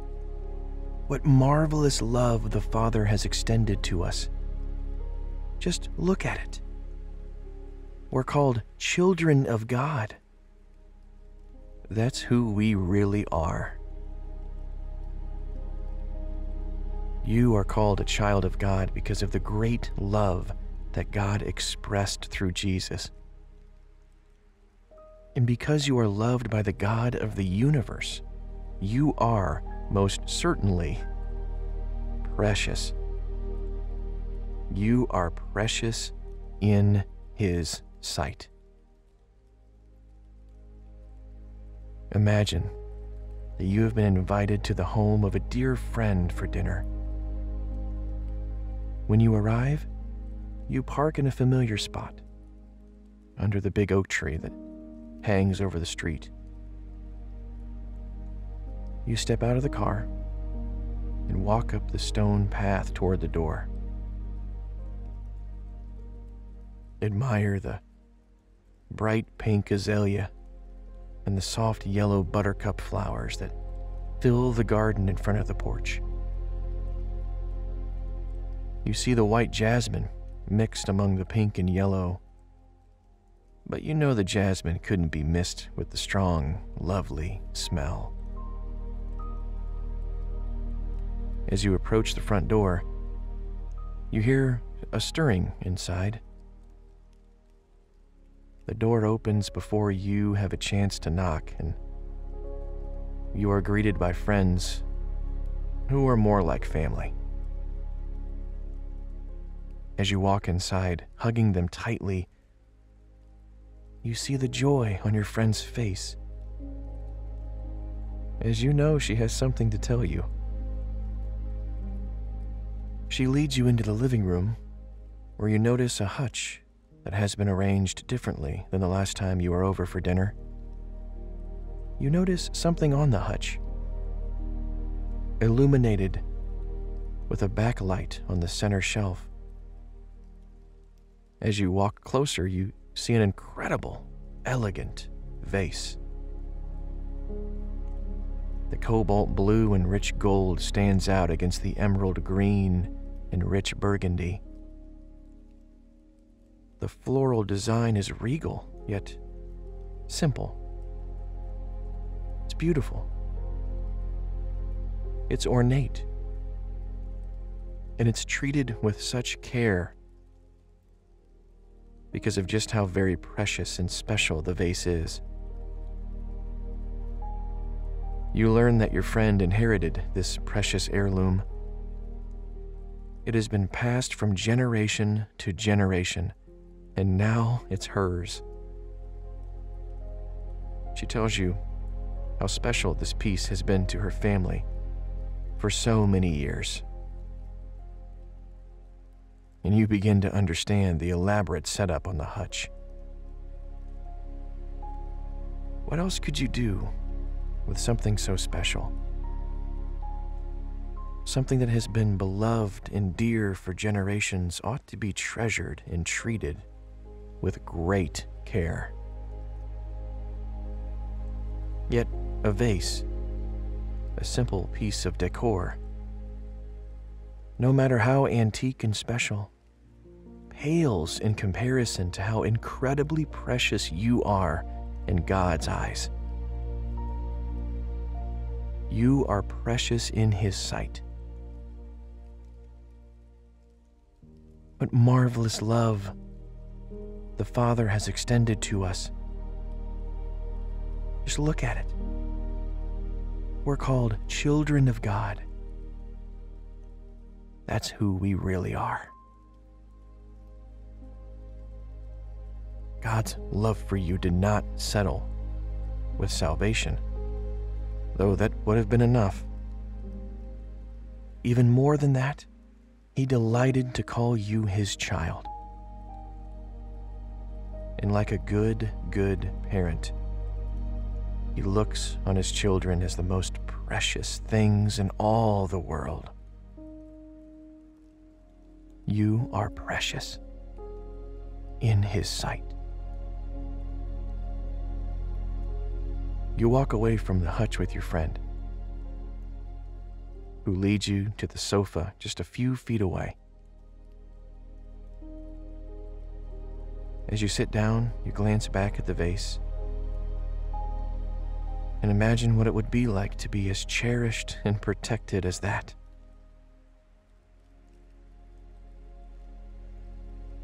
To be cherished in a way that sets you apart and shines light on your unique nature to be set on a platform simply because your great worth leads others to notice that something is different. What makes you different is that you are a child of God. Your accomplishments and rewards don't make you valuable. You are precious because you are a child of God. His love changes everything. You are precious in His sight. It may seem simply unbelievable that you could ever be that cherished. you may scoff at the very thought of being highlighted or set apart and looked at. And yet, the joy of Christ making you new is that you are truly, undeniably, so incredibly loved. You are cherished by God, who calls you his child. You are set apart, and like the vase, with the light shining upon it, so that the light of Christ shines in you. Jesus once said, You are the light of the world. A city on a hill cannot be hidden. Let your light shine before men, that they may see your good deeds and glorify your Father in heaven. In Christ, God has restored and renewed you. Because of the love He has, because you are so precious, He made a way for you to be His. And when God redeemed you in Christ, He did not just redeem you from your sins, He made you His child. He brought you into his family with all the rights and privileges of a child. The ornate, elaborate vase that you admired in your friend's living room is an heirloom that is indeed special. But even more precious than an heirloom, you, his child, are an heir not just a thing that is passed on from one to another. You are in the very lineage of God's royal family. You are precious in His sight. What marvelous love the Father has extended to us. Just look at it. We're called children of God. That's who we really are. In all the noise of a busy, bustling, confusing world. May you find rest in your identity as a child of the Most High God. May you see yourself with more value than an heirloom positioned with honor on a shelf. May you see yourself as one beloved by God. You are precious in His sight. You are so very precious in His sight. As you fall asleep tonight,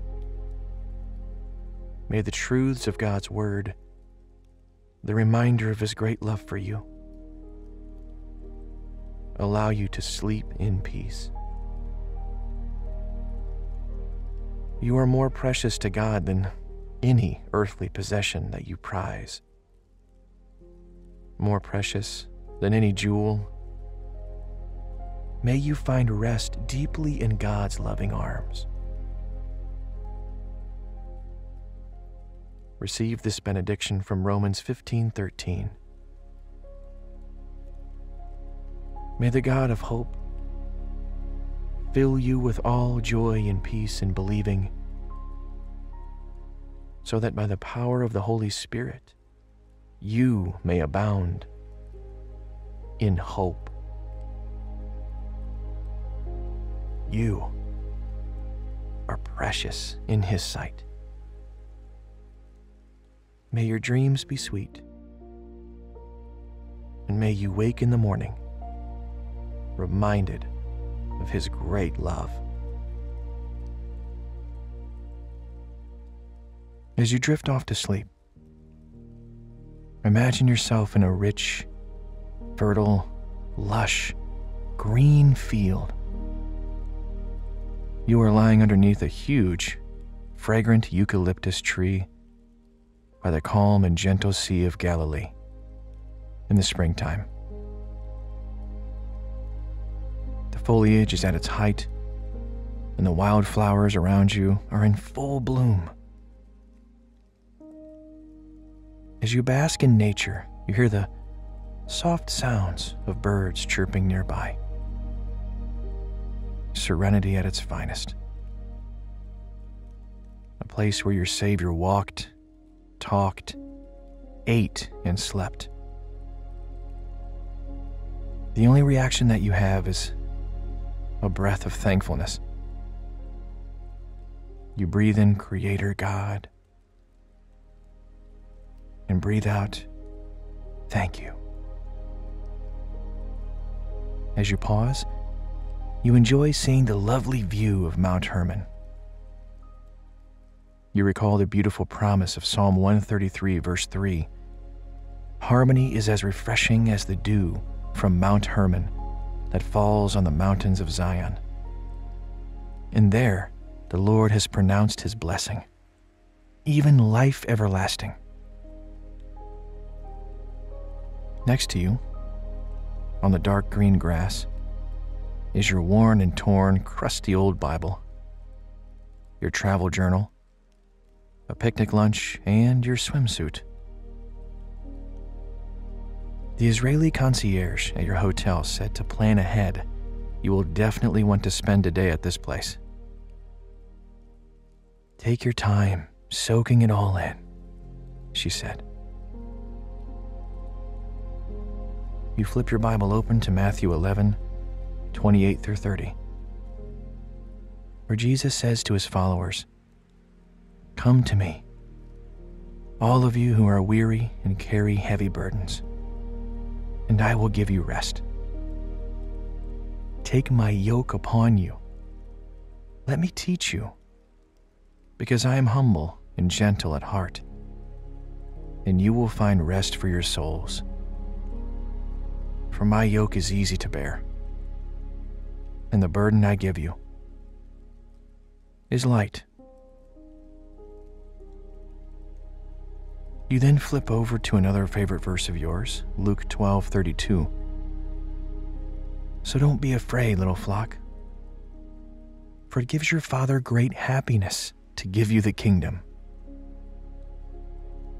As you read these passages, you think to yourself,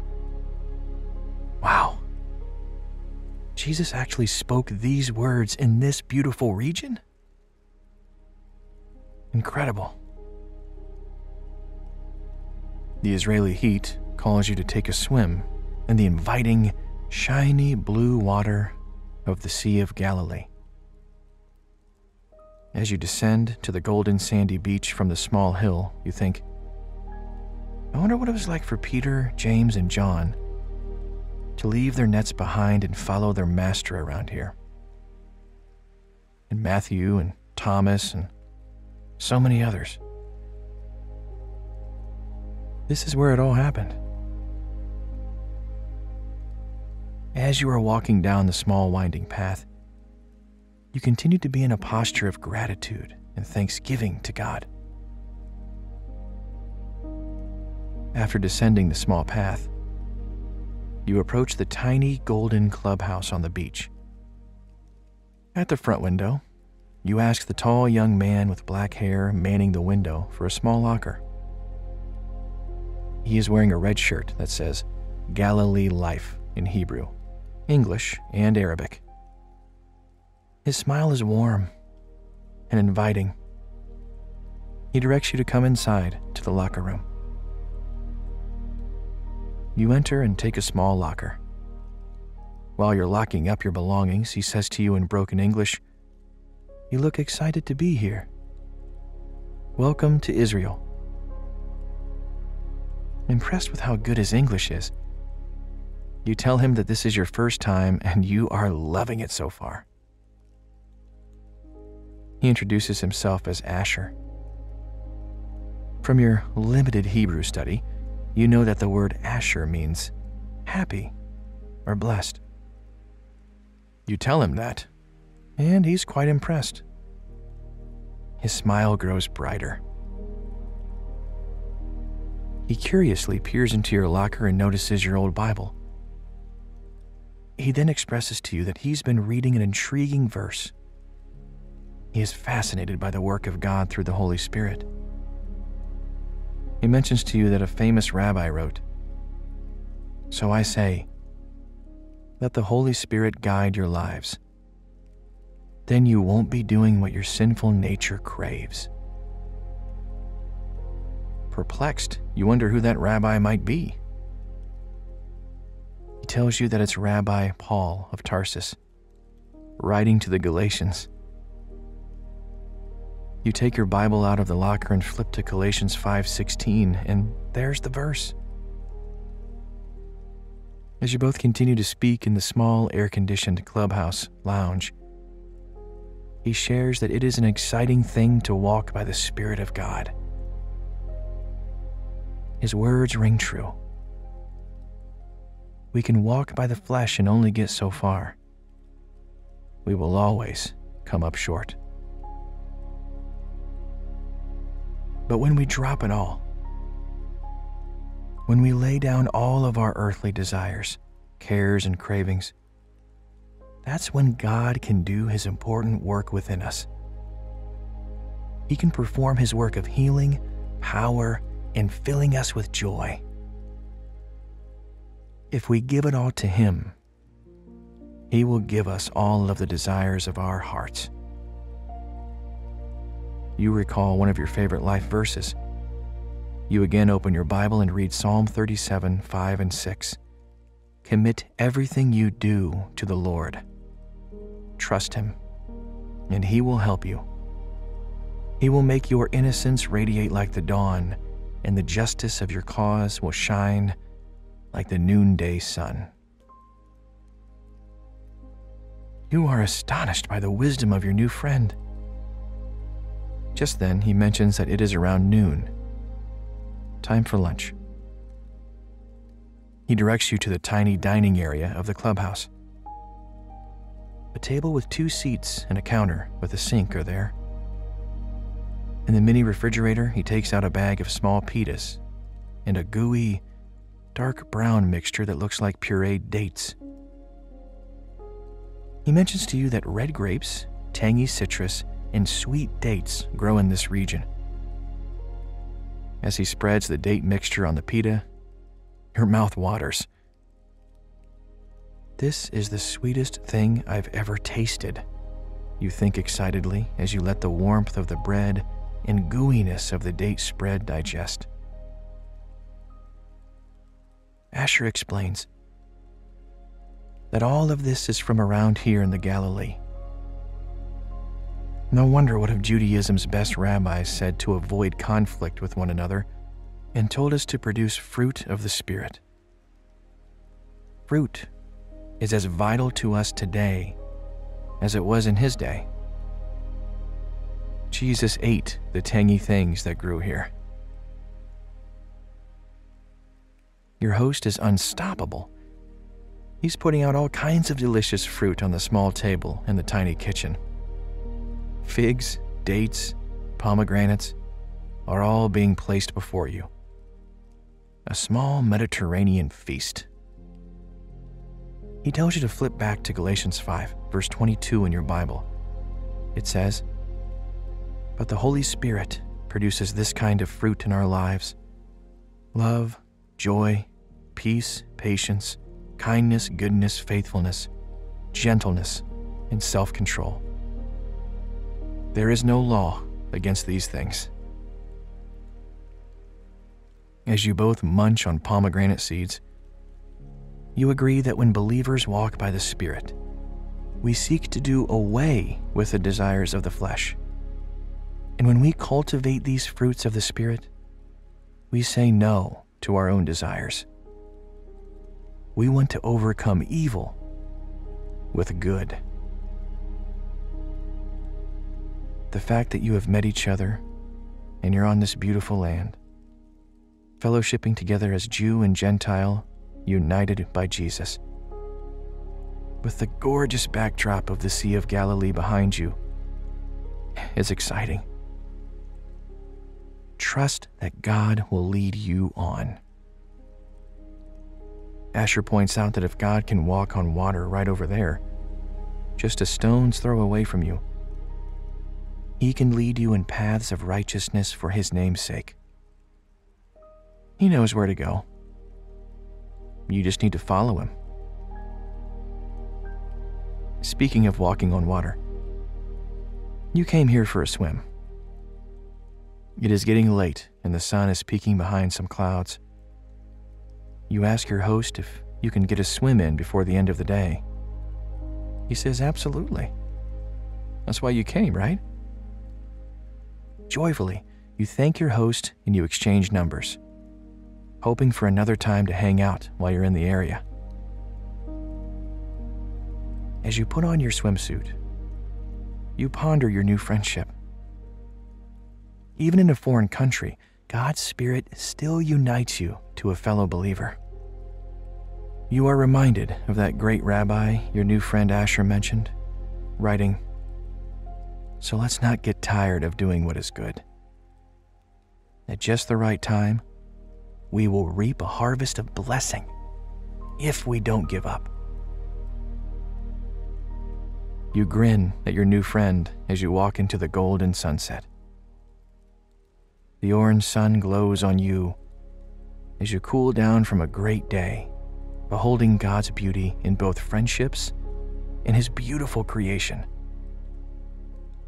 The warm water rushes over you as you swim into the sunset. As you feel the warm water cover your body, you breathe in, Holy Spirit, and breathe out, lead me on. Holding on to God's goodness and mercy. Beloved, know that the Spirit will bring every good work to fruition. Gracious God, thank you that you are our shepherd. We lack nothing. I pray that your beloved would be given abundant rest. In Jesus' name, amen. Paul writes this blessing over the Ephesians and over you. Chapter 3, verses 16 and 17. I pray that from his glorious, unlimited resources, he will empower you with inner strength through his Spirit. Then, Christ will make his home in your hearts as you trust in him. Your roots will grow down into God's love and keep you strong Rest well, dear one.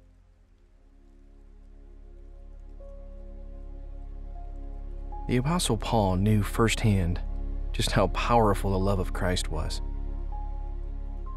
For much of his life, he found himself on the opposite side of grace. He didn't affirm Jesus as the Messiah and opposed anyone who did. For years and years, he positioned himself against the followers of Jesus. But then, one day, everything changed. No matter what your background is, you can find hope in God. You can be restored as a beloved child of God and spend all the rest of your days living in the reality that you are loved. You are loved by God. Paul went on to write a number of letters to various groups of people who belong to the family of God. In one of those letters, he gives a reminder of God's great love. Romans 8:35 and 37 through 39 in the New Living Translation says, Can anyone ever separate us from Christ's love? Does it mean he no longer loves us if we have trouble or calamity or are persecuted or hungry or destitute or in danger or threatened with death? No. Despite all these things, overwhelming victory is ours through Christ, who loves us. And I am convinced that nothing can ever separate us from God's love neither death nor life, neither angels nor demons, neither our fears for today or our worries about tomorrow. Not even the powers of hell can separate us from God's love. No power in the sky above or in the earth below. Indeed, nothing in all creation will ever be able to separate us from the love of God that is revealed in Christ Jesus, our Lord. God's love for you is irrevocably confirmed. You could search the world from top to bottom, and you would never find a single thing that could separate you from the love of God but sometimes it might feel like His love has left you. It might feel like you've been left right now. You might be desperate for a reminder that God's love will never fail. Imagine that you decided to go looking for evidence that God's love had left you like an explorer from days of old, you pack up for an expedition. Surely God's love isn't always there, you think. So you grab a backpack from the closet and pat it down a few times to remove the dust. It smells musty after months untouched in the back of the closet. Unzip it to fill it with the necessities for a long trip. You grab a compass from the shelf and put it in the bag. Next, you add a map, a water bottle, snacks, and a jacket. Grab a notebook and pen to keep track of the things you come across. Lace up your boots and prepare for the long journey ahead of you. You head out the door and instantly feel the heat on your face. The warmth of the summer sun beats down on you. But the promise that God's love is always there, no matter what, just seems too good to be true. So, this is a journey you must take. You have to find out if the words of the Apostle Paul, that nothing in all creation will ever be able to separate you from the love of God is really true. So off you go. You pull the map out of your musty backpack to see what your first stop will be. When you unfold your map, you find that your path has already been traced out you identify your spot on the map and find your first stop is trouble and calamity. As you walk toward trouble and calamity, you remember the struggles you encountered and the pain you endured. Did that mean God's love had run out? But as you pass trouble and calamity, looking at the various moments held here, Remember the ways that God was present in your pain. Despite all this, overwhelming victory was ours through Christ, who loves you. His love hadn't left. He was faithful even then. You are loved by God. As you leave trouble and calamity, continue your journey under the bright, hot sun. You feel the exhaustion as you walk, but you find the resolve to continue. As you look to the map, you see the next stop is persecution. Was it here that God's love ran out? You wonder as you continue walking. Was it in the midst of hostility or ill treatment that you were separated from God's love? Though the pain of words spoken by those persecutors stung, you remember the way God's love brought you comfort in the midst of the hurt. Despite all this, overwhelming victory was yours through Christ, who loves you. His love hadn't left. He was faithful even then. You are loved by God. Sweat drips down your forehead, and your feet ache from the journey. As you continue to walk, you notice a breeze that begins to stir, shaking the leaves of the trees that line that street.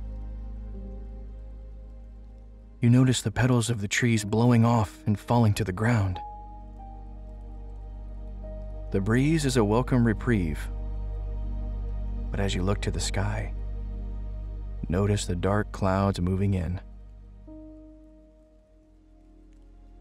Unable to turn back, you carry on. You pull the map out yet again and find the next stop is hunger and destitution. You shove the map back into your pack, questioning why you began this journey in the first place. And just as you begin to wonder if it was here that God's love left you, you feel a raindrop on your face. One drop quickly turns to many and you're now walking through the rain. As the rain falls, you remember the stress and strain during a season of hunger and destitution. Had God's love left you then? Is that why you struggled? Despite the struggle, you remember the ways in which God provided.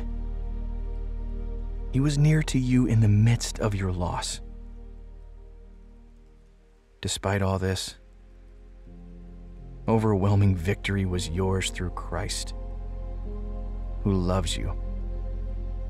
His love hadn't left. He was faithful even then. You are loved by God.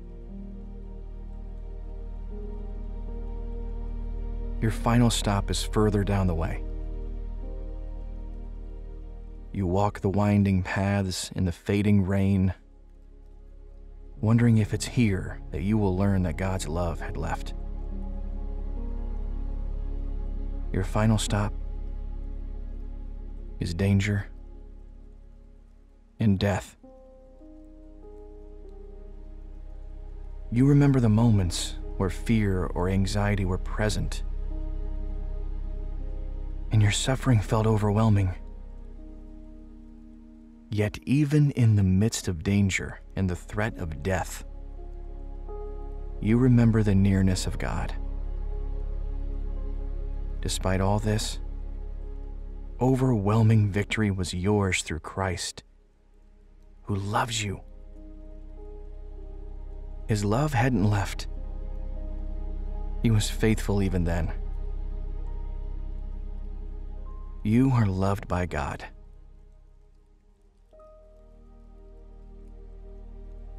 tucking the map away in your pack. Turn back toward home. Through it all, you are reminded of God's kindness and grace. You have seen his faithfulness and feel the depth of his love. Convinced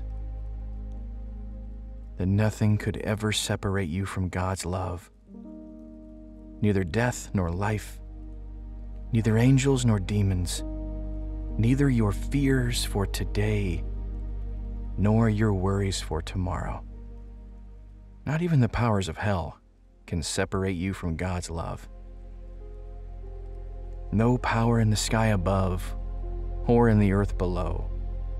Indeed, nothing in all creation will ever be able to separate you from the love of God that is revealed in Christ Jesus our Lord.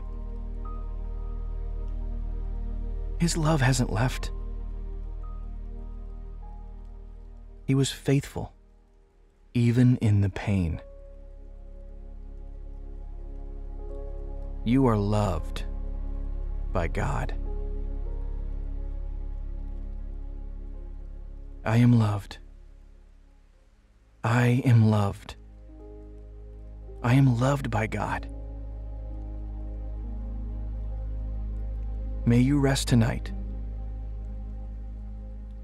convinced that nothing can ever separate you from God's love.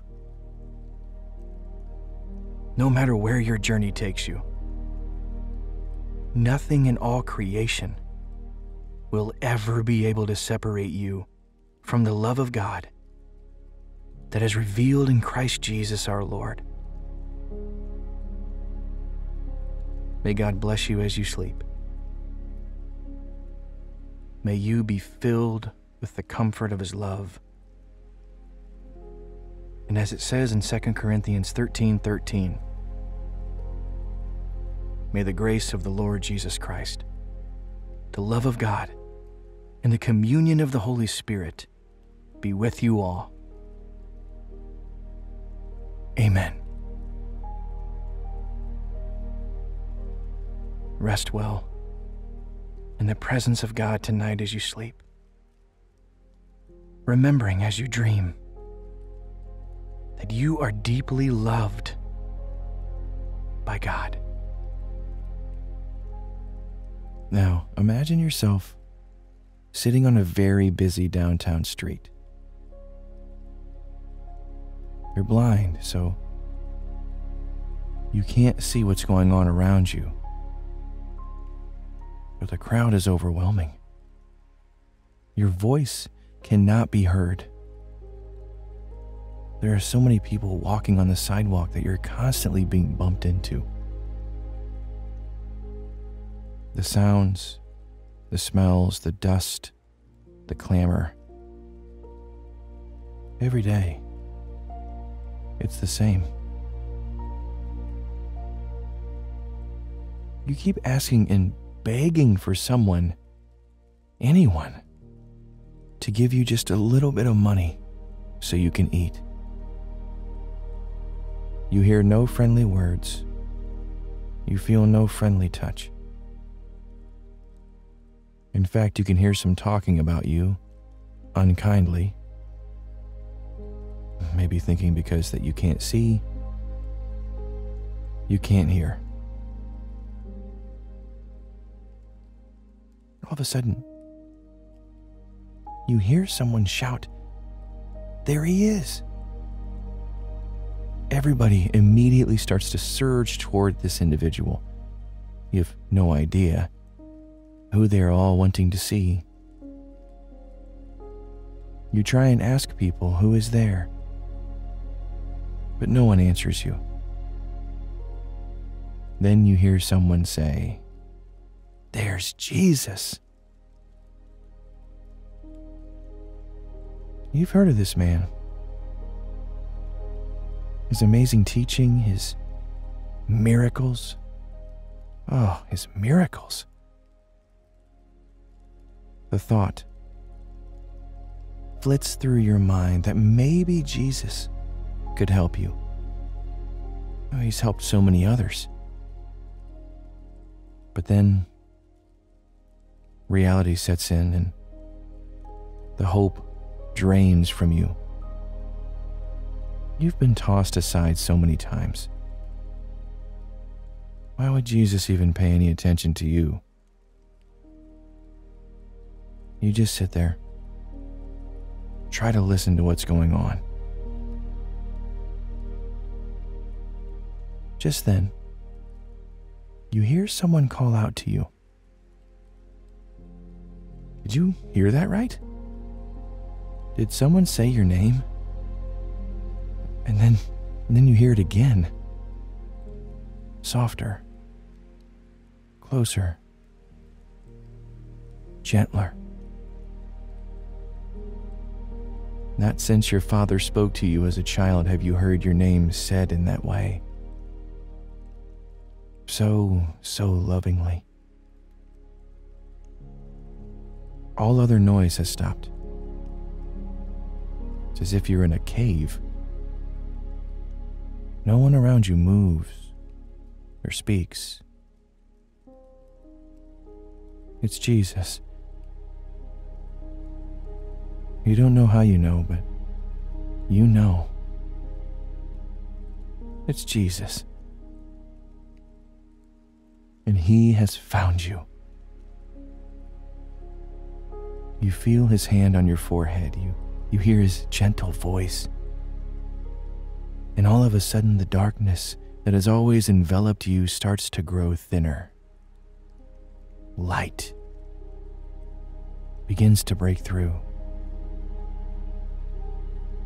Then your eyes begin to focus, and you find yourself looking directly into Jesus' eyes.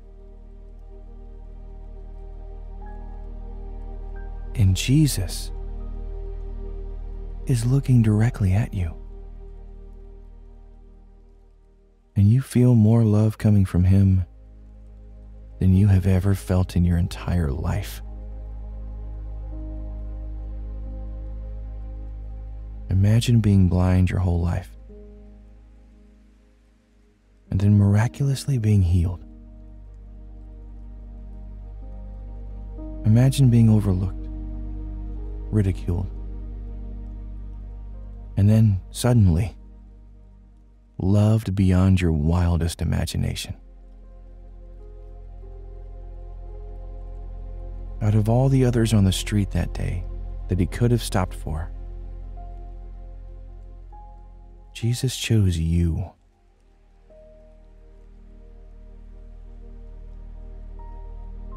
Maybe you felt the way that the blind man felt. That people ignore you and you feel that you're not worthy of love. Maybe you've been suffering with an ailment and you feel that God has forgotten you. But the truth is this you are worth everything in the eyes of Jesus. And He wants what is best for you. Listen to John 3 1 from the Amplified Bible. See what an incredible quality of love the Father has shown to us. That we would be permitted to be named and called and counted the children of God.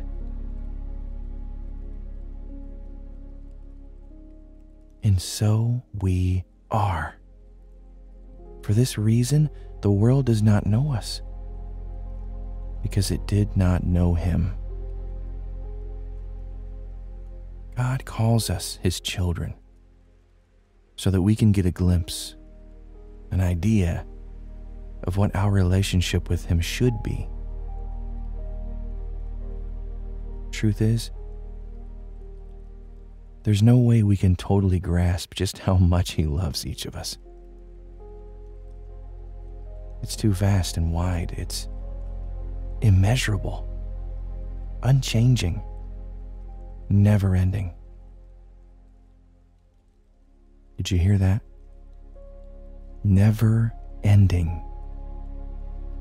He will always love you.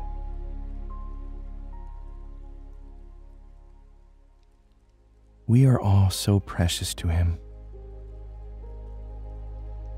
Webster's dictionary defines the word precious as something of great value, not to be wasted or treated carelessly. That's how God views you. You have value. You are not to be wasted or treated carelessly. Maybe you feel like you've done so many wrong things in your life that God doesn't love you. That couldn't be more wrong. God loves you so much that He sent His Son Jesus to die for you. Perhaps you've seen the verse John 3:16 on a sign in the end zone of a football game, along the side of the road, on a billboard. But let's take a closer look at that verse in the New Living Translation. For this is how God loved the world. He gave his one and only Son, so that everyone who believes in him will not perish, but have eternal life.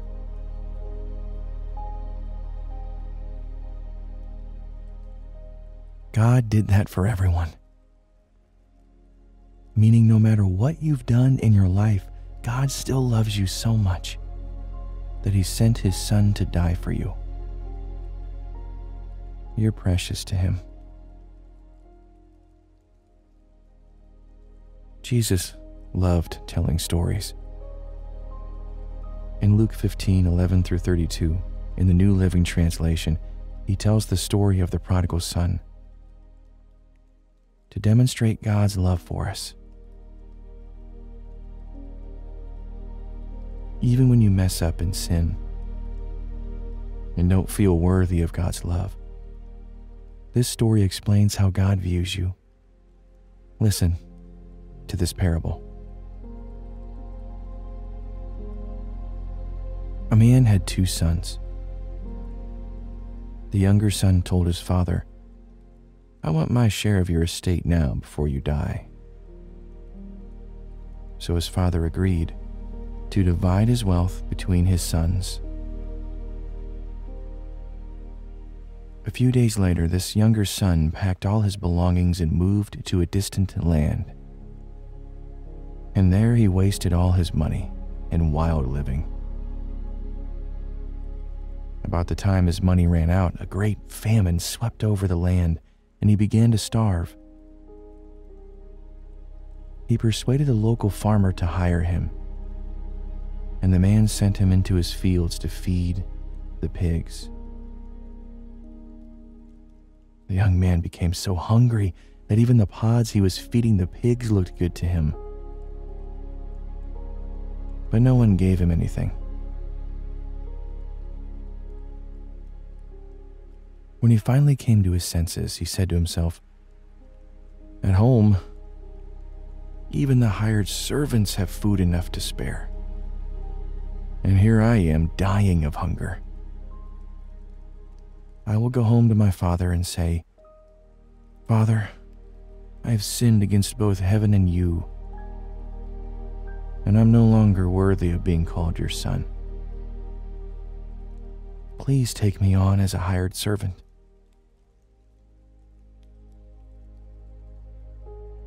So he returned home to his father and while he was still a long way off, his father saw him coming. Filled with love and compassion, he ran to his son, embraced him, and kissed him. His son said to him, Father, I have sinned against both heaven and you and I am no longer worthy of being called your son. But his father said to his servants, Quick, bring the finest robe in the house and put it on him. Get a ring for his finger and sandals for his feet, and kill the calf we have been fattening. We must celebrate with a feast, for this son of mine was dead and is now returned to life. He was lost, but now he is found. So the party began. Meanwhile, the older son was in the fields working. When he returned home, he heard music and dancing in the house, and he asked one of the servants what was going on. Your brother is back, he was told, and your father has killed the fattened calf. We are celebrating because of his safe return. The older brother was angry and wouldn't go in. His father came out and begged him, but he replied, All these years I've slaved for you, and never once refused to do a single thing you told me to do. And in all that time, you never gave me even one young goat for a feast with my friends. Yet when this son of yours comes back after squandering your money on prostitutes, you celebrate by killing the fattened calf.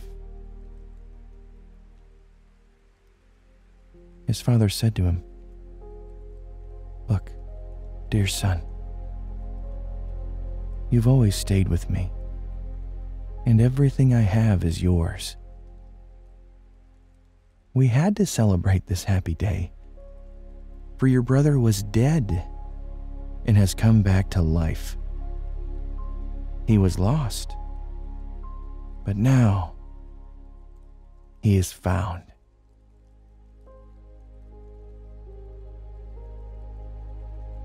God is telling you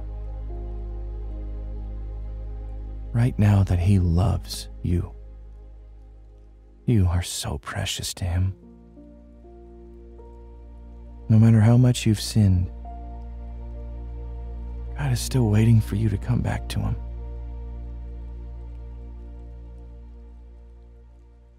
Now, sleep in confidence, knowing that you are loved and are precious to God.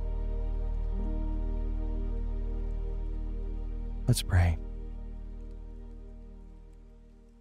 Oh, dear Father, thank you for loving us. Thank you for your grace and mercy. I ask now that you would come and comfort your child as they sleep tonight. May the Lord bless them and protect them. May the Lord smile on them and be gracious to them.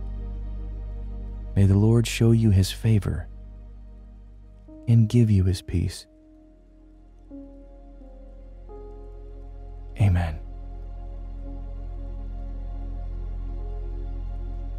Now rest in his loving arms.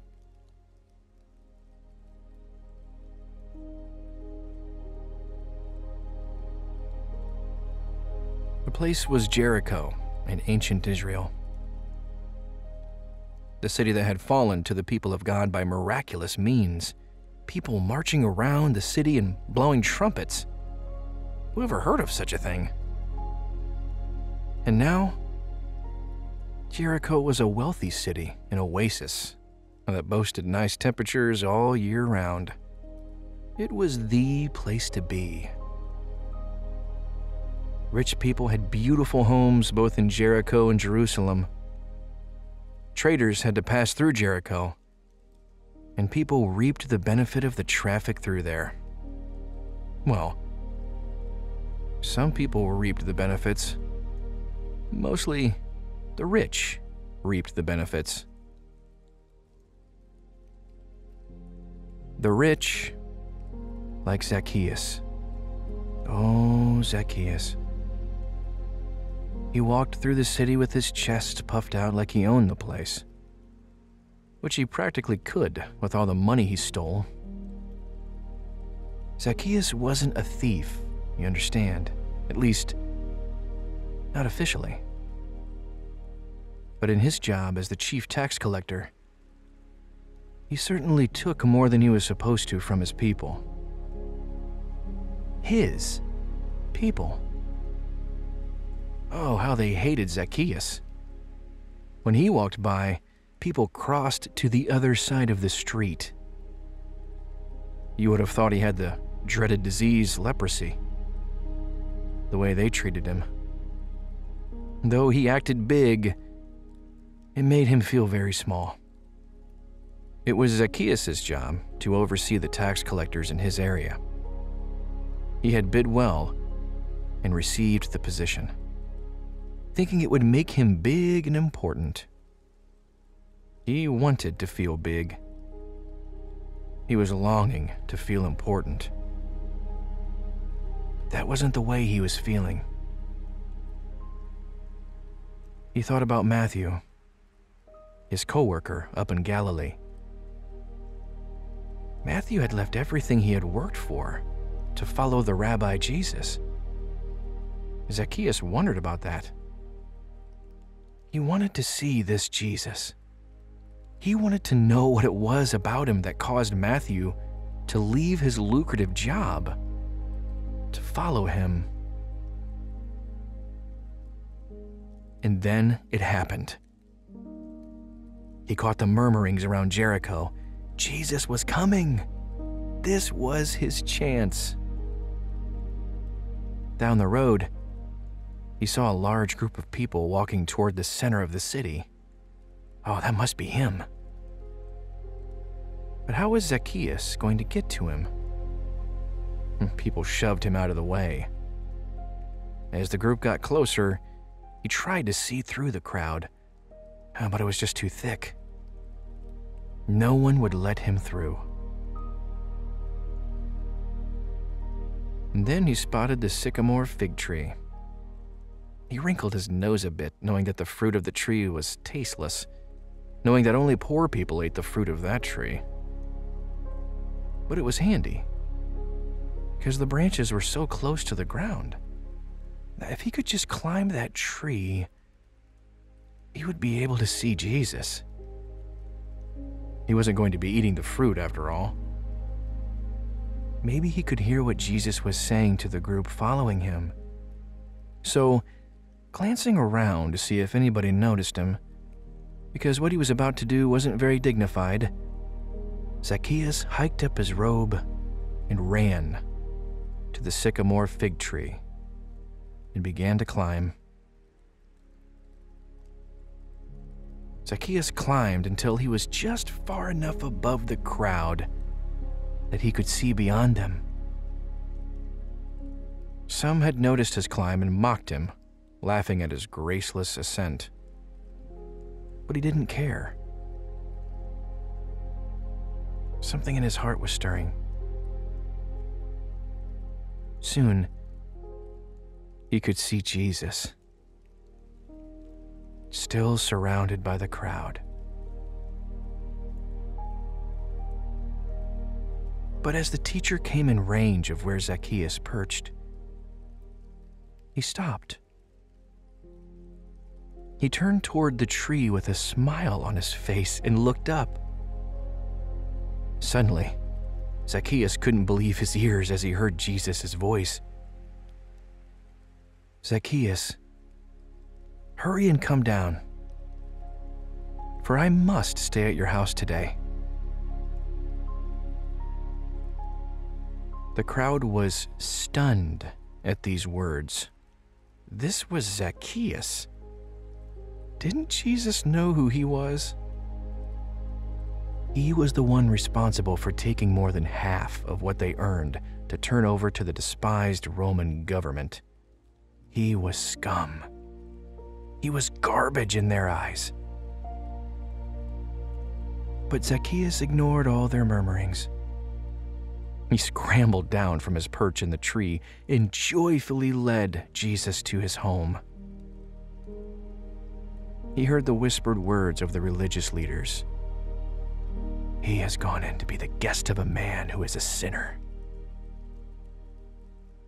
He glanced at Jesus, knowing that he would have heard the words as well. All he received was a smile. And so they ate and drank and laughed. And Zacchaeus felt something change in him. He felt as if his heart would burst. Unable to contain it any longer, he leapt up from the table. He turned to Jesus and declared, Behold, Lord, the half of my goods I give to the poor. And if I have defrauded anyone of anything, I restore it fourfold. The murmuring of the others around the table grew even louder. This was over and above what even the law required. Had Zacchaeus gone mad? What was he thinking? But Jesus smiled. Today, he said, salvation has come to this house. Since he also is a son of Abraham, for the Son of Man came to seek and save the lost.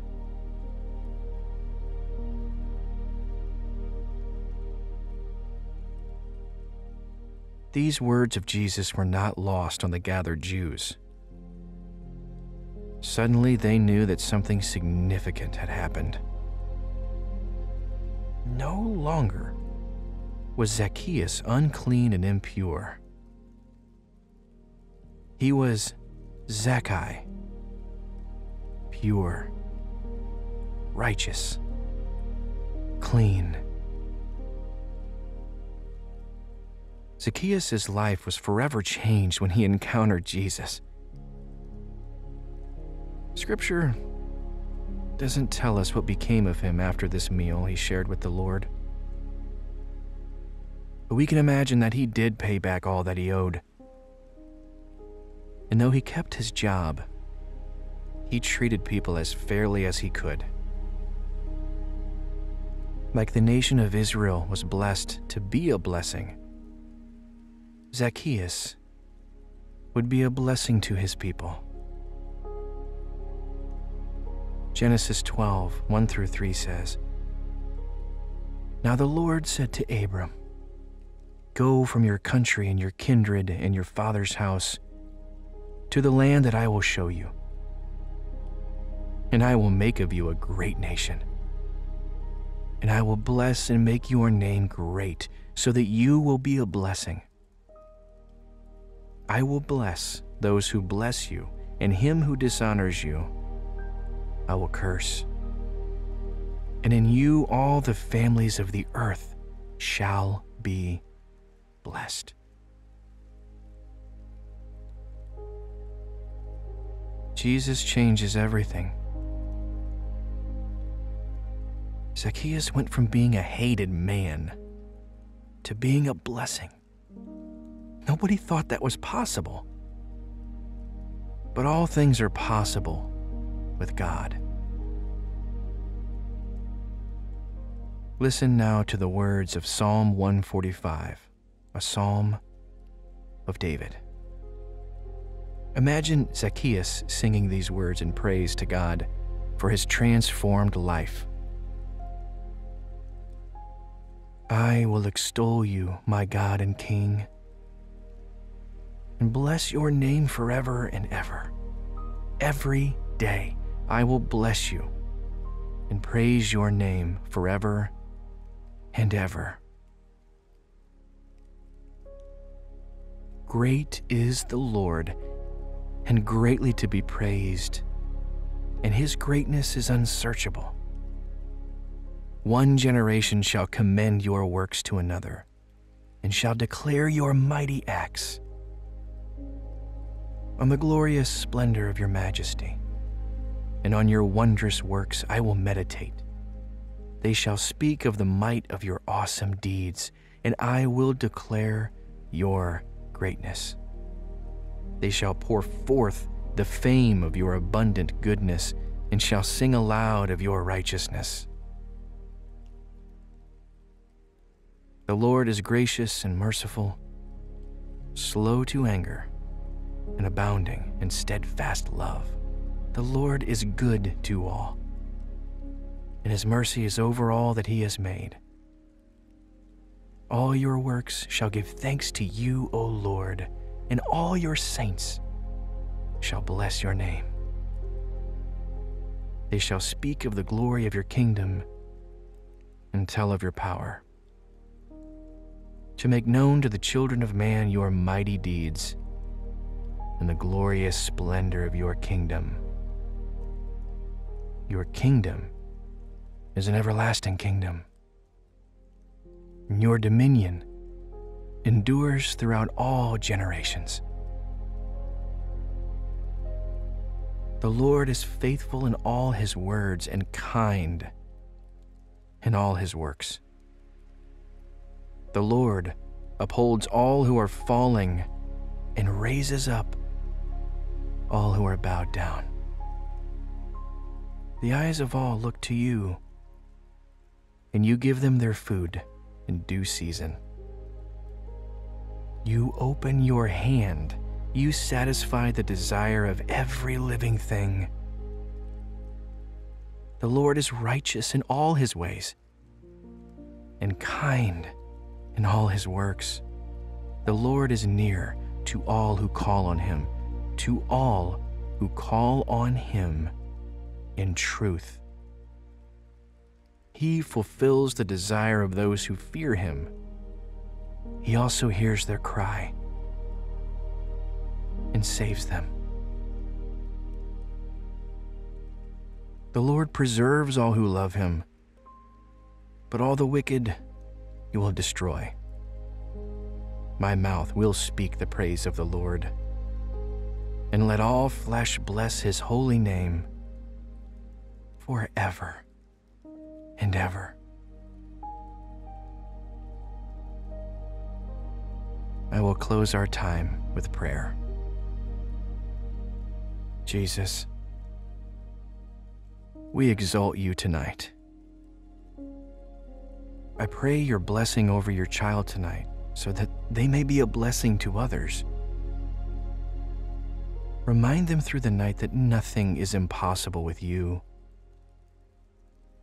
And if there is something or someone that they want to see transformed, that you are able to accomplish that transformation for your purposes. Please bring peace and rest to them tonight. Restore to them the joy of their salvation, that they may serve you all their days. I ask this for them. In your precious, hallowed, holy name. Amen. I feel like when I listen to the sleep meditations that I have a friend next to me